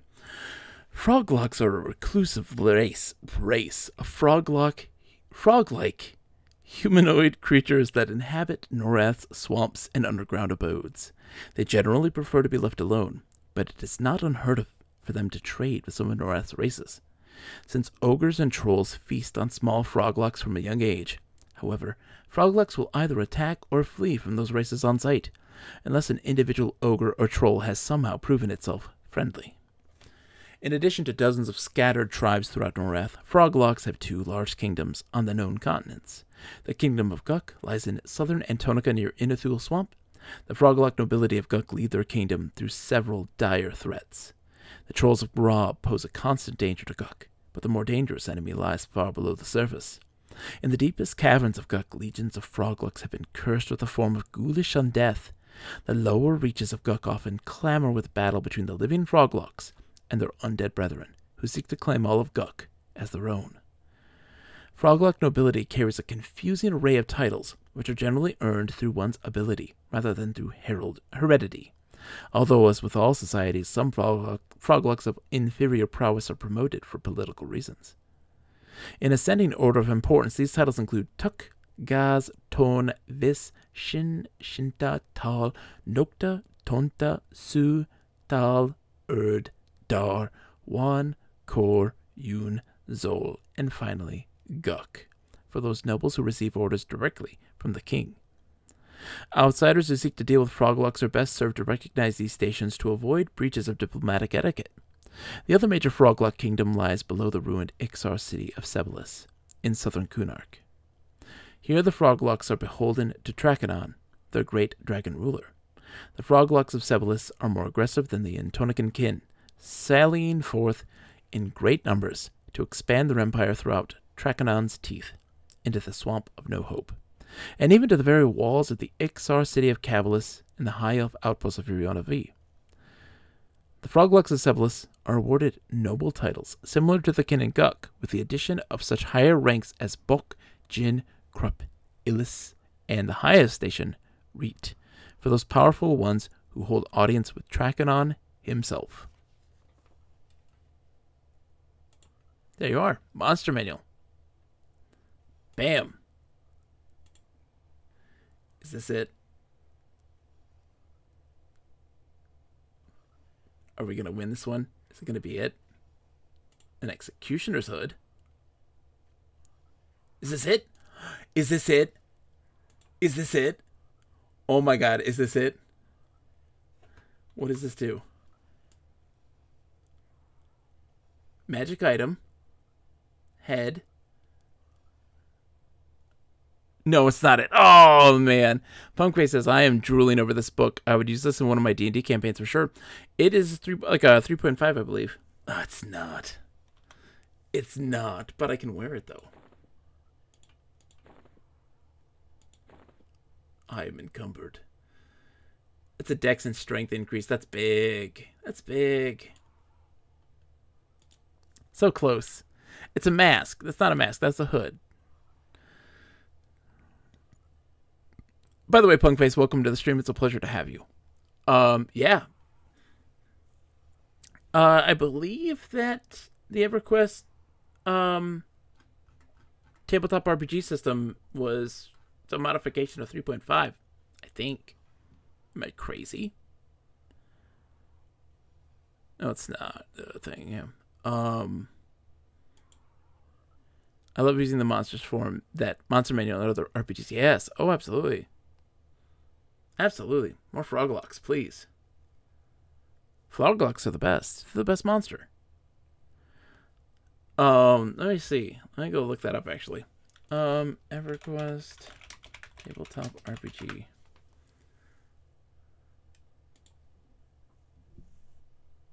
So, Wizard of the Coast, the D20 system at the time. So that would have been what third edition. Yeah. Yeah. It's a modified version of it, yeah. No mask. Well, we got a really great executioner's hood. That like that's fantastic. I mean, that's a big one. Right? I'm invisible right now, so I can't even see it, but we do have to call it a night, so we have to make the trek out, which is gonna be fun. We're gonna have to fight our way out. Because I have to get some sleep. We got uh, some great stuff for my rogue. we got some awesome pauldrons. Got a better ham- a hammer, which is cool. You stay here and I'll kill ahead. Okay, I'm staying here. Um, yeah, man, I really enjoy it. There's really great lore in the tabletop RPG book for for the EverQuest stuff. There's a lot of really great lore of a lot of zones and stuff like that. It's really interesting that was one of the big reasons as to why I got the books in the first place. Um, that was during a time when I was accruing just tons and tons and tons of weird tabletop RPG systems.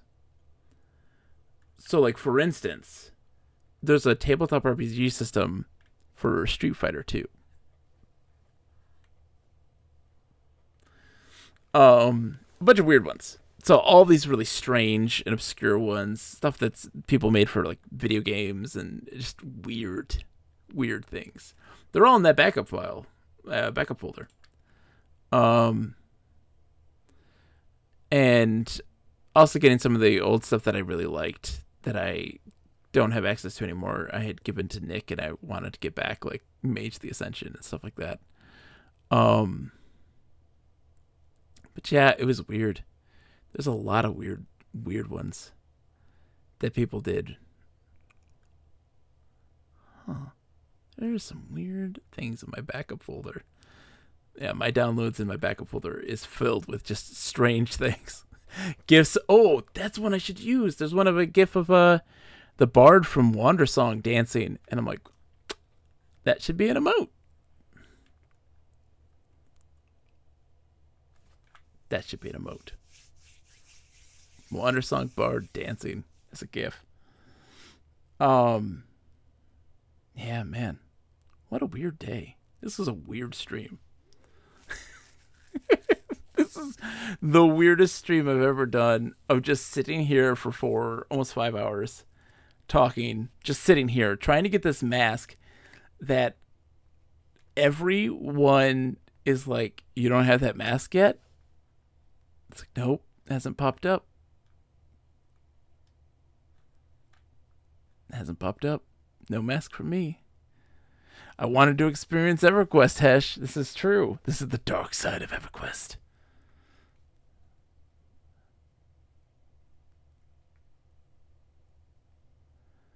RNG is a cruel mistress. To say the least, Modwolf's like, it's rough for you. I'm the one who had to do everything. yeah, sorry about that. And Hesh, Hesh, aren't you glad that your client crashed? You're like, I didn't have to sit here for four and a half hours. I'm glad, I'm glad, Hesh, that you didn't end up, um, that you didn't end up having to tag along for this. Cause that would have been tough. And I wouldn't, I made it back in, but I wouldn't have hung around more than 30 minutes anyways. That's good. I'm glad. Mod was like, I got probably 400p worth of vendor trash. That's, I guess that's a win. That's a win. Um, yeah, I got, I got some major equipment improvements. I'll take those every day. Why isn't my inventory not? There we go. Popping up. Yeah, I mean, the pauldrons, the executioner's hood's a big one for me. The strength and dex, I need that. I need that strength. The strength to increase my movement speed and my weight allowance. My goodness. It's so terrible. And that hammer's going to help. That's a big damage buff than what I had before.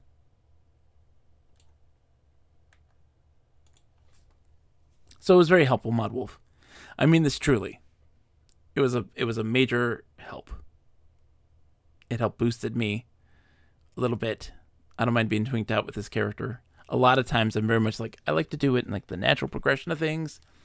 The stream character, I'm like anything goes. Anything goes. Um for this character in particular cuz I always do natural progression and I end up never getting like anywhere.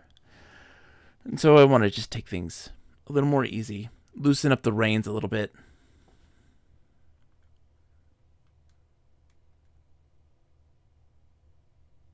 But yeah. I enjoy this bunch. We just got to get out now. That's the real, the real challenge.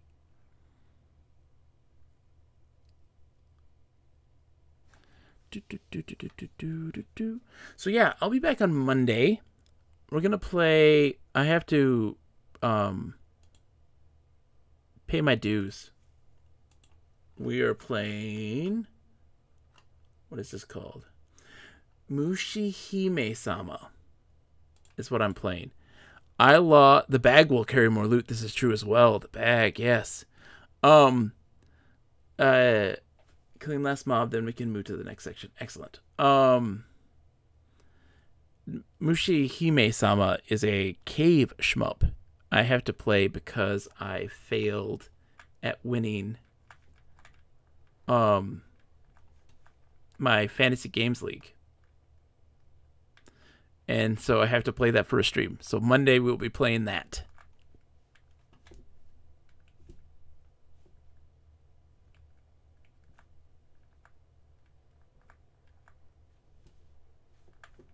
I am staying close. Down the stairs. Okay.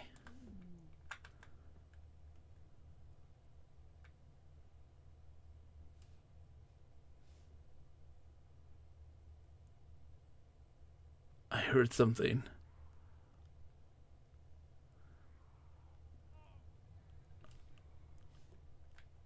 I got hit by that spell.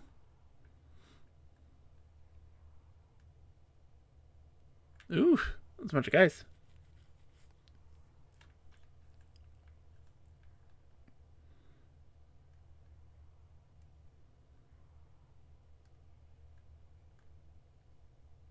Oh, don't die. Oh.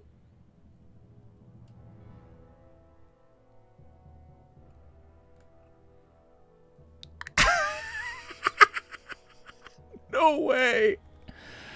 Oh my god. Uh. How's it going, everybody? oh, did you think you were going to bed? Yeah. A request said no. A request said no. Oh, did you think did you think that you were gonna go to bed? Uh, no. I'm sorry. You wanted that mask? So something saw you on the bottom floor and trained up everything. Oh no, Modwolf, are you okay? I did not realize that was the case. I am so sorry. Please tell me you didn't die.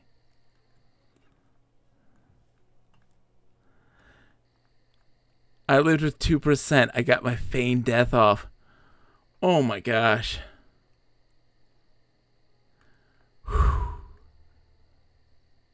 I am so sorry. I'm so sorry. I'm not good at this game. I told you. I told you, Modwolf, I was not good at this game. I was told you I was not good at this game. I'm so sorry. It's been all that time. And then I almost dashed everything. How bad is it? Okay. Speed this up by pointing me to South Ro and dragging my body to the zone that I can get to South Ro, I think, but just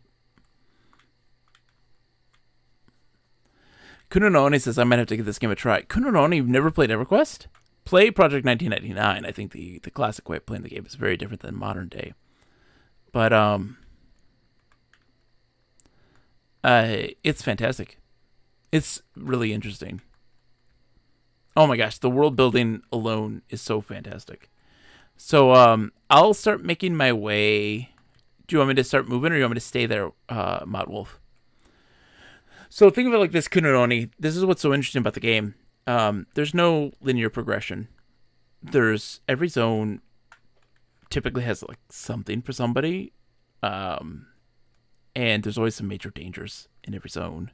But like oh, sure. Slash consent wormney. Okay. Um so like for instance, say you want to make a human uh, paladin and you start in Qeynos. Right? You want to you want to start in Qeynos. Um, you got the city of Qeynos at your disposal, right? And there's quests and things you can do, and and hunting grounds and all this great stuff.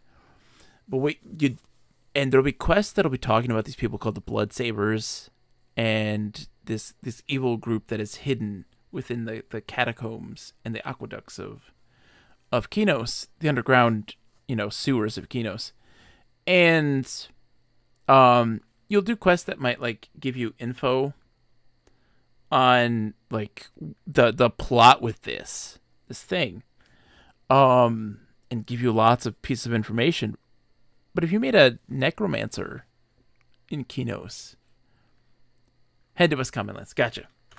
Um if you are a necromancer in Qeynos your guild is in the sewers and they'll give you directions to all the um, the ways to navigate these secret passages to lead to where the Blood Sabers headquarters is.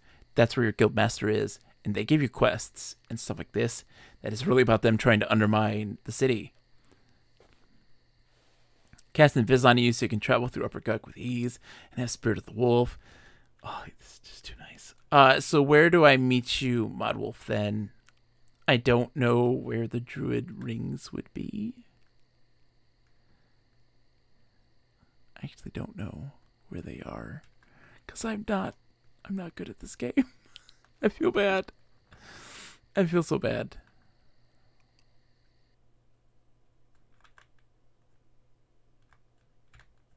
I'm here where the road begins. Um, and so yeah, Kunononi, there's just a world. okay. Um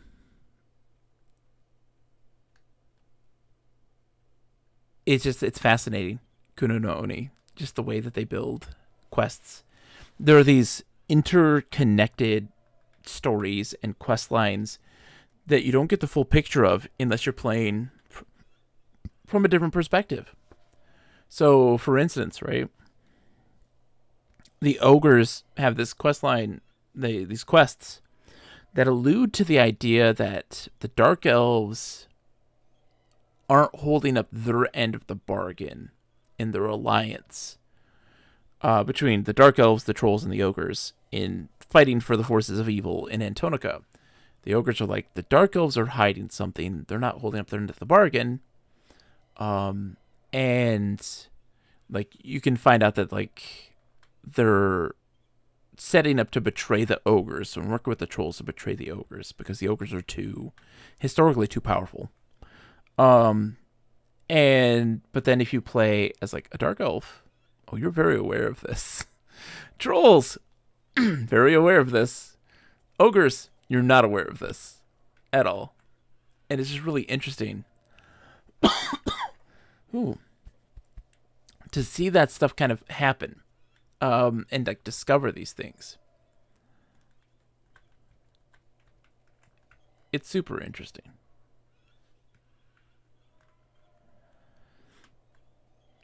I'm on the move. Because I'm guessing. Oh, wait. Am I in West or I'm in East Commonlands right now? I think I'm in. Where am I? I'm in East. I'm sorry. I'm dumb. I was like, yeah, I'm in West Commonlands. I'm not. I'm in East Commonlands. I'm not smart. I'm so dumb. I'll get there, Modwolf. I'll get there. I was sitting there just chatting. The game is magical there's so many ups and downs. I mean, it's brutal. I don't have any items. I died. so it's a long trek um back to reclaim my body and to get safely there.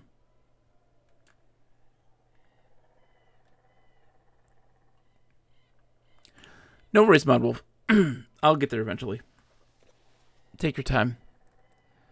You're doing so much for me already. So um yeah, it's just that EverQuest is a very challenging game. It requires uh reliance on other people and working together to overcome these obstacles. There's a lot of world of discovery and a lot of world of experimentation. I love the Regurgitonic. If anyone has ever heard about that, like I think that's the coolest thing. Um, and not a lot of people talk about that.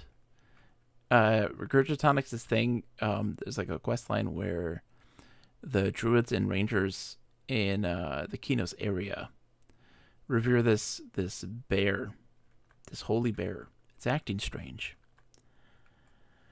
And so they need you to go to Ak'Anon, City of Gnomes, which is incredibly far away. It's as far away as possibly could be. You know, the farthest point from Qeynos is Ak'Anon. like it's so far away.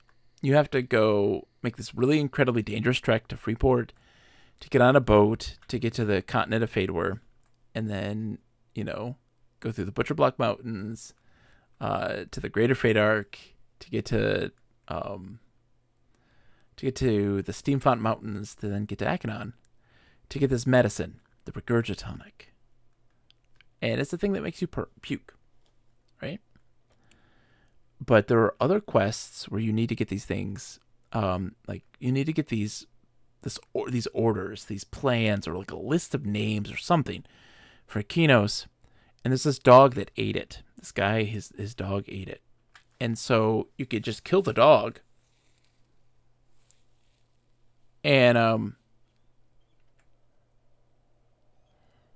Uh, and if you kill the dog, you get it, but you get a major faction hit for doing it. But if you give it the Regurgitonic, which you'd have to get by doing that that druid quest line. Um, you uh, it vomits it up, and you don't get the uh, you don't get the faction hit. Model says there's a quest where you kill something in Steamfont Mountains and turn it into Qeynos for a very nice bracer, but that isn't until level 35. It's such a long travel. It's such a long travel. Oh, whoops. Sorry. I'm terrible at this. oh. Sorry, wrong thing. Hooray! Did I zone and not know also? I don't think so. I did not, okay. You also need faction, yeah. Oh, good, off we go. I'm like, I wasn't paying attention. When I get into talking with chat, I'm even worse at this game.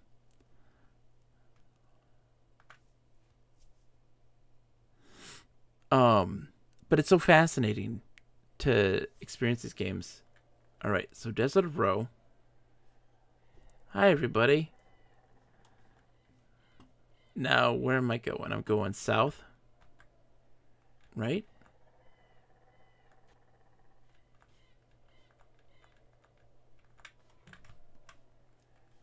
Okay, following you. You're going to guide me. You're my Sherpa through this dangerous world known as EverQuest. Um so it's just so much fun. Part of the the the beauty of this game is is exploration, experimentation, um, and discovery, and just playing around. You will have the highest highs and the lowest lows, and that is part of what makes this game so special. Um, if you die, you lose all your stuff unless you go reclaim your body, which means you have to go rely and talk to other people to get it back. And that stuff takes time and it takes you know trust and effort because you know it's a lot of risk for people. And so for some of them that's not you know it's gonna if i tried to do this without the help of Modwolf one i would invariably fail without question and two if I tried to get my body back, most people would be like, What is wrong with you? Why did you think this was a thing you could do? I'll help you, but oh my gosh. Michael Shenanigans is absolutely fantastic during Abnub. Absolutely. I love him to death. Whenever I want to feel hyped to play EverQuest, I watch his videos. They're hilarious. They're so great. I mean, that's why I call them, you know, the Tunnel Fat Cats. It's from him. Tunnel Fat Cats. I mean, they are Tunnel Fat Cats. They will forever be. But my despise for, um, if I did play, I'd either be a Wood Elf Ranger or Halfling Rogue. Look, they're both fantastic. Kuna Rangers are fant are are uh I think are really cool. You get tracking. And uh the rogues rogues are great. Dual wield, backstab, stealth and stuff. Invisible. Their sneak and hide is bar none. Okay, I'm running. I'm not stopping because I'm sure they're gonna. Oh, I know they like me. Um, and uh, halfling was really cool because uh, the I like the zones for halflings. They're really kind of easy and accessible, and I like the top city too. It's great. Yeah, they're apprehensive to me. Okay. ATM machine. Well, we got a port, which helped make the travel a little easier. And I'm getting some invisibility from a, a lovely, lovely uh, druid. Who's making it so that they don't see me. These guys aren't much of a threat for me right at this moment. Um, they are um, the frogloks are apprehensive to me because I'm not hunting them. So that's helpful at least.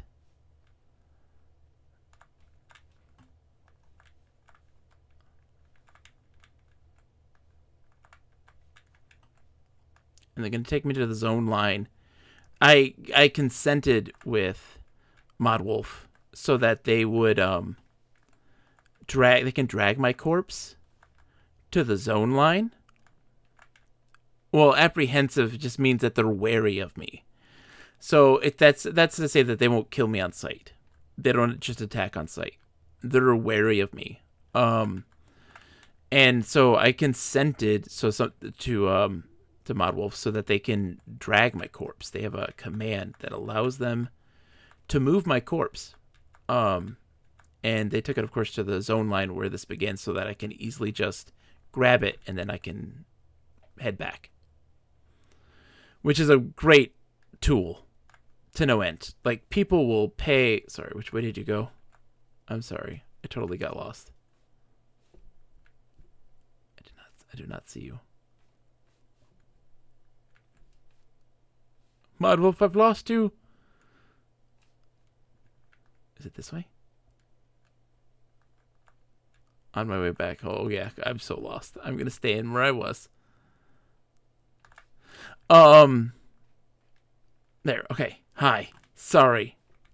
I'm glad I'm glad I didn't go the way that I planned on going because that was the wrong way. um, so like people pay like top dollar for a rogue because they can sneak and hide, and it is pretty much not noticeable. Okay. Oh, geez, I went. Hold on, I went back through. And um, and they can drag corpses and just like not be detected. I went back the wrong way.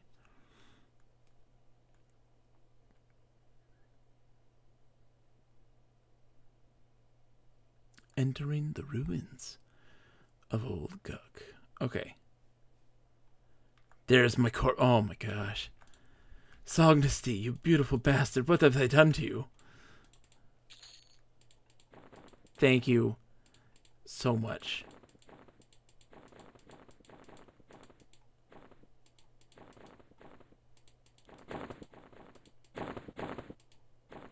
Okay. Um, uh, you can port me to the back to the common lands. I guess that would be nice. If you kill the undead uh, frogs, you get plus faction with the living ones. Ooh, fun. Um, there's a thing that EverQuest 2 did that I loved so much that doesn't happen very much in EverQuest 1. Um, it does with uh, um, the Kerrans in Kerra Isle. Um, but having like I'd love for if you were nice with the Frogloks that they would give you quests. Do they do that here? Maybe I'm I just don't know. Did they give you quests here if they like you? and uh, because I know they do in Kerra Island. I'm in the Dreadlands. Hold on, how do I? Whoa, where's the Dreadlands? I've never been to the Dreadlands. Wrong spell. I was like, uh, I've never been here. I've never been to the Dreadlands.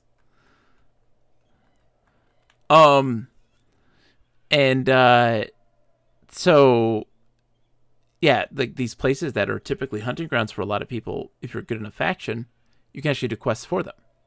Welcome to Kunark. Oh god. This is the opposite of where I want to be. Um, but like in um the island of Odus, the island continent of Odus where the erudites are, um if you make an erudite character, uh Kerra Island or cat people, an island of cat people, and they're like kill on sight with you. They don't like erudites because erudites drove them from their homeland to this little remote island. Um, but if you're other races, they are indifferent or apprehensive. Oh my gosh, thank you. You're a lifesaver. Dude, Modwolf, seriously, thank you. Um, you really made my day. Like, it was a fun time. I enjoyed this stream. I enjoyed this stream a bunch. We had a lot of fun. Why is that not a valid command? Um, and uh, you go there, and there's a there's a town there, and you could like talk to them. They have a lot of things to say. There are quests that they can give, and there is like a story there on that island. But if you're an erudite, and for a lot of people, they just go there to hunt. You know, it's not a common place for people to go though. But um, and it's magical. It's like my favorite place, my favorite place in the whole game. All right, Uh, Modwolf, thank you a million times. I need to go east. Where's east? That's west. Let's go east. We're going to the East Common Lands a little bit to get to safety. And then I'm going to log off and go to sleep.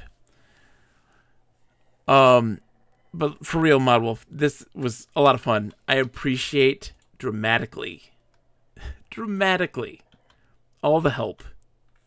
You didn't have to, and yet you still did. And for that, I am forever grateful. We'll get those masks one day. Maybe not the next time I stream. But we'll get that mask one day.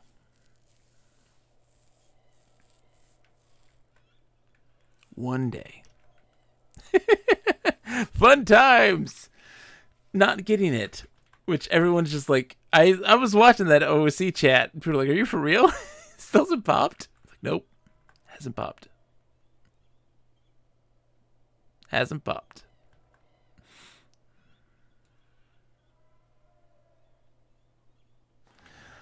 Oh my gosh, I gotta get some sleep though. I'm exhausted.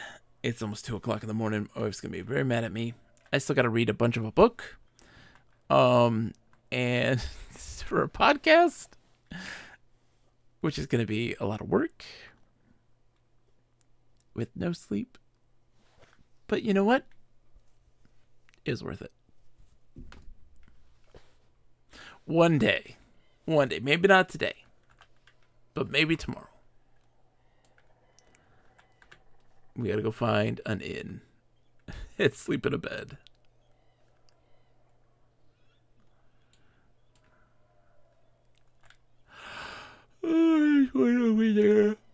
I think their beds are very comfy.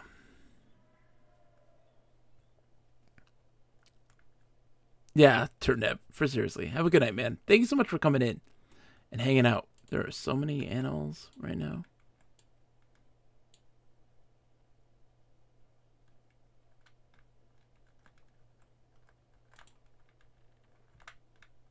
Okay. We are going to sleep on this bed.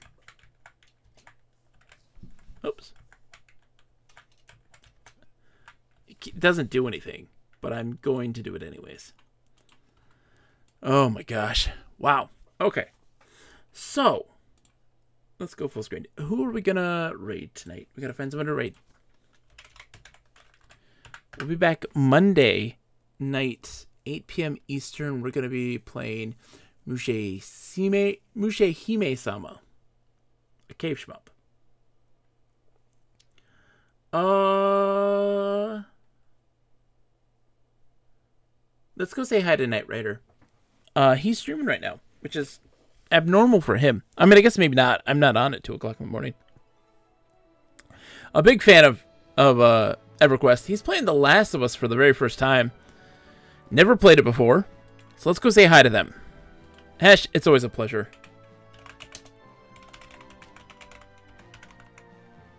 He's a big uh, EverQuest fan. And just the nicest guy in the whole world. All right, I'll see you guys Monday night, 8 p.m. I'm going to go to sleep. And, of course, the game crashed. Bye! oh my gosh.